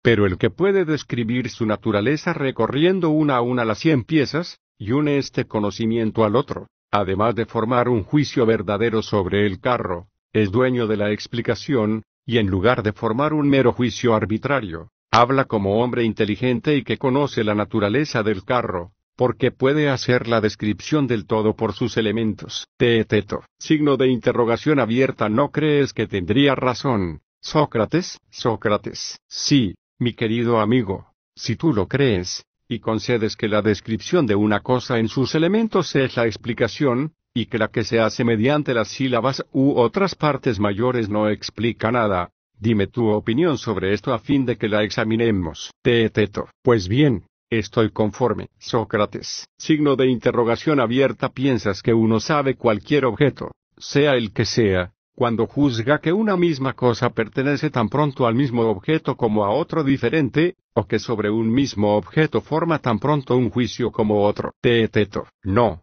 ciertamente, no lo pienso así, Sócrates. Signo de interrogación abierta y no recuerdas que es precisamente lo que tú y los demás hacíais cuando comenzabais a aprender las letras. Teeteto. Signo de interrogación abierta. ¿Quieres decir que nosotros creíamos que tal letra pertenecía tan pronto a la misma sílaba como a otra, y que colocábamos la misma letra, tan pronto en la sílaba que la correspondía, como en otra? Sócrates. Sí, eso mismo. Teeteto. Pues bien, no lo he olvidado, y no tengo por sabios a los que son capaces de incurrir en estas equivocaciones. Sócrates. Pero que, cuando un niño, encontrándose en el mismo caso en que estabais vosotros al escribir el nombre de Teteto con una T y una E, cree que debe escribirlo así, y así lo escribe, y que, queriendo escribir el de Teodoro, cree que debe escribirlo y lo escribe también con una T y una E, Diremos que sabe la primera sílaba de vuestros nombres, Teeteto. Acabamos de convenir en que el que está en este caso, está lejos de saber, Sócrates. Signo de interrogación abierta y no puede pensar lo mismo con relación a la segunda,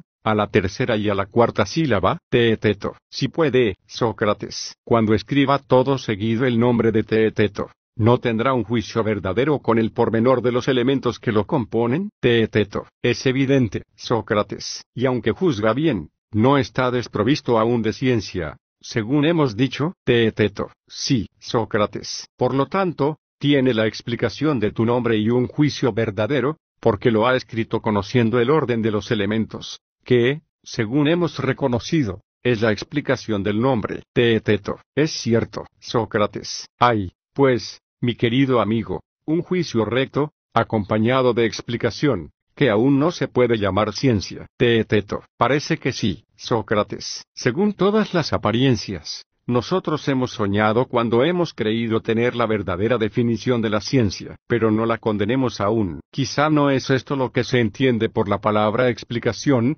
sino que será el tercero y último sentido el que ha tenido a la vista. Como hemos dicho, el que ha definido la ciencia, un juicio verdadero acompañado de su explicación, Teeteto, me lo hace recordado muy a tiempo, y en efecto, aún queda un sentido que examinar. Según el primero, era la ciencia la imagen del pensamiento expresada por la palabra, según el segundo del que se acaba de hablar, la determinación del todo por los elementos, 20, y el tercero, ¿cuál es según tú, Sócrates? El mismo que muchos otros designarían como yo, y que consiste en poder decir en que la cosa, acerca de la que se nos interroga, difiere de todas las demás. Teeteto. Signo de interrogación abierta. ¿Podías explicarme de esta manera algún objeto? Sócrates. Sí, el sol, por ejemplo. Creo que te lo designo suficientemente diciendo que es el más brillante de todos los cuerpos celestes, que giran alrededor de la Tierra. Teeteto. Es cierto, Sócrates. Escucha por qué he dicho esto. Acabamos de decir que, según algunos, si fijas respecto de cada objeto la diferencia que los separa de todos los demás,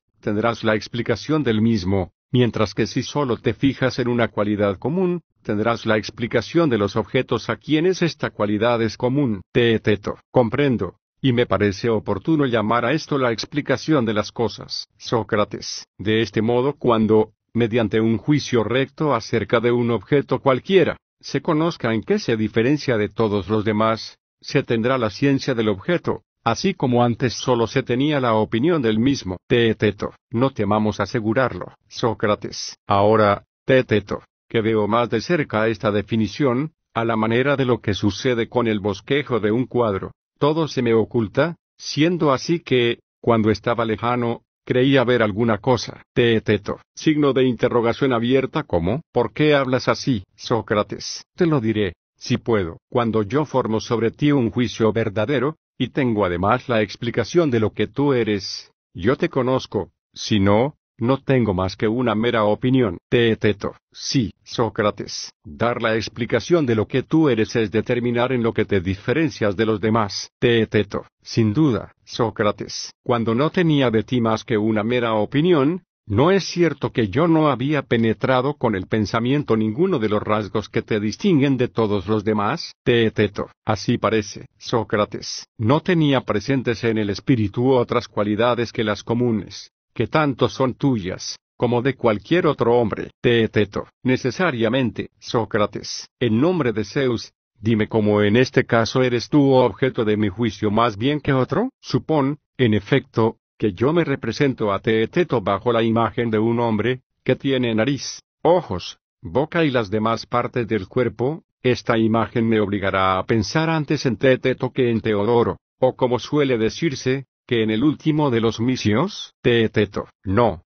ciertamente, Sócrates. Pero si yo no solo me figuro un hombre con nariz y ojos, sino que además me represento esta nariz roma y estos ojos saltones, tendré en el espíritu tu imagen más bien que la mía, o que la de todos aquellos que se nos parecen en esto. Teeteto. De ninguna manera, Sócrates. A mi entender, no formaré la imagen de Teeteto, sino cuando su nariz roma deje en mí huellas, que sean diferentes de todas las especies de narices romas que yo he visto, y lo mismo de todas las demás partes de que te compones, de suerte que si te encuentro mañana, mediante la nariz roma te recuerda mi espíritu, y me hace formar de ti un juicio verdadero. Teeteto, es incontestable. Sócrates, de igual modo, el juicio verdadero comprende la diferencia de cada objeto. Teeteto, parece que sí. Sócrates, signo de interrogación abierta, ¿qué significa? Pues, unirla de un objeto al juicio recto que ya se tiene, porque si se quiere decir que es preciso juzgar además lo que distingue un objeto de los otros,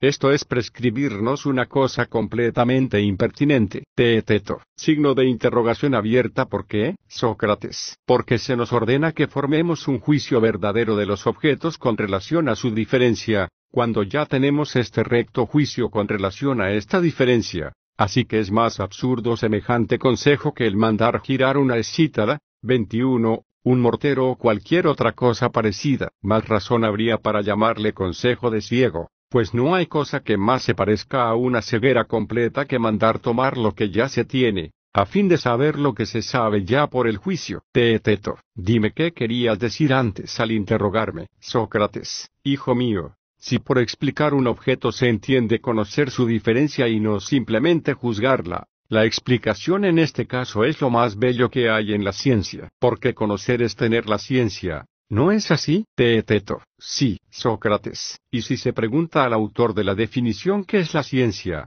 responderá al parecer que es un juicio exacto sobre un objeto con el conocimiento de su diferencia, puesto que, según él, añadir la explicación al juicio no es más que esto. Teeteto, al parecer, Sócrates, es responder bastante neciamente, cuando, preguntando lo que es la ciencia, se nos dice que es un juicio exacto unido a la ciencia, ya de la diferencia, ya de cualquier otra cosa. Así, Teeteto, la ciencia no es la sensación, ni el juicio verdadero, ni el mismo juicio acompañado de explicación. Teeteto, parece que no, Sócrates. Ahora bien, mi querido amigo, veo que sigue aún nuestra preñez y sentimos todavía los dolores de parto respecto de la ciencia. ¿O hemos dado ya a luz todas nuestras concepciones? Teeteto, ciertamente, Sócrates, He dicho con tu auxilio muchas más cosas que las que tenía en mi alma. Sócrates, signo de interrogación abierta no te ha hecho ver mi arte de comadrón, que todas estas concepciones son frívolas e indignas de que se las alimente y sostenga. Teeteto, sí,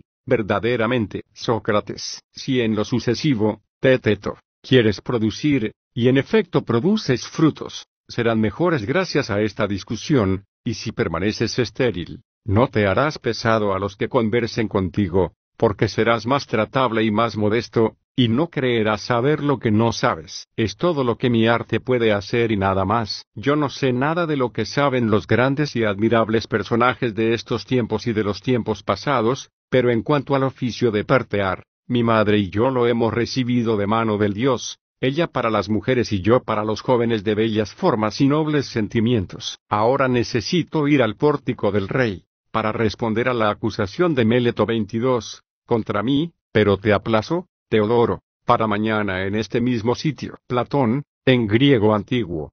Atenas o Egina, K. 427-347 A. C. Fue un filósofo griego seguidor de Sócrates y maestro de Aristóteles. En 387 fundó la Academia, institución que continuaría su marcha a lo largo de más de 900 años y a la que Aristóteles acudiría desde esta gira a estudiar filosofía alrededor del 367, compartiendo, de este modo, unos 20 años de amistad y trabajo con su maestro. Platón participó activamente en la enseñanza de la academia y escribió, siempre en forma de diálogo, sobre los más diversos temas, tales como filosofía, política, ética, psicología, antropología filosófica, epistemología, noceología, metafísica, cosmogonía, cosmología, filosofía del lenguaje y filosofía de la educación, intentó también plasmar en un estado real su original teoría política, razón por la cual viajó dos veces a Siracusa, Sicilia, con intenciones de poner en práctica allí su proyecto, pero fracasó en ambas ocasiones y logró escapar penosamente y corriendo peligro su vida debido a las persecuciones que sufrió por parte de sus opositores. Su influencia como autor y sistematizador ha sido incalculable en toda la historia de la filosofía, de la que se ha dicho con frecuencia que alcanzó identidad como disciplina gracias a sus trabajos. Alfred Northwhiteal llegó a comentar, la caracterización general más segura de la tradición filosófica europea es que consiste en una serie de notas al pie a Platón,